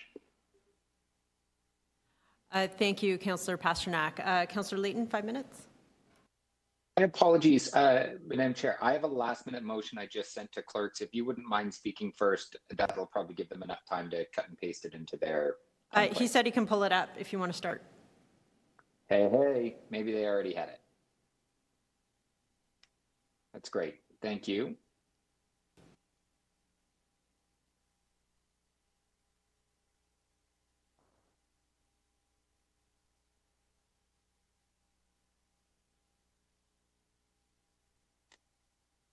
You know, I, I can read it out, and then they can put it up when they when they have a chat. It's it, have a chance. the City Council requests that Transport Transport Canada regulate harmonized micromobility vehicle safety standards, testing and labeling, and conduct robust consultation with key stakeholders in universal accessibility, active transportation, and road safety, given the importance of consumer safety and protection, as well as clarity for business that manufacture, import, distribute, retail, and provide insurance products for micromobility. So it was like seven years ago that um, the folks from Lime came into my office with a scooter and that had a little URL code on the back. You know, it wasn't the scooter that fascinated me about the technology. It was the dockless. Right then and there, I wrote a motion that said I would like uh, the dockless systems to be on, our bikes, at your bikes, because you know what? If you if you've got um, you'll you'll know just how difficult they're large. They take up a lot of area in what is a in a very high demand, um, in very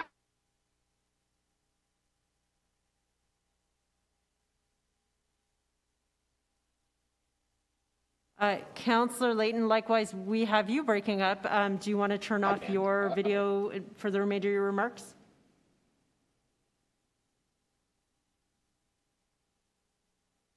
How's that? I can hear you. Go ahead. Okay, so uh, Mike, Trevor Mike, I, Copenhagen. I, I, Mike, I missed most of your comments because you, mo- most of your argument didn't come through at all. Just so you know. I did. Did the motion come through? Yes, the motion was displayed. So Oh, you- it wasn't displayed. We heard it, but we, it wasn't displayed. Okay, so we'll display the motion and we'll start again. Hopefully, this time we'll be able to hear everything. Thank you. So the motion is that City Council request Transport Canada regulate harmonized micromobility vehicle safety standards, testing and labeling, and conduct robust consultation with key stakeholders in universal accessibility, active transport, and uh, active transportation and road safety. Um, seven years ago, Lime comes into my office. They bring this goofy looking scooter that has this cool URL code on the back. Not URL, uh, uh, cool little coded system on the back. And so uh, QR code. And so I, uh, I, I thought, well, while I didn't love the scooter, I like the technology, and that's because if you have bike share in your in your community, you know how difficult it is to site these large stations. Um, I think mine's probably the the densest community with respect to um, bike share, and what we have is uh, these large these large installations in incredibly high demand areas along our right of way, where people want uh, to have patios, where people want to have green space. And, you know, it's been a big headache. And then, and so I thought this dockless system has come from the gods. What a great addition to, to help us make this easier, expand our network faster. And then I went to Copenhagen and saw how it works in practice, where these vehicles were everywhere, both both the bikes and the uh, and the and the scooters. And so when when Lime or I can't remember who was who was next, but when one of the other companies came to my office, I said, "Look, you can't start a discussion with us unless you figure out this right of way issue, um, because the the accessibility community is correct. You can't have these vehicles all over the road. That's what will happen all over the sidewalk. That's what will happen unless you start to square off the uh, the corners of, of that. And what we saw, like I, I think they've come back with what what can be a viable solution uh, with the lock two function. I get I get the uh, uh, the concerns from staff, uh, and I I'm very conflicted going into this vote, and I'll tell you why. It's because I think some of these challenges can be overcome. Um, while while they might not be ready today, I think that I think that they'll be ready soon. Um, I think what what we've also heard today, though, are concerns from the accessibility community, very real concerns that's, that are backed up with data around uh, accidents involving people that aren't using the scooters that are bystanders. Um, I, I'm challenged by those arguments because I ride a bike everywhere. I don't ride on the sidewalk. Haven't ridden on the sidewalk since I was seven years old when my dad told me how to how to ride on the street in the proper place. Um, but I I could see some of the same arguments that are being used to say say no, you should never have these this type of mobility device on our roads be used against bicycles. And yes, cycling on sidewalks is a problem. Does that mean we would outlaw all bicycles or all e-bikes in the city of Toronto? Probably not. Um, we would probably rely on a set of laws uh, and enforcement. That enforcement's not happening. And I, I think it was either Anthony or someone else brought it up. Like the enforcement isn't happening, and so it, it's a it's a major problem um, that we're uh, that that that we're challenged with already. The one thing that that I've heard and I wish was in the report, uh, and I didn't make a motion on it because I suspect that staff are going to help uh, are, are going to bring this forward to council, is a discussion about this from uh, our medical officer of health, who we're, we are in the middle of a pandemic. Our, our hospitals are over capacity. And what's been expressed here is a series of safety concerns. In a, in I think 100% of cases, I have always followed staff advice if safety was an issue. If our experts from transportation was saying this would be the wrong, this would put people at risk.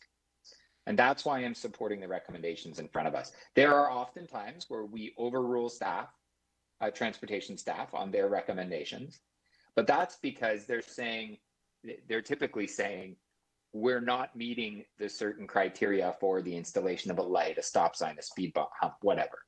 Uh, but in this case, they're they're very clearly clearly warning us. There are concerns that they have that haven't been resolved yet, and therefore, until those concerns are resolved, we shouldn't proceed uh, in this direction.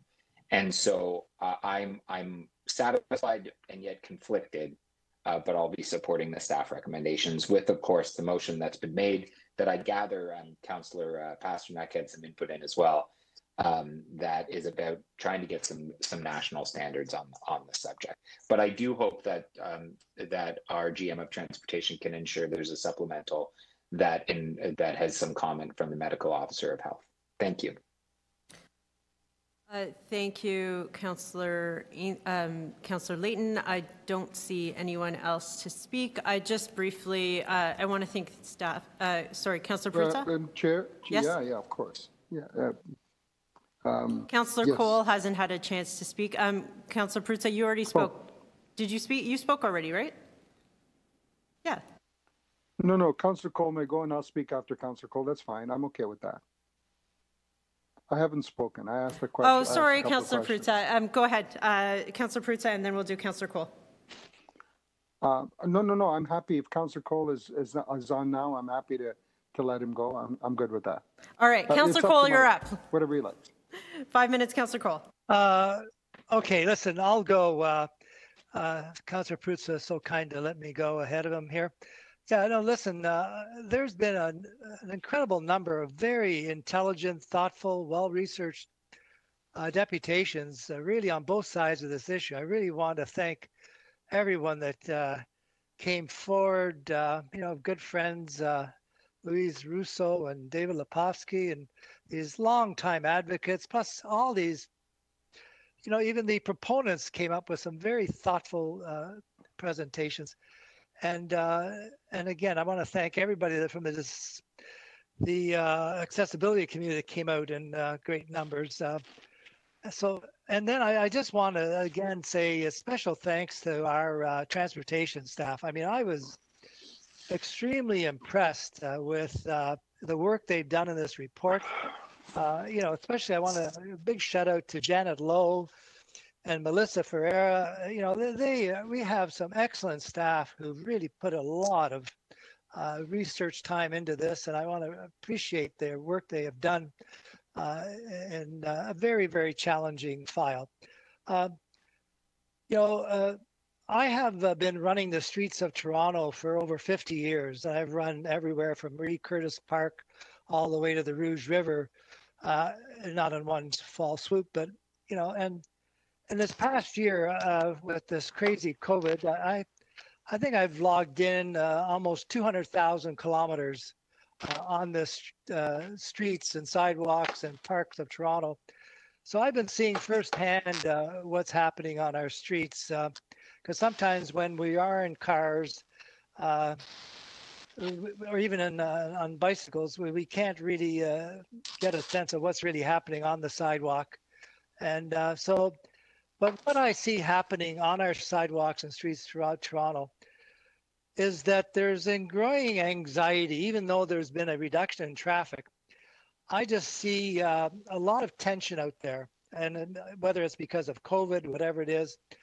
Uh, I mean, I can even remember going down Christie by uh, Councillor Layton's house, and I had some cyclist yelling at me because I had uh, gone into the uh, bicycle lane to just get around uh, somebody without a mask, and the cyclist almost ran me over going south. anyways, but so there's tension out there, and I just want to say that uh, the uh, the accessibility community, the, the accessible challenge community, has incredible daily daily pressures uh, on them uh, that are uh, just uh, unheard of unless you walk in their shoes. And and I know my my wife has worked with the Foundation Fighting Blindness for 25 years and many of our family friends are people that have uh, everything from retinitis pigmentosa to all kinds of visually challenged uh, children and so forth. So, anyways, this is um, an incredibly stressful city for them.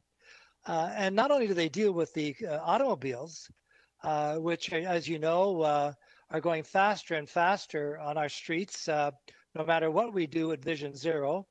Uh, as you can see, it's the number one call we get uh, probably in our offices is about traffic uh, result the automobiles. Uh, so th- there is a high level of stress, you know. And then you talk to our uh, accessibility community, and then our our seniors. Like I'm, I'm getting calls this last week about why is city council going to allow drinking in the park? I, you know, I want to be able to go to the park and sit on a bench or have a picnic. Now I can't even go to the park because the city is going to allow booze in the in the playground. So, so people are stressed, and I and I I understand the long-term uh, viability of looking at scooters, but I, I think we've got to put in the pause button, a timeout button here. I think staff has looked at this thoroughly. Uh, I think there's got to be a lot of work done down the road to uh, meet and uh, reassure the uh, disabled community about these uh, realities and the threats that are to their uh, safety getting to and from their work or getting to and from the corner store. So I think we need time for that to be done. Now is not the time to proceed, and and this is why I support the staff recommendation. Uh, you know, it's something that has been you know, obviously uh, well, well uh, thought out by our staff, and they've consulted widely. Uh, as you can see by their presentation, they've talked to different cities, different advocacy groups, and so I just want to uh, ask my fellow uh, committee members to support the staff recommendation and uh, to again just reassure the disabled community that we, you know, share some of their pain and anxiety. thank you very much. Uh, thank you, Councillor Colle. Uh, Councillor Perruzza, five minutes. Uh, thank you. Um, um, so I, I, you know, I, I'm looking at the scooter, and I'm going to support the uh, the, the, the staff recommendations. Uh, um, so uh, some time ago, I, my daughter's, I got this little girl, and she's great on a bike, really well balanced, and so on. And I bought her one of these things, but not the mechanized one. Uh, there, there's one that you just stand on and you push off of one foot, right? And watching her sort of for a while, like wobble on this thing and and kind of like you know be sort of off balance. I finally took it and I, I put it on a shelf in the garage and and eventually gave it away uh, because I didn't want uh, I didn't want my uh, my little girl on this thing just simply because I just I, I didn't feel good for her, and, and I don't think she was enjoying it, and and and quite frankly, um, I, I didn't feel uh, that she was uh, very safe on it. Uh, I love, you know, being on on mechanized, motorized wheels. You know, I have a motorcycle. I ride my bike uh, frequently, and I'm not adverse to, you know, the occasional fall and and uh, and uh, an accident. in fact, a little while ago, I crashed my bike. I um, I hurt myself fairly significantly, but you know what? Life goes on. I'll get back on my bike and I'll ride because I just simply uh, love to do it. But would I would I buy myself one of these scooters? And I and, and I see these. I see these on the road. I see them on the on the ravine. I often ride on the ravine, and I see people riding these things, and they go uh, fairly fast. And the reason I asked the questions I did of staff earlier, do I believe that that scooters are going away? No. Uh, do I believe that people will continue to buy them and ride them and and uh, and so on and and and some of these things on our streets and, and in our communities are absolutely inevitable? Of course they are. Uh, uh, uh and we are we going to be able to stop that? We're probably not going to be able to stop that because it's just simply the way you know our rules and and our work and and so on. Uh, and, and, you know what? At the end of the day, I, I wouldn't want that. If somebody wants to buy one of these things uh, and ride it around, I, you know, that's their choice. Uh, uh, uh but uh, given the state of our roads, you know, given potholes, even our sidewalks for that matter, and the bumps on sidewalks and so on, and given the size of these wheels and the mode in which you're you're on this um, on this gizmo, uh, it just you know from from my perspective uh, it it it makes me it would make me very very uncomfortable being on one of these things uh, just simply because it's uh, in my view it's very very unsafe. Uh, but i'll tell you what bothered me most about this. Uh, a couple of years ago i happened to be in italy with my family with my wife and, and two kids. And we were sitting in a piazza um, a church, beautiful church, uh, uh, San Restituta. And uh, and this piazza had no bikes there. Because I heard somebody say earlier, you know, oh, I ride a motorcycle, I ride a bicycle, I'd give them up and get on one of these things. But you know what? Uh, so we are in this piazza, and it, no, there was no bikes and and uh, certainly no motorcycles in the piazza, but surrounded like you know sort of uh, uh, coffee shops and gelaterias and, and, and, ice cream parlors and so on. And we were sitting there. I was sitting there having a, um, we were having an ice cream, and there was one person on one of these scooters, sort of you know zipping around in, in the middle of this piazza. You know, kind of he was having fun, uh, and and I don't begrudge him that. But there were lots of people walking around, and all of a sudden, this guy completely claimed my attention and I couldn't focus on what I was doing. I couldn't focus on on, on the screen or my family because I was focusing on this guy.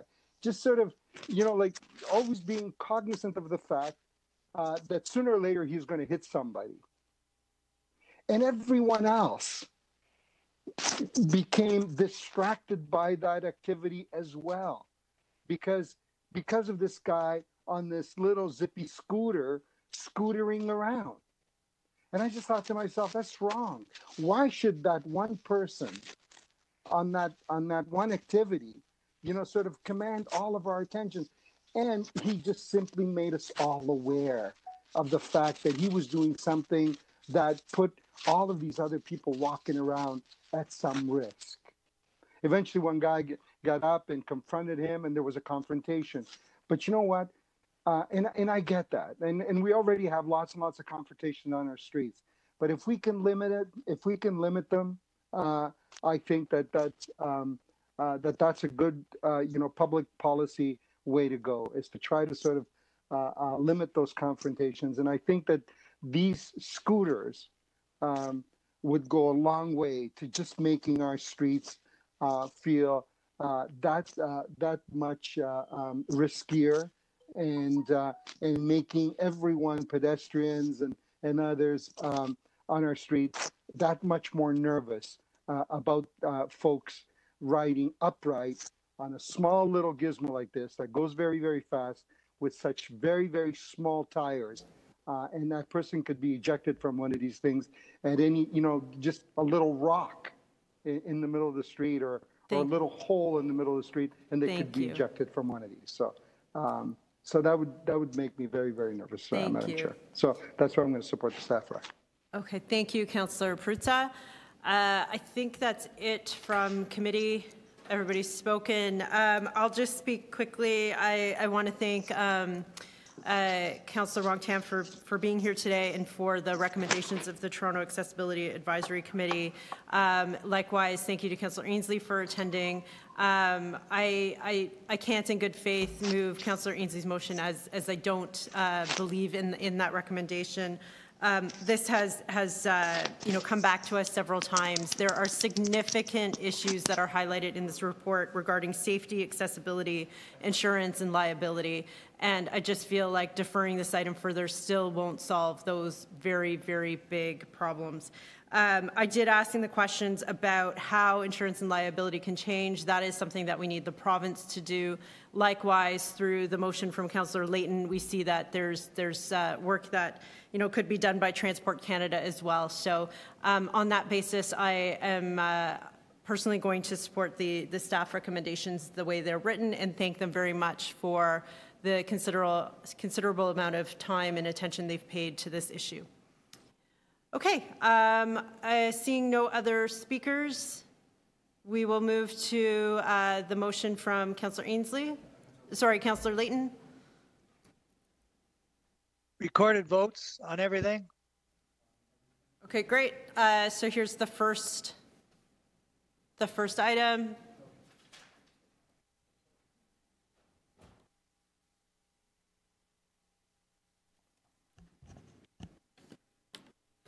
Members, this is the uh, vote on Councillor Layton's uh, motion on IE 21.7. All in favor of the motion? I have uh, Councillor McKelvie, uh, Councillor Pasternak, um, sorry, can I see the rest of the, the screen?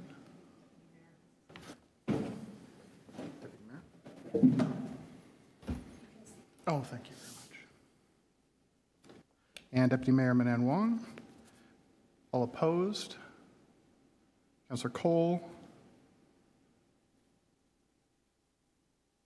Uh, Councillor Perruzza and Councillor Layton, how do you vote?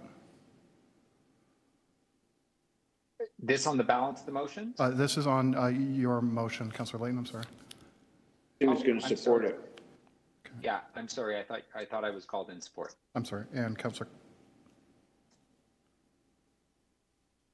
Uh, Madam Chair, that is uh, five uh, to one. Uh, Sorry, I'm, I'm, I'm sorry, we're voting on Councillor Layton's motion, is that it? Councillor Layton's motion. Councillor Perruzza, how do you vote? Yeah, I'm in support of Councillor Layton's motion. Thank you. Madam Chair, uh, that is five to one. That motion carries.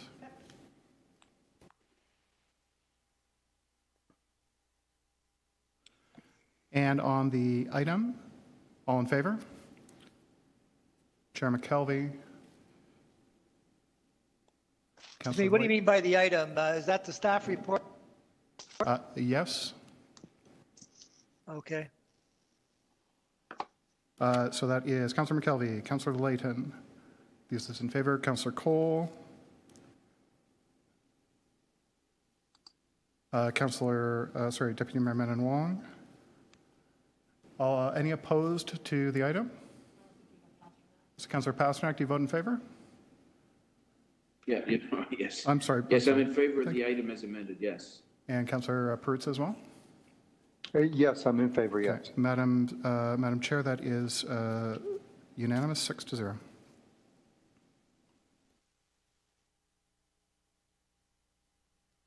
Okay, thank you. Thank you, everybody, for uh, your patience on this item. Thank you to all the deputants that uh, joined us today. That brings us back to our agenda. That brings us to item IE 21.8, trans- Transportation Innovation Challenges Fostering Local Outcomes-Oriented Transformation.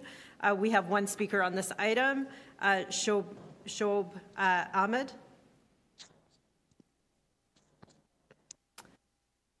Hello, can you hear me? We can hear you. You have three minutes. Thank you. Thank you very much, uh, Madam Chair. and Hello, council members. I'm here to speak again to you about the uh, transportation innovation, specifically item 21.8. Uh, as stated before, I'm the founder of the uh, Scooty, which is a micromobility based out of uh, Ryerson DMZ, and we are uh, attempting to address the transportation challenges, and I'm excited by the possibilities associated with the Transportation Innovation Zone. And I would like the opportunity to join, uh, excuse me, From what I've seen, the proposal is skewed towards autonomous, uh, autonomous automobiles rather than innovative micromobility. This is despite the fact that demand for micromobility has grown significantly over the past three years, and technology and innovation in this industry is advancing rapidly. Innovative micromobility options have already reached and benefited more people than autonomous vehicles have, and innovative micromobility is far safer than autonomous vehicles have shown themselves to be. It is worth considering that innovation funding for autonomous vehicles have been shifted to micromobility because the pace of autonomous vehicles innovations have slowed. As controlled, uh, uh, I, I ask you to consider an approach that e-scooters, uh, for e-scooters that would be created a controlled managed pilot instead of unmanageable prohibition. I'm now I'm asking you to think beyond autonomous vehicles, incorporate a pilot as part of the proposed transportation innovation challenges, fostering local outcome oriented the uh, outcomes oriented transformation and let it happen at Exhibition Place, Toronto's Transportation Innovation Zone. Thank you so much for this opportunity. Thank you for joining us um, and for your patience getting to this item. Um, Any questions of the deputant? Okay, uh, seeing none, any questions of staff on this item? Seeing none, anyone to speak to this item? Seeing none, I'm prepared to move staff recommendations. All those in favor? Okay, uh, all those opposed? Uh, Staff recommendations carry. Uh, That brings us to item 21.16, further consideration of reducing salt use in our public realm. We have three speakers on this item. The first one is Michelle Woodhouse with Environmental Defence. Michelle, are you on the line? Michelle, you need to connect your microphone. You hear me? Oh, hi, can you hear me? We can hear you, Michelle. Thank you for joining us. You have three minutes. Okay, thank you. So my ask today is simple. It is to implement the actions being recommended by Councillor Layton to address road salt contamination and the threat that it poses to Toronto watersheds, the waterways and freshwater bodies contained within them, and the broader water cycle that the Toronto watersheds are a part of. As Councillor Layton has noted, the actual cost to the environment of using road salts as the quote unquote least expensive solution for managing winter safety on our roads and sidewalks are not reflected in its price. And these environmental and ecological costs are getting very real and worse, which will have impacts for all of us since we depend on the health of our water, freshwater resources. A recent study published just last month by U of T shows that chloride pollution from road salt is a year-round threat, and they found that 90% of samples taken from four GTA rivers and creeks during the summer exceeded federal guidelines for long-term exposure of aquatic life to chloride. These levels pose lethal threats to aquatic life, plant life, and our drinking water. The solutions noted by Councillor Layton, such as spraying brine and pre-wetting, are tangible solutions that can be adopted to help achieve the reductions we need to see in our waterways for us to protect them. But in order for these to work effectively and be implemented, they need to be accompanied by actions such as adopting a rate of salt application, which Councillor Layton is also recommending. This could also be a helpful guidance point for further provincial water quality objectives for chlorides to be adopted so that we can see more watersheds being protected in Ontario and it can serve as a model for other cities to do the same. Unfortunately, in previous years, when asked for this kind of objective for chlorides at the provincial level, they did not act. Toronto can and should be a leader and take its own pathway forward for addressing this urgent issue.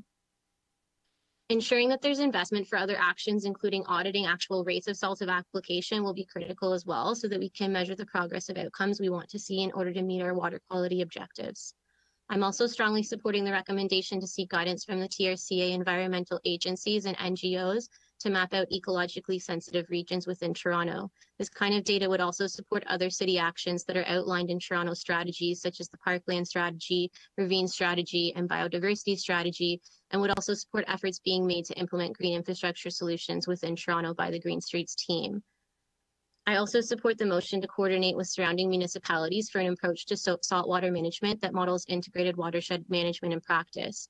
Many scientists, academics, Indigenous peoples, and others have been calling for a more holistic approach to watershed management, and managing road salt is one connecting issue where we can see this approach applied in practice. We also need more training and certification available to help guide companies and private and corporate landowners to stop using such a heavy-handed approach to road salt application. Companies will actually save money when they adopt a proper rate of application that will still ensure safety provided by de-icing. From an economic, safety, and environmental standpoint, it just makes sense. With more training and awareness, private landowners and staff who work for the public realm can understand that our safety needs can still be met through best management practices every winter, I, like so many, dread seeing the salt that's being used in the city at such high rates and the way that it impacts things. Many people people hate how it makes their boots get ruined or it causes corrosion or other damages to other surfaces. And it just looks ugly being used in the winter. At Environmental Defence, we get emails constantly from Can people we get who are your final thoughts? Sure. For me, when I see road salt, I see all the harm being caused to our water bodies. And I had asked my landlord to stop using it so much on his properties, which had helped. And I say this because these small acts of spreading awareness can add up. But the reality is, we need stronger policies and guidelines and objectives to be implemented so that we can help businesses, residents, corporations, and the city workers to all work together to stop our waters from becoming so saline that they are actually putting the very survival of freshwater life itself at imminent risk. I'm done.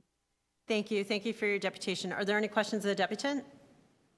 Okay, seeing none, we'll move to our next deputant, Heather Sloman, with the residents group Salt Free Streets.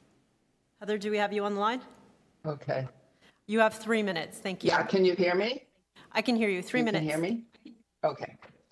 Okay, so councilors, committee members, and everyone else attending today, my name is Heather Sloman. My family and I live near Bloor and Christie, and I'm a member of a citizens group called Salt Free Streets. We're asking the city to reduce the use of road salt. I used to think that putting salt on the streets was a good thing, melting ice and protecting us against falls, and that I was being a good Samaritan when I dumped it on my walkway and sidewalk. But then I learned that it is, in fact, a toxic substance and officially declared as such by the Canadian government. In fact, my generous use of salt meant that I was doing my own small part towards polluting our groundwater, killing plants, and degrading our urban trees. Salt also hurts our pets, damages our clothes, and rusts our cars. And it causes the rapid deterioration of structures built from reinforced concrete, staircases, parking garages, buildings, and bridges to the tunes of millions of dollars each year. I know that Toronto already has a goal of sharply reducing the level of road salt used within its boundaries. But despite this, the use of salt has been exponentially increasing. So I very much appreciate your willingness to consider this issue today. Councillor Mike Layton has consulted with experts and drawn up a set of seven recommendations, which I'm asking you to implement. In particular, I'm asking you to proceed with proposed actions three and four. Action three directs the city to implement industry best practices, which you will also note typically bring savings to municipalities of 20 to 50%. And action four is of special relevance because I understand that new contracts come up for tender this year. We're asking the city to require the private contractors it procures to undergo a training and certification process such as the one provided by Smart About Salt. Training and certification has become a mandatory requirement of virtually every trade at this point. There's no reason not to expect that our winter maintenance contractors don't also have the information and training they need to ensure that they're keeping us safe while minimizing our ecological footprint and also saving taxpayer money, not to mention that the process is inexpensive and quick. I recognize that what seems straightforward and simple to me may in fact be a more complex process for city staff and councillors who are impeded by layers of policy and miles of red tape. As a Toronto resident who is deeply connected to my city, I want to remind you that beyond all those impeding trees, there is in fact a forest, and we all want that forest to remain standing and even thriving for the long term. I'm done. Thank you. Thank you for your deputation. Are there any questions of the deputant? Okay, uh, seeing none, we'll move to the last deputant on this item, Lee Gould with Smart About Salt Council. Can you hear me? We can hear you. You have three minutes. Uh, Uh, Madam Chair and Councillors, thank you for the opportunity to provide a deputation in support of today's motion. My name is Lee Gould and I work to support the volunteer not-for-profit organization, the Smart About Salt Council. be clear, Smart About Salt operates through a safety first prism. The Smart About Salt Council was established and incubated through a collaboration between municipal level government and the winter maintenance industry itself.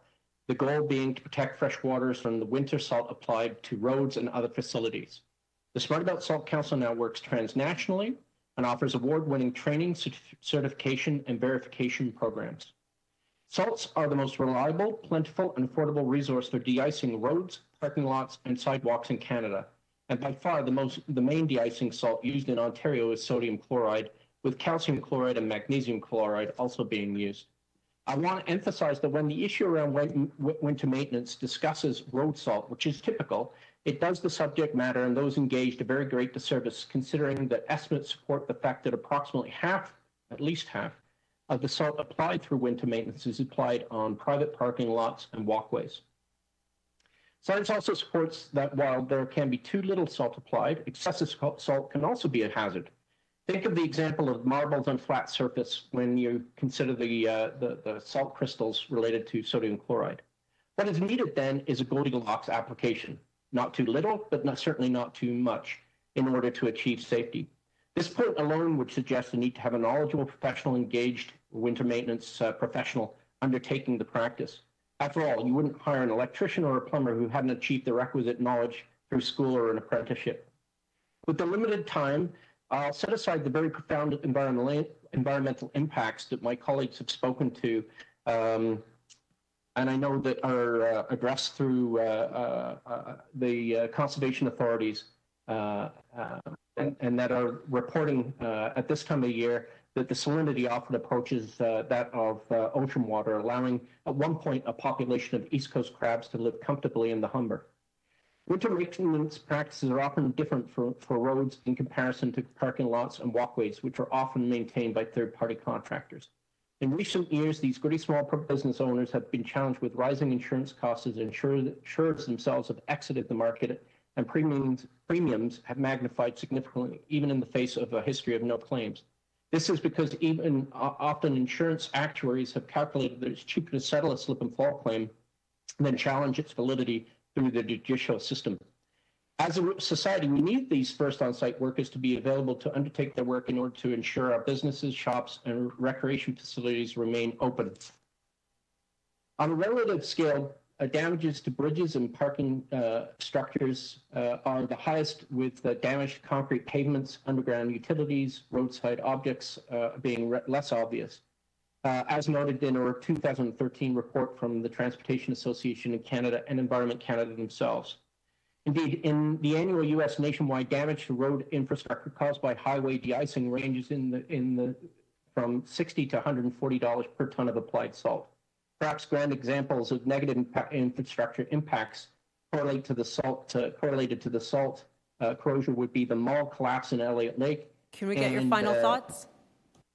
Yeah, the final thought is that uh, we could. There is low hanging fruit here. Uh, the, the city could take a leadership position and can uh, seek to have private contractors uh, through themselves and serve TTC and TPA and other extensions of the city um, demonstrate the professionalism and their knowledge through training and, uh, and certification. Thank you. Are there any questions of the deputant? Okay, seeing none, thank you for joining us today. Are there questions of staff? Okay, I have one quick question for staff. Uh, Councillor uh, Pasternak has questions of staff. You can go first, Councillor Pasternak. Yeah, no, uh, thank you, uh, Madam Chair. Um, I'm looking at this, uh, particularly items D and F. Implementation of a new standards across large publicly owned property owners, such as school boards, building owners, manager associations, the Toronto Transit Commission, Toronto Parking Authority, and also require contractors to be certified in sustainable salt use. And number F, coordinating with surrounding municipalities with shared watersheds to coordinate efforts in urban planning, road development, and salt management across the region. I mean, is this is this realistic? I mean, this would this seems to be a whole division that would it would be the salt division. It, it's it seems ambitious. Uh, through the chair to Councillor Pasternak. So we've certainly done a fair amount of assessment of our uh, existing salt use. We know that there are some issues and challenges with regard to the application on uh, on private property and in some of the other facilities mentioned. Um, generally speaking, the scope uh, definitely covers things that are outside of our authority. Uh, I will say, however, we are working with a, a professor at Ryerson who's a noted expert in this field, and we will be coming back to a committee in November, December with a, an additional assessment of our existing salt application. We also have uh, new winter contracts that are coming forward uh, starting uh, in the 22 season, and we will be again uh, making recommendations about uh, calibration of equipment, et cetera. can certainly look at and, and talk about training and certification. So we will um, we will take that back, but I do agree that the scope is, is beyond what we what we typically engage in. In fact, it would occur to me that much of this is statutory, will require provincial legislation. I don't even know how a municipality uh, can can impose these standards with uh, benchmarks or fines or inspections. Um, I don't. I, is it something that we should just put in your hands and you'll figure it out, or or or, or we should defer some of these? Well, uh, through the chair, I mean, we uh, uh, we will certainly take back uh, in this process that we're doing with um, Dr. Oswald at, at, Ryerson and, and ponder and consider, um, recommend and review our existing program and consider what modifications we need to make. And I think we can come back at that time and discuss what's outside, what, what we found to be outside of our scope.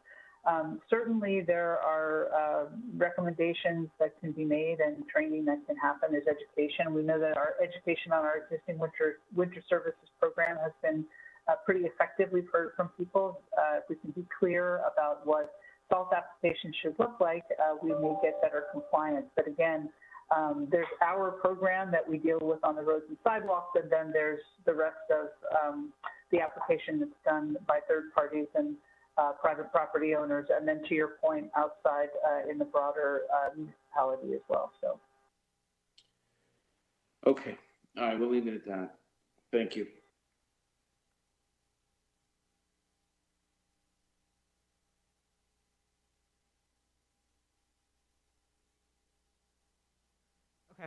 Okay. Thank you. Um, uh, clerks are also um, preparing a few amendments um, with you, Councillor Layton. Um, and while they're doing that, I just have a couple questions along the similar lines. Um, I, I, wanted to know when the next report back was on salt, and it sounds like that's in November? Yeah, November, December to you, Chair. Okay, and the current wording here says consider, so you can look at what aspects are in your jurisdiction and action those and, and report back on it and and likewise, if it's not, I mean, we have partnerships with Toronto Region Conservation Authority, others as well that are looking at regional things. So, so some of those you can also kind of table with other bodies. So, I, I guess, are you comfortable with the way it's worded as consider that you can bring this in with your existing resources and your November report back? Yes, we are.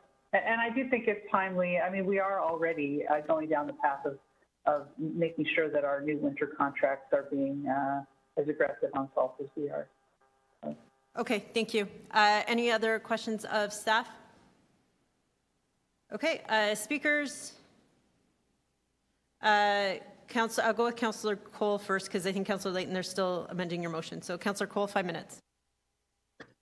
Yeah, I think, uh, uh, one second. I think this is a very uh, important uh, motion. I say good luck to, uh, but uh, you know, the, the odd thing is that most of the calls I get is for more salt. Uh, I've, I don't think I can recall a resident ever calling me and saying, uh, uh, I want less salt on my road or sidewalk or TTC uh, uh, island. Uh, they're always asking for more. Where's the salt? As soon as it, you know, gets into early winter, I get the salt calls. so, and, and, you know, the, the problem with this is that the salt situation is that the alternatives are a ripoff. Uh, what the uh, big box stores charge for salt uh, substitutes is, uh, you know, you've got to pay a king's ransom to get some of these uh, chemical uh, replacement things. They're available supposedly that will replace salt. And my experience is they they aren't worth the paper they're written on. Anyway, they're not worth it. Uh, but the people pay exorbitant amounts 10, 20, 30 dollars for lousy bag of some uh, chemical that's supposed to replace salt. So we got to deal with that too. What are the replacements that can be used that are affordable for people? Uh, because there are a lot of seniors, uh, especially, who are very concerned about going out uh, down to the corner store uh, when winter comes on and you have these um, temperature climate fluctuations that are pretty uh, constant. Uh, this year, I don't think has been as bad as last year, uh, but uh, still, we get a lot of calls for, you know, the condition of our uh, sidewalks, especially, and trying to get on and off our uh, streetcars and buses. And I, I know I don't know what the TTC uses, but I see them out there every morning whenever the storms come. I hope uh, they're not uh, using salt, but uh, they seem to be spreading something on all the TTC platforms and all the bus stops. so th- that's the challenge ahead. and and I just want to mention, one of the deputies mentioned the Humber River. on the positive side, you know, I talked to a couple of the old time fishermen there in the Humber just last week, and they said they have never seen the Humber so clean. Uh, not only are the salmon runs incredible in September, but this year the uh, the trout, uh, the rainbow trout, are remarkable. They said there's never been so many, so large, uh, so many rainbow trout going up, uh, down the Humber. Now they're going down the Humber River. Uh, you know, the couple of guys told me they caught six, seven, eight pounders, which is a rarity. But so there are some good things happening, especially I want to thank Madeleine McDowell for saving the Humber River uh, from being paved over years ago. And it's a wonderful place for people to go and uh, see uh, the running waters of the Humber, especially in the springtime. But anyways, I want to throw in that positive note, but uh, good luck on this motion, the staff and Councillor Layton. Um, we could all do with uh, less salt, uh, but we've got to find a way of keeping our sidewalks safe and our TTC uh, stops safe too, uh, and our roads. Yeah, uh, people still refuse to slow down. They're all coming down from North York, speeding down to Toronto every day. We got to tell those North Yorkers, Councillor Minnan Wong knows all about that, to slow down when they come down to the city. Anyways, God bless. Thank you, Councillor Colle. Any, uh, Councillor Layton, and your motion is ready as well. Thank you very much. Uh, if if the clerk could put the motion up, um, this is really just refining some of the numbers that were in it based on what we heard from uh, the Smart About Salt folks, um, and it also changed the word council, city council request, um, just to make uh, apparently it's got to go to council. Okay, thank you. Uh, when screen changes back, anyone I else? Would, uh, you know what? I'll just if I could just comment quickly. Sorry. Yeah. Um, was was there another motion, or was the original motion amended? The original was amended. The uh, perfect. Thank you. Uh, I would just say, like, look, when we were debating salt a, a couple of months ago, um, we had I had requested a report. It came back. There was very little um, uh, uptake and and and and folks stepping forward from the community, but after we had adopted it, and this was on uh, what what staff would be taking forward in their next year's uh, in, in this year's uh, uh, renegotiation of the contract, um, that uh, these individuals came forward and said, you know what, there's more you could be doing. Uh, and and and there may be more cost-effective ways. And I agree. Like Councillor pa- Pasternak pointed out, some of this may be outside of our jurisdiction, um, which is why it's worded the way it is for us to for staff to consider it and perhaps come back with recommendations on how we could overcome it. Uh, I can't help but think there is more that can be done. I, I believe it when Councillor Colle says he gets calls that there's not enough salt. Um, but maybe he wouldn't be surprised that I get a lot of calls that say, "Why is there an inch of salt in front of this staircase?" Um, because like the way it's being implemented is people come with a shovel, they shovel it off a truck, and they keep keep driving away. And that's not the way that's that that that salt should be applied. Um, it is it is toxic to the environment. Um, while it's also a safety issue, we need to be doing what we can to manage it appropriately. I don't think it's too much to ask that um, those that are applying it have some kind of training in how to handle uh, uh, the substance and apply it appropriately. Uh, and that could result in savings with us using less salt in the end. Um, so, but I did word it carefully to ensure um, that it wasn't giving direction for very specific pieces, but in fact, just asking uh, staff, staff to reflect on them with what we're getting from uh, these experts in order to uh, in order to make sure we have are using our the best practices that exist. Thank you. Thank you, Councillor Layton. Uh, additional speakers on this item? Uh, Councillor Pasternak. Yes, thank you, Madam Chair. I, I just wanted to reiterate some of my uh, comments that were mentioned in passing during the questions for staff. Um, I, I, always try and uh, bring a policy that's doable and achievable and, and go for low hanging fruit first and then build from there.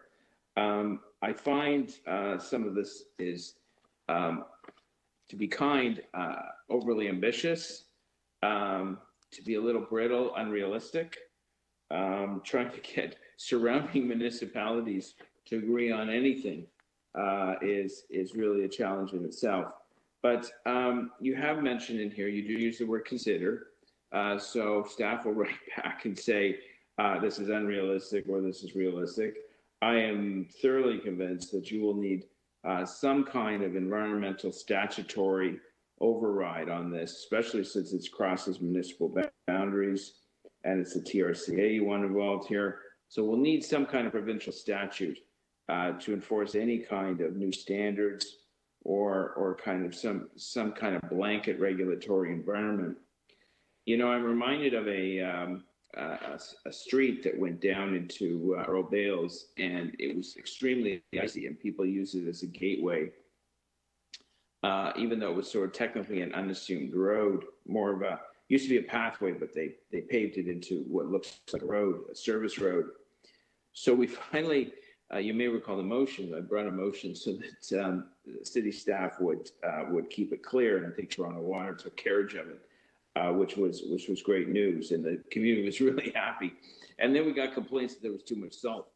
Um, you know, so it is hard to win uh, on this on this issue. You you want people to be safe. You don't want people uh, falling and hurting themselves and, and and breaking their legs or damaging property. Uh, you don't want liability uh, for the city, and private owners don't want liability. Uh, they've got to keep keep the sidewalks and staircases safe clear of snow and ice. And we've traditionally used salt. Um, but if there's an alternative, I, at one point I suggested naively using sand, and they said, "Oh, we're not allowed to use sand." So, um, so anyway, I think it's a good discussion uh, because I know that when it comes to uh, salt, is not just an environmental issue, but it's extremely expensive uh, to salt this city, and I don't know whether the alternatives will cost us more or cost us less, but we should always be reviewing uh, uh, cost centers uh, and environmental centers. And I think I think this does it, despite my uh, reluctance and skepticism that, the, a municipality could do some of the things um, that are listed in it. But it will get my support, I assure you, Councillor Layton. Okay, thank you. Anyone else to speak on this item? Okay, we have uh, two, two items to vote on. So the first is the amendment that Councillor Layton put on his original item. So we can vote on that one and then the item.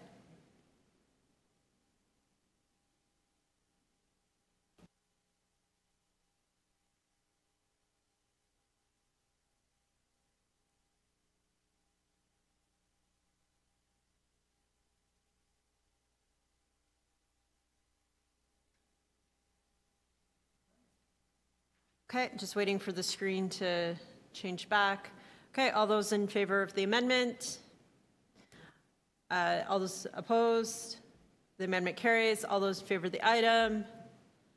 Any opposed? That item carries. That brings us to item IE 21.18, supporting precarious delivery workers and bike couriers in Toronto. We have seven deputants on this item. The first one is Taryn Ellis. Taryn, are you on the line? Yes, I am. Thank you. You have three minutes. All right, thank you. Uh, hi, uh, thank you for your time. My name is Taryn Ellis.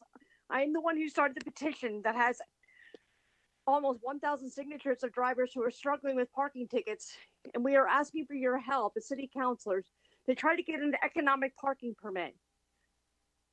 I worked as a food and goods courier for three years, so when the pandemic began, my time became very valuable, and I took great pride in helping Torontonians get their groceries without leaving having to leave their home. At the beginning of this year, I did contract COVID, and I was out of work for a few weeks while I recovered. So I wasn't able to work during that time. So that's proof that couriers put their lives at risk every day. Also, part of the courier work I do is beer and liquor delivery services. So I am carrying heavy boxes of bottles for customers as well. I will mention that if there is paid parking available, I always pay. But 95% of deliveries that we make, there is no parking available. Uh, also, I would like to ask for an emer- emergency measure to be put into place for couriers who have delivery signs on their dash as long as they are not impeding traffic, not parking in bike lanes, blocking driveways, or parking next to fire hydrants until there is something in place. Uh, thank you for your time, and I hope you support this. Thank you for, thank you for your concise deputation. Are there any questions of the deputant? Okay, we'll move to the next deputant, who is uh, Arash Mano, Manocharian uh, with Gig Workers United, uh, Canada, Canadian Union of Postal Workers. Arash, are you on the line? Hi there, and thank you for your excellent pronunciation. Oh, okay. I was wondering Um, how bad I got that. Okay, great. Um, thank you. You have three minutes. Uh, good afternoon, Madam Chair and committee members. As stated, my name is Arash, and I am a driver courier and part of the executive committee of the Union Gig Workers United. Couriers are performing an essential service during this pandemic era. It's because of us that the public can stay at home and observe the public safety measures that the city is putting out. But we need support to do our jobs well and to do them safely. This includes a legal and safe way to park and briefly pull over while making our pickups and drop offs, and also uh, more posts for bike lockups to combat the rising tide of bike theft. And access to public restrooms wouldn't hurt either. As my colleague Karen stated, she has started a petition with close to a thousand signatures on it in support of this measure and has made several appearances on news and other media sources to talk about it. The realities of the job that we do can include taking multiple trips to unload several large and heavy cases of items. For example, three or four flat packs of water or large packages of toilet paper, or what have you. When dropping items like this off, it sometimes takes three or four trips from the car to the door. And that's in addition to a five to 10 minute wait for a customer to answer their door. Or even worse, if a condo has a no entry policy and we have to wait 10 to 15 minutes for somebody to come downstairs. We do all this for as little as $3 paid per order. We don't even make minimum wage. When we're making pickups and drop offs, many of us leave our engines idling to make it clear that we're not parking but briefly stopped. We turn on our blinking hazard lights. We have delivery, delivery placards and branded food and delivery bags. But these measures are often ignored by parking attendants. Uh, this was the case even last spring when the city issued a moratorium on ticketing to facilitate curbside pickups. I had many debates and arguments with parking attendants as I pulled up or as they were writing me a ticket uh, during that time period, even though I was carrying a large branded delivery bag. Parking is often unavailable in the retail areas we pick up in, and most of the newer apartment and condo don't have driveways or laneways, let alone parking. We have to park and stop illegally. We don't want to. It's only by the grace of God that we don't get more tickets. A single ticket of 60 to $100 is more than a shift. The average shift can pay as little as 40 to $80. Like I said, $3 an order is quite usual. And this is before our operating costs of fuel and insurance. Last month, I got a ticket for $100 that I tried to fight, and my request for a court date was rejected out of hand, and the ticket was affirmed. An emergency measure or uh, interim instructions to parking enforcement uh, to not ticket us and maybe make an accessible parking permit available to us would help the city as a whole. In summation, the ability to pull over in no parking and no stopping zones would help us ease traffic issues throughout the city, prevent environmental issues of us idling, and just make things flow a lot easier. We don't want to break the law, but we need your support in order to do our job safely and continue our uh, essential work that has been keeping the site public safe during the pandemic. Thank you. Thank you for your deputation. Are there any questions of the deputant? Deputy Mayor? Three minutes. Yeah, is it, is it your expectation that these measures would only be, t- would only take place during the pandemic and end following that? Uh, it's my hope that there would be an emergency measure for the current pandemic, but we would also like to see the availability of a parking permit that couriers could use on a regular and ongoing basis, much like the city of Ottawa introduced a few months ago, where you pay, I believe it's $100, and then you get a little permit that you can stick in your window but to pull over in no stopping and no parking zones for five to 10 minutes. Are you aware of the horrible problem we had with couriers that um, the mayor's tried spent, you know, quite a bit of time getting rid of, with couriers stopping on streets, parking illegally during rush hour, and uh, bunging and really uh, making traffic a horrible arrangement? I'm aware of that, but uh, it's my opinion that if they were able, for example, I, this the ticket I cited getting myself last month uh, was during rush hour, but it was on a side street, uh, uh not in the, not in blocking traffic in any way. Uh, if we were able to do things like that and park just a little bit off the street and in, in less traffic areas, it would reduce the issues of people parking and blocking traffic. That's not our intention. So I'll give you an example on Dundas Street um, in front of one of the towers there. Um, that's a really uh, between Bay Street and uh, Yonge Street on the south side.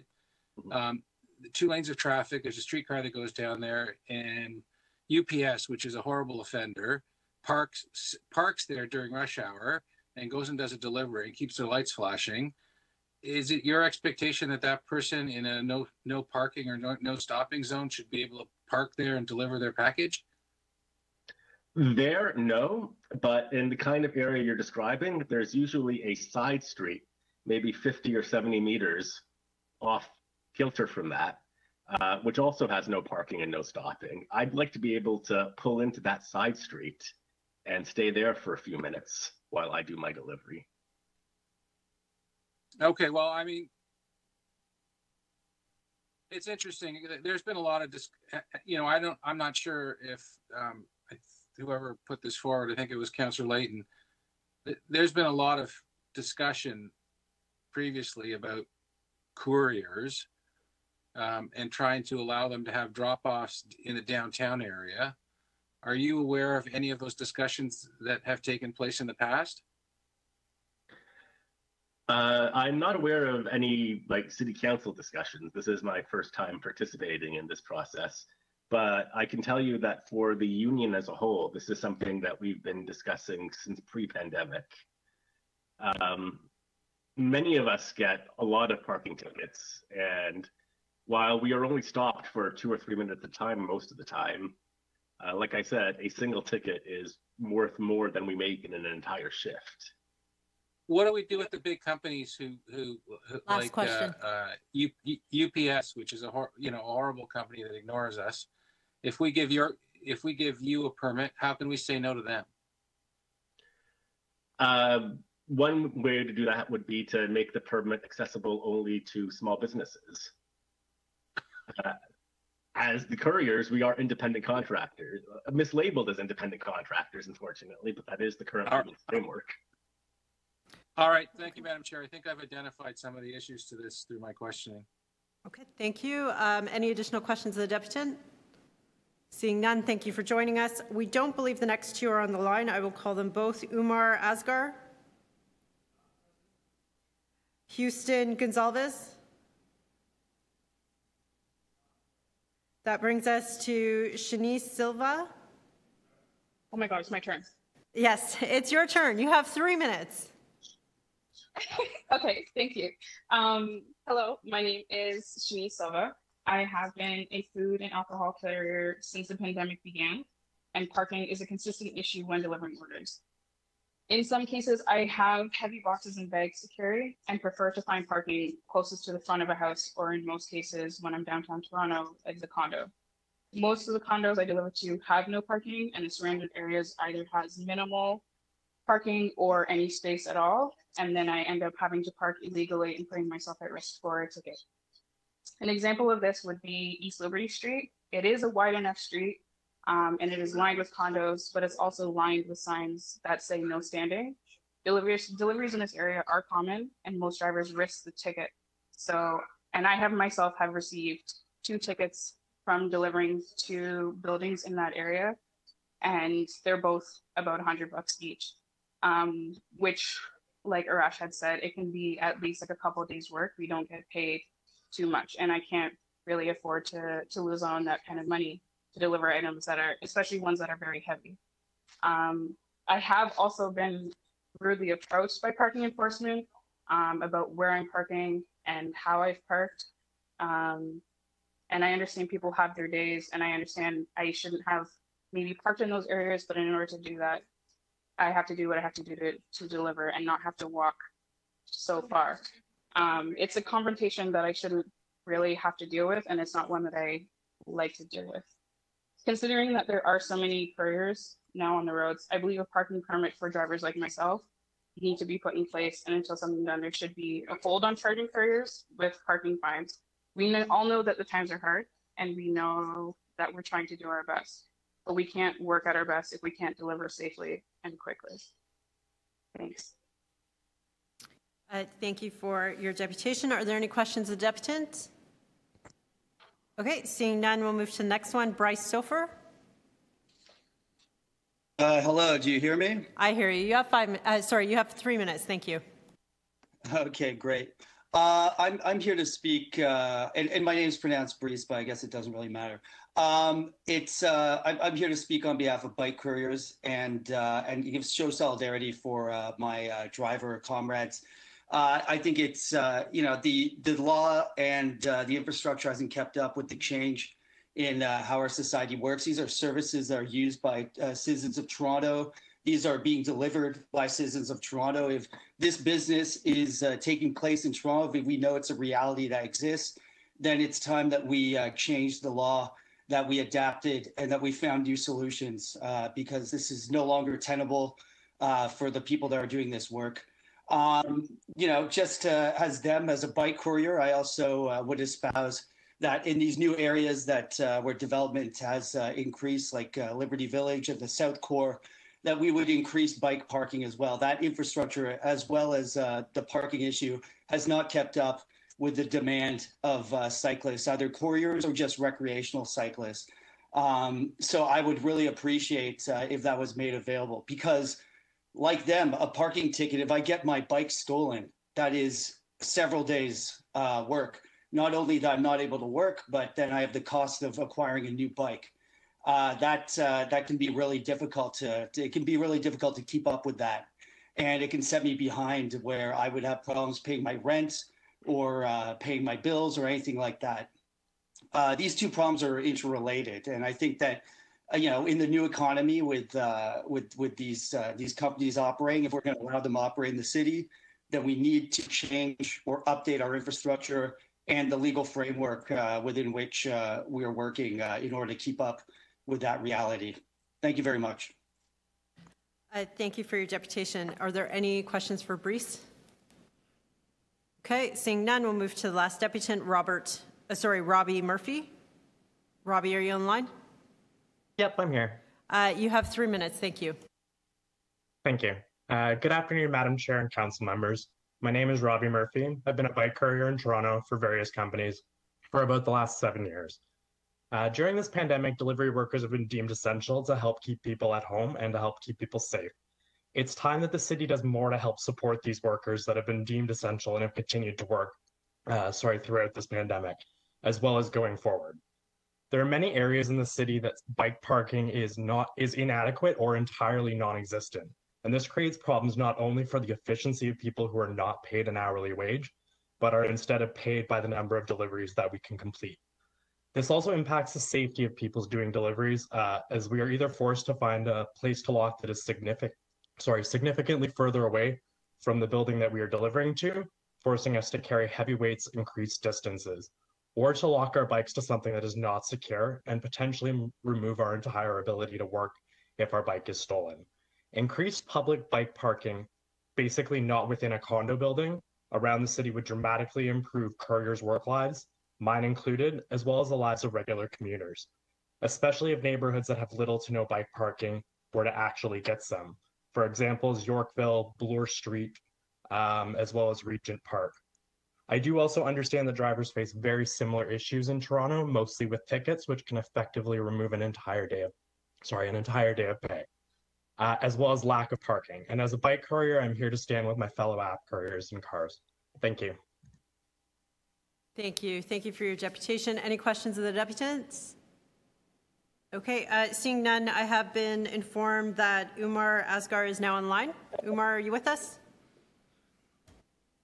Yes, I'm here. Thank you. You have three thank you minutes. much for- Thank you very much. Uh, hi, everyone. Thank you very much for having us here. Uh, here. We are really uh, thankful for this opportunity. Uh, as we know, that gig workers are the backbone of economy, and whether it's rain or snow, gig workers keep Canadian economy growth. We are precarious workers, and now we are called essential workers because we are working and serving, uh, serving COVID patients and those in quarantine, and thus helping in keeping people safe by delivering uh, to their home uh, during this difficult time. Uh, gig worker and couriers are service providers, just like cabs, TTC, ambulance, and yet we think that we are the only ones who get the most parking tickets. Whereas when the cabbies are picking up or dropping off their passengers, loading, unloading their luggage, they don't get any ticket at all because they are assumed as service providers, and we are not assumed as service providers at all. And we feel that uh, you know parking law is sometimes used against us, against us instead of supporting us. So we want to be recognized as essential service providers, and uh, by providing us with essential work-related rights. And uh, uh, gig workers, we earn, uh, you know, minimum uh, uh, around about minimum income level, and yet we have no work-related rights like paid sick leaves, and we are all called independent contractors, and therefore we have no private health insurance. And we were going door to door, door for doing our deliveries, but we were not prioritized by government for vaccination like other uh, uh, hospital health workers. And we buy our own protective gears ourselves, and we were not paid even $4 extra per hour uh, like hospital health workers for working during this pandemic. Uh, I personally got sick while making deliveries and couldn't get back to work for almost six weeks. And uh, I'm the only source of income uh, for my family. And gig workers don't have uh, didn't have access to washrooms as well while working in the severe winter weather. And especially talking about the parking ticket, each parking ticket costs a day or two of our income, and sometimes even more uh, uh, uh, than that. Uh, and we hardly park for few minutes at the pickup and drop off location. Uh, I got $175 parking ticket uh, in Mississauga, Then a customer requested to bring groceries bags to the door because she was quarantined. And we were just like, you know, maybe in one or two minutes in and out of the building. Similarly, $100 ticket was issued at 75 East Liberty while leaving groceries to the concierge uh, at the main ground level. So uh, another thing is that parking spots are not enough in downtown. Most are full during rush hours, and many times uh, we have having to lift multiple groceries bags, uh, which are going to no parking zone areas. And uh, the nature of our work demands picking up and dropping off deliveries everywhere in the city. But traffic and parking laws are not supporting uh, our essential work at all as of this moment and we therefore we can't afford to pay for parking at each pickup and drop off location since we hardly earn around four to five dollars per delivery on average. Uh, and pay so many expenses like car loan gas expensive car insurances and maintenance etc and uh, we don't create any parking or traffic issue at all while working because of our driving expertise and being so quick and considerate of others so therefore, we humbly request to exempt uh, couriers and gig workers from pay, paying parking fees completely at all, or at least making parking permit as economical as possible. Can we get your Uh, final there shouldn't thoughts? be any parking. Sorry? Uh, you're at four minutes, just asking for your final thoughts. Perfect. Uh, so there shouldn't be any parking tickets issued to couriers while we are providing essential service to Canadians.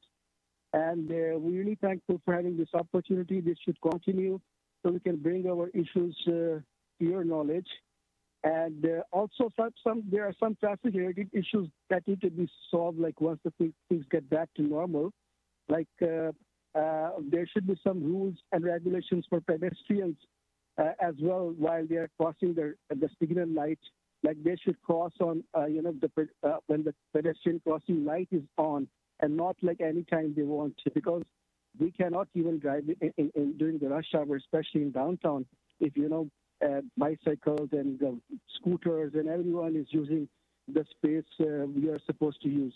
And uh, if we can have more faster one-way lanes through the city, like Adelaide and Richmond, one-way with less traffic lights, you know, it will make our courier Great, work thank you. I'm going to ask you to wrap up. because, uh, uh, perfect. So that's all I, I wanted to say. Thank you very much for providing me this opportunity. Thank you. Thank you for joining us. Are there any questions of the deputant?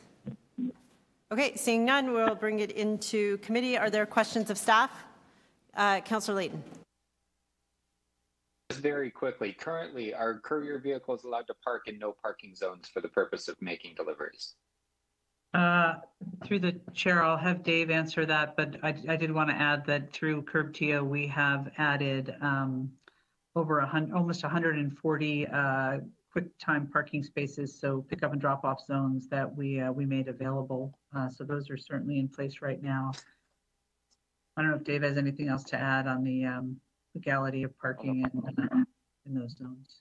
Yeah, through the councillor, um, sor- sorry, through the chair, councillor, the couriers are expected to follow the parking regulations that are out on the street. So there's no leniency in that regard at the moment. But there are areas that are considered no parking that are that that loading is allowed to take place, correct? Correct. So if there's if it's no parking and you're just stopping to unload, you can do that legally. Um, no standing. Um, you have to be um, letting somebody out of your vehicle or uh, picking up a passenger, and no stopping is basically means no stopping at all. So the expectation is that if people are unloading packages, it happen in a in a in a no parking area. Because this is we ran into this off Bloor Street with the Bloor Street pilot. We painted in loading zones in areas that were no standing, uh, but the expectation was that's where people were to unload packages or vehicles would unload into shops or the Coca-Cola truck, right? Pulls up. Right now it probably parks in the bike lane, but but it used to park in the in in the traffic flow lane and then they were told look it's it's no you got to get into this the this loading area Through the chair, my understanding is we did that in uh, no parking zones. Exactly. Yeah, so For we took Street. no so in no parking zones is where we expect the loading to happen. Now in areas as De- councilman uh, Minnan-Wong pointed out and like like I, i'm all for trying to make sure that traffic is move, moving efficiently but but there they, those are no stopping zones. There in particular during rush hour. Rush hour zones are no stopping between certain hours correct that's correct. so the intent of the motion is in areas where people would otherwise be parking to unload if it was a fedex truck they probably wouldn't get a ticket but if it's just some random car that doesn't have any other symbol that suggests they're loading uh, or unloading, then they might get a ticket. Uh, that may that's editorializing, I think more. Yeah, staff are already looking at stuff like this, correct? It's in the curbside management strategy. Correct. All this is doing is really in advance of that is trying to get it back a little bit quicker and to look at the feasibility of a special permit. Correct? Understood. Understood. Yes, that's correct. But you're already looking at this.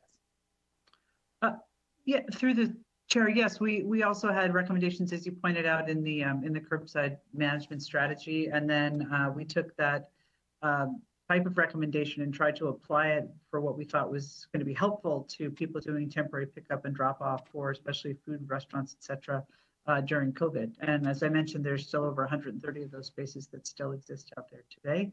Um, I just also wanted to mention, because the other piece of the of the motion was around bike rings. Uh, we do have over 15,000 bike rings in the city at this time. We're adding about another 700 this year, which um, we're currently in the process of contracting for. So, um, you know, the space limitations can be challenging, especially with uh, with Cafe TO and trying to navigate all those curbside uses. But we are looking to put an additional bike storage because we know that it's necessary to support the increased number of cyclists in the city. Great, thank you. Any other questions? Uh, Deputy Mayor, five minutes. Thanks. Just on a technicality, my understanding is, and I think Dave, Mr. Twaddle said this, um, this is kind of like a not really sort of, it's my understanding of how the, the, the bylaws work. Except for um, the no stopping, the no parking, every, as long as you're dropping off, doesn't matter what it is, as long as it's uh, no, no, no stopping, all of the no parking thing can you can beat those tickets in court because the the, the provincial law doesn't sort of recognize it essentially is that correct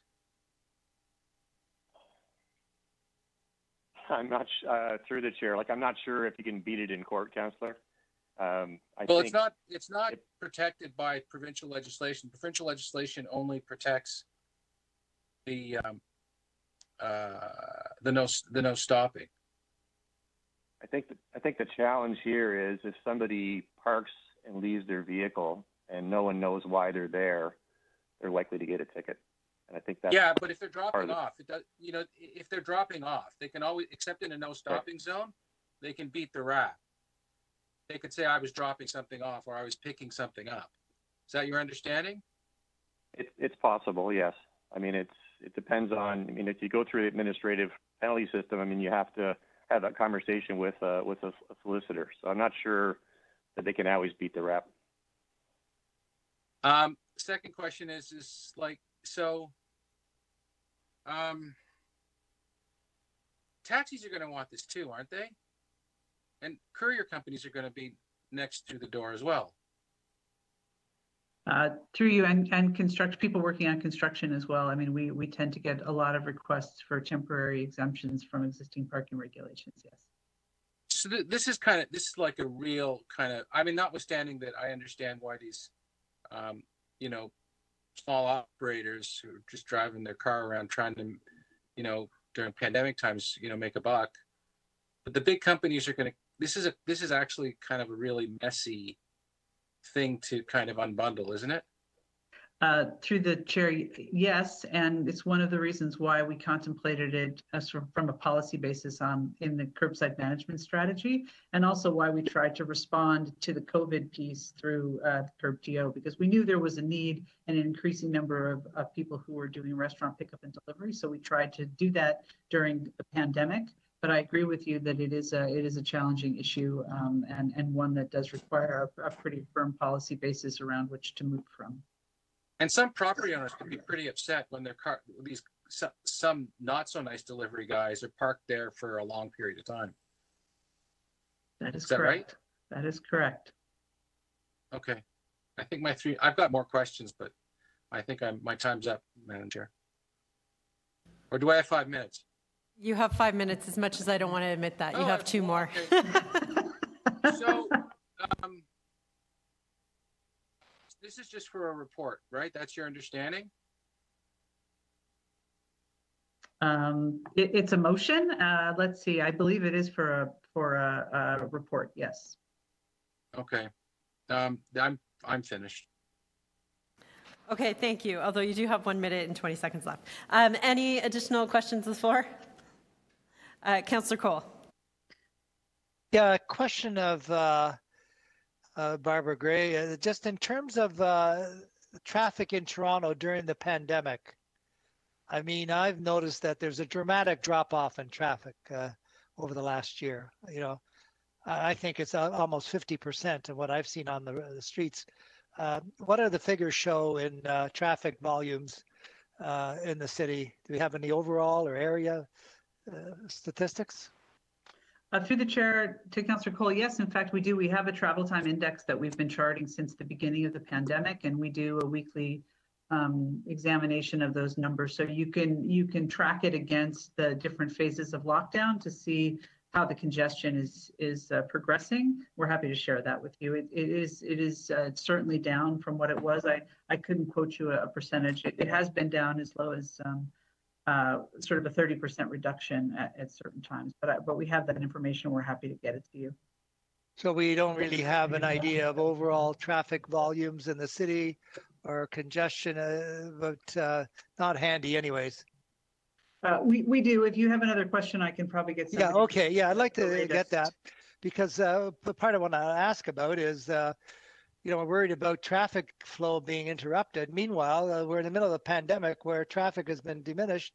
Why can't we let uh, these uh, delivery people, the couriers, etc., drop off their goods that people need?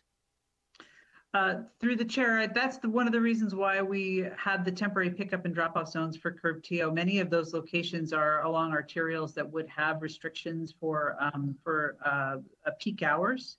And so we have not been enforcing that. Uh, and in fact, we continue to work with Toronto Police on, on that enforcement, looking at a number of different factors, including what the congestion index shows um, as well as having um, having uh, you know parking enforcement staff out there to provide some kind of overview on, on what they're seeing on the ground. So we are constantly monitoring it, but um, we don't direct police enforcement, as you know. But uh, certainly we are trying to provide some relief to uh, to delivery operators through the pickup and drop off. Yeah, no, I know it's worked well at uh, Yonge and Eglinton there, where we with the new stock TO that's gone in, we've allowed I think Mr. Dave Twaddle knows about that, and uh, Sean McGee knows about it. We've allowed some drop-off pickup there uh, on a very busy street. It's working very well. But uh, what about these uh, people uh, that are uh, in this, which has now become an essential delivery service, because people can't get out and they were told to stay home, so they order online. They need they need these deliveries to be made. so what do we do? let's say on all the other streets other than these main streets where we've done these curb uh, side pickup, etc. What do we do in uh, all the rest of the city?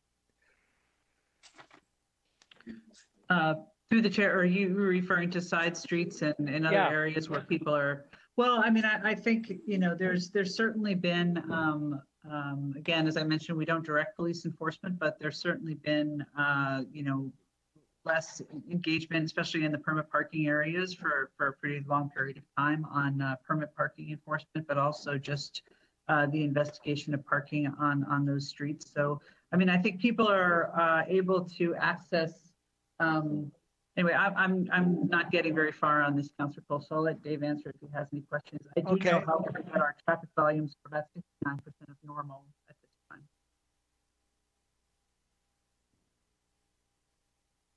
Dave, I don't know if you have anything to add on the, the parking enforcement outside of the curb TO zones. No, I mean, I think, um, you know, we can work with uh, Toronto Police on that. We've had uh, various discussions with them on how to uh, approach parking enforcement during the pandemic, and I think, you know, they've um, they've lessened the enforcement on residential uh, streets um, because of COVID. Uh, we've talked to them about, uh, and they've talked to us about whether we want to bring that back. But so far, we haven't done that because of uh, the third wave. So that's sort of where we're at the moment with uh, with that. And so, what if one of these couriers they basically put their hazards on?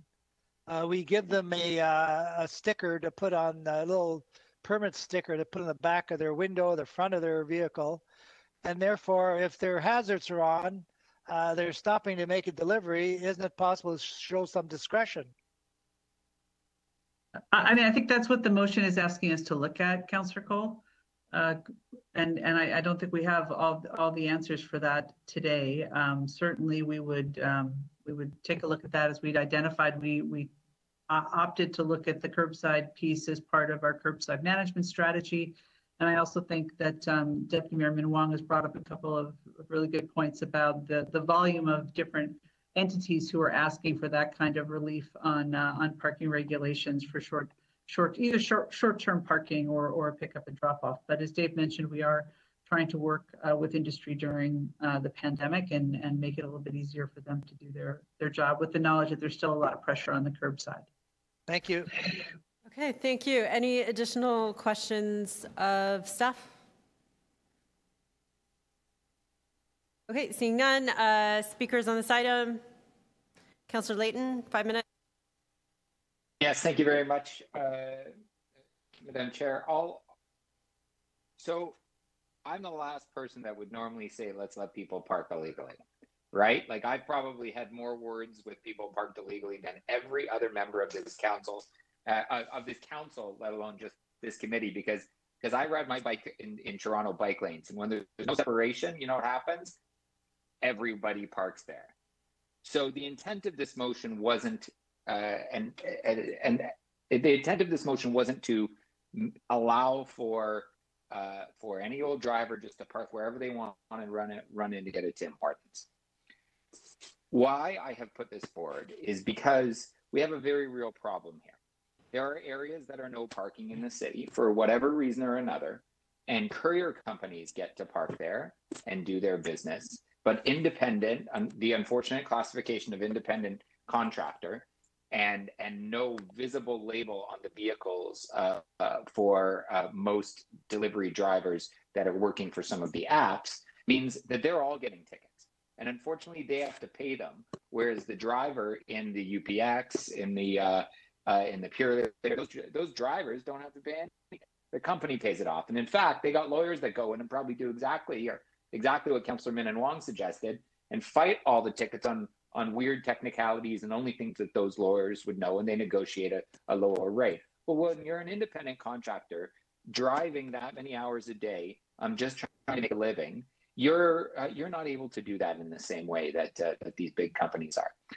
So on top of that, these delivery drivers are actually helping those small businesses survive right now.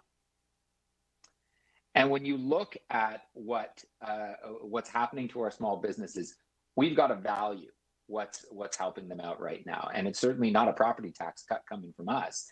So these delivery drivers have become more important to our local economy more than ever. I would say too a, a tool of this sort a permit of this sort would allow us to better enforce no parking where really no parking or no stopping should be happening because if someone with a permit like this was caught in a bike lane was caught in a no stopping area, was caught in a rush hour area, was caught in wherever, then we could start talking about revoking that permit. And I think it's important to acknowledge that there are some places that, that parking and deliveries should never be happening. And there are some that may just be no parking that it that that it might be very well and fine and safe to have deliveries happen of uh, of of this sort. It was also something that was identified in the curb uh, uh, the curb management strategy, and so my motion was was actually expressed some hesitation in the deadline I had for implementing it, and so suggested the fourth quarter of 2021. So I changed it in response to uh, to staff's um, to to staff's nervousness about moving that quickly or or or demanding a report sooner. Um, so I'd uh, I'd hope that this has your support. It's certainly something staff was looking at. Anyhow, I would just like to set some kind of timeline for achieving what uh, uh, what the intent of is of it is to achieve. Thank you. Thank you, Councillor Layton. Any additional speakers on this item?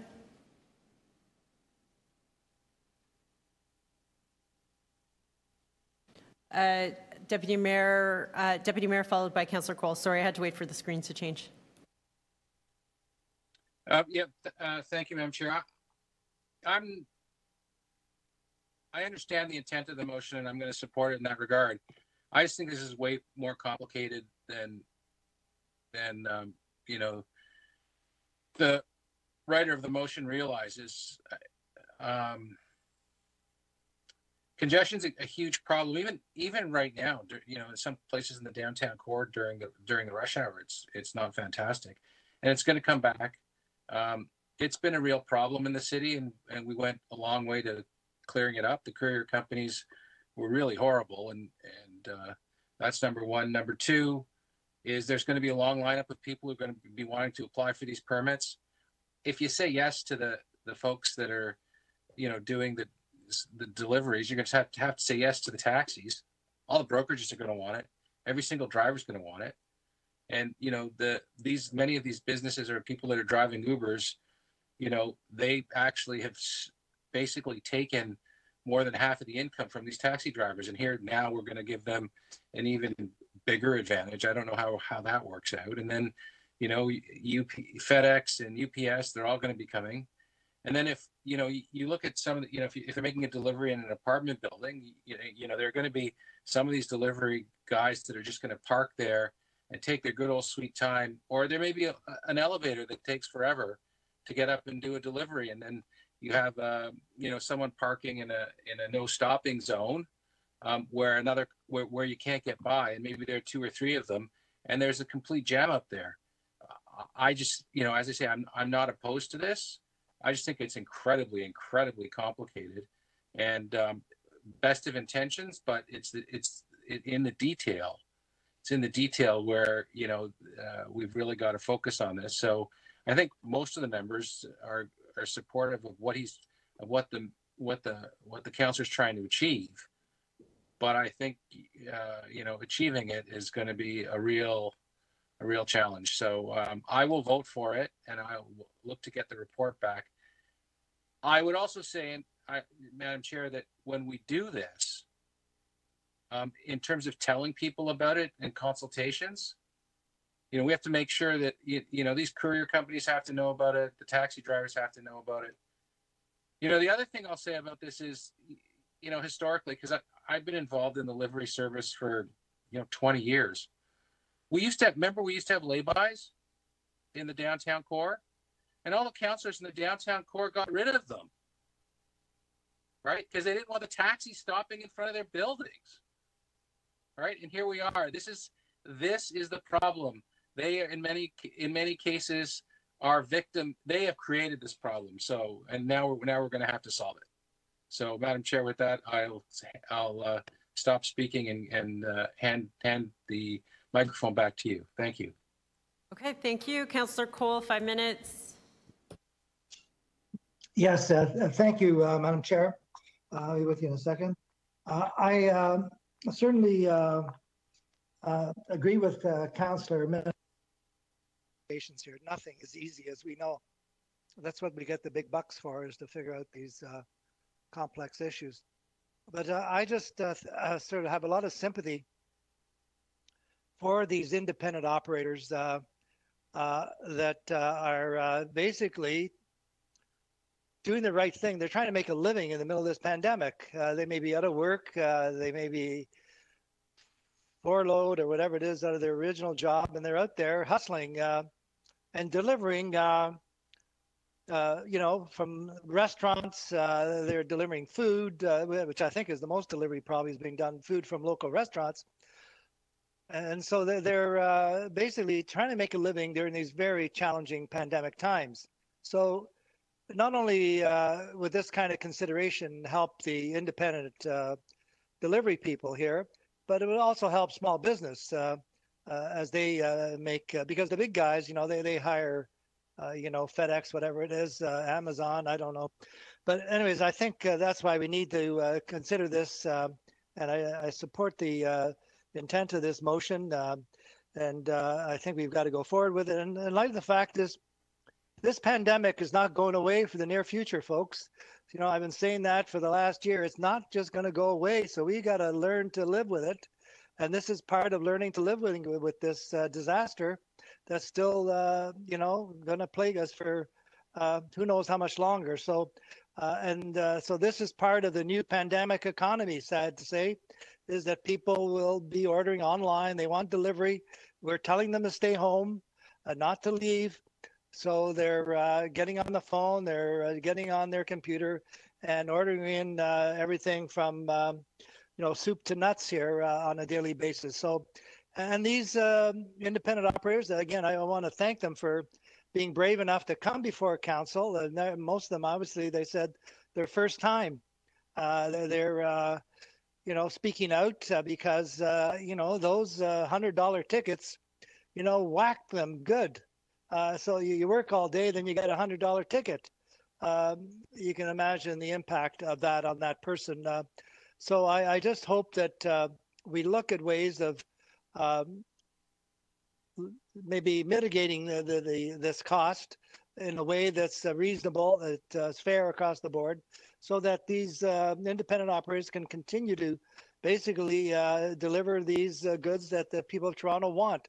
Especially in light of the fact is now uh, traffic is really dropped off significantly. I don't know, we haven't got the facts yet, but just by being on the streets every day, I'll tell you, I can go up Christie any day and hardly see a car going up Christie uh, anymore, where we used to see bumper to bumper all the time, for instance, and on St. Clair and on Eglinton, and on Lawrence.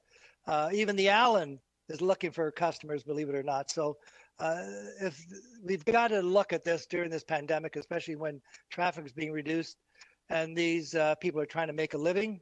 And uh, so let's uh, take a good look at this and see if we can come up with something to give them a helping hand uh, so they can continue to uh, work without being whacked with those $100 tickets. Thank you. Thank you, Councillor Colle. anyone else to speak? Just waiting for the screens to change. Okay, seeing none, I think we can uh, vote on the item. All those in favor? Okay, all those opposed? That item carries. That brings us to item 21.5, authority to negotiate and enter into regional waste management cooperation and contingency agreements. Are there any questions of staff? Okay. Seeing no questions of staff. Speakers, I know, um, Councillor Layton, you have a motion. Yeah, yes, thank you very much, uh, Madam Chair. The clerk could put it on the screen. Um, so the most motion is to the easiest way of doing it, and I'll explain in a second, was for me to at least it after some discussion with the chair and uh, and our GM of solid waste management, it seemed the easiest way to accomplish what I wanted to was doing the following. Um, it is to delete recommendation two and replace it with the same thing, but um, omitting the uh, the words energy from waste facility and adding a three as it pertains to uh, the energy waste facility or the possibility of contracting to an energy waste facility, but requesting um, a uh, a report back if we choose to go in the way of uh, energy from waste before authorizing staff just to enter into the contract and that that report back contained a couple of things and they're listed here. Um, so I am uncomfortable with us going down the road of energy from waste, in particular uncomfortable uh, with it because of our pending TransformTO uh, targets that will be coming. Um, I know that that's, uh, I contemplated just deleting energy from waste and leaving it at that. Um, but I know that probably many of you might want an opportunity to vote for something that says not ruling out energy from waste, but looking for a little bit more information about it before we go down that path. Um, so that's how I've chosen to to draw up the recommendation, um, which says if it's a traditional landfill, go ahead and do what you do um, in the normal circumstances for these sort of emergency uh, additional um, uh, uh, disposal opportunities. Uh, but if you're if the city's going to go down the energy from waste path for the first time in a long while, then I think it deserves a report back to council um, so that we know what the implications of that are uh, connected to the um, our, our TransformTO goal be coming later this year. So uh, yes, that's it. Okay, thank you, Councillor Layton. Anyone else to speak to the item? Uh, Deputy Mayor? I had questions of the mover. Okay, questions of the mover, go ahead. So I didn't have a chance to review your motion extensively. Is this so? What is the your intention in this motion with regard to energy to waste? So I was uncomfortable with giving staff the authority to enter into agreements with respect to energy from waste. So what my motion does is it says, here's the authority if you're going to do it the traditional way at the traditional landfill. But if you do choose you can negotiate the energy from waste before entering into a contract, bring, bring back the following information to city council. So you're It not doesn't- excluding consideration of it, just as long as it comes to council for a vote. If it's energy from waste. Okay. Fine. Thank you. Okay, thank you, Mr. Deputy Mayor. Any additional speakers on this item? Okay, briefly, I'll just say, um, you know, thank you, Councillor Layton, for, for working with uh, both myself and the, the general manager. Um, I, I think this is a good compromise. I understand um, your request to ask for more information, but it doesn't preclude that we go down that route in the event that we had an emergency and we had waste we had to uh, dispose of. Um, and, and this is, you know, about keeping all doors open. And I've said time and time again, in, when it comes to waste, there's no free lunch. Um, landfills cause groundwater contamination. Landfills still have methane. There's still, there's no free lunch. It's all just a matter of where the contaminants and where the waste go. Um, but that said, I, I am Yep. comfortable with, with, you know, a report back on, on where it's going, um, the company being used, the implications of that, and showing that it is uh, consistent with international best practice. So on, on those grounds, I, I am willing to support um, your amendment. Thank you for, the, for working with everybody um, to come up with what I think is an excellent um, uh, consensus and, and, com- and compromise for everybody. Okay, um, anybody else to speak to the item?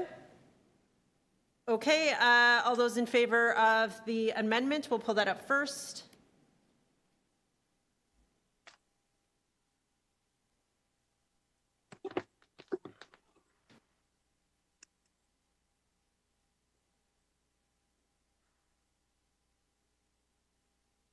Okay.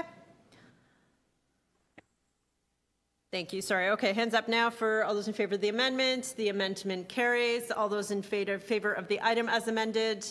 Hands up. The item carries. Uh, any? That's it. That's a wrap. No bills, no bylaws, no nothing. Okay. Thank you so much, everybody. Thank you to all the deputants that joined us today. Um, have a happy. I don't know what day it is. This pandemic. Pandemic. Pandemic Wednesday. Okay. Have a good Wednesday. Thank you. Thank you, Madam Chair.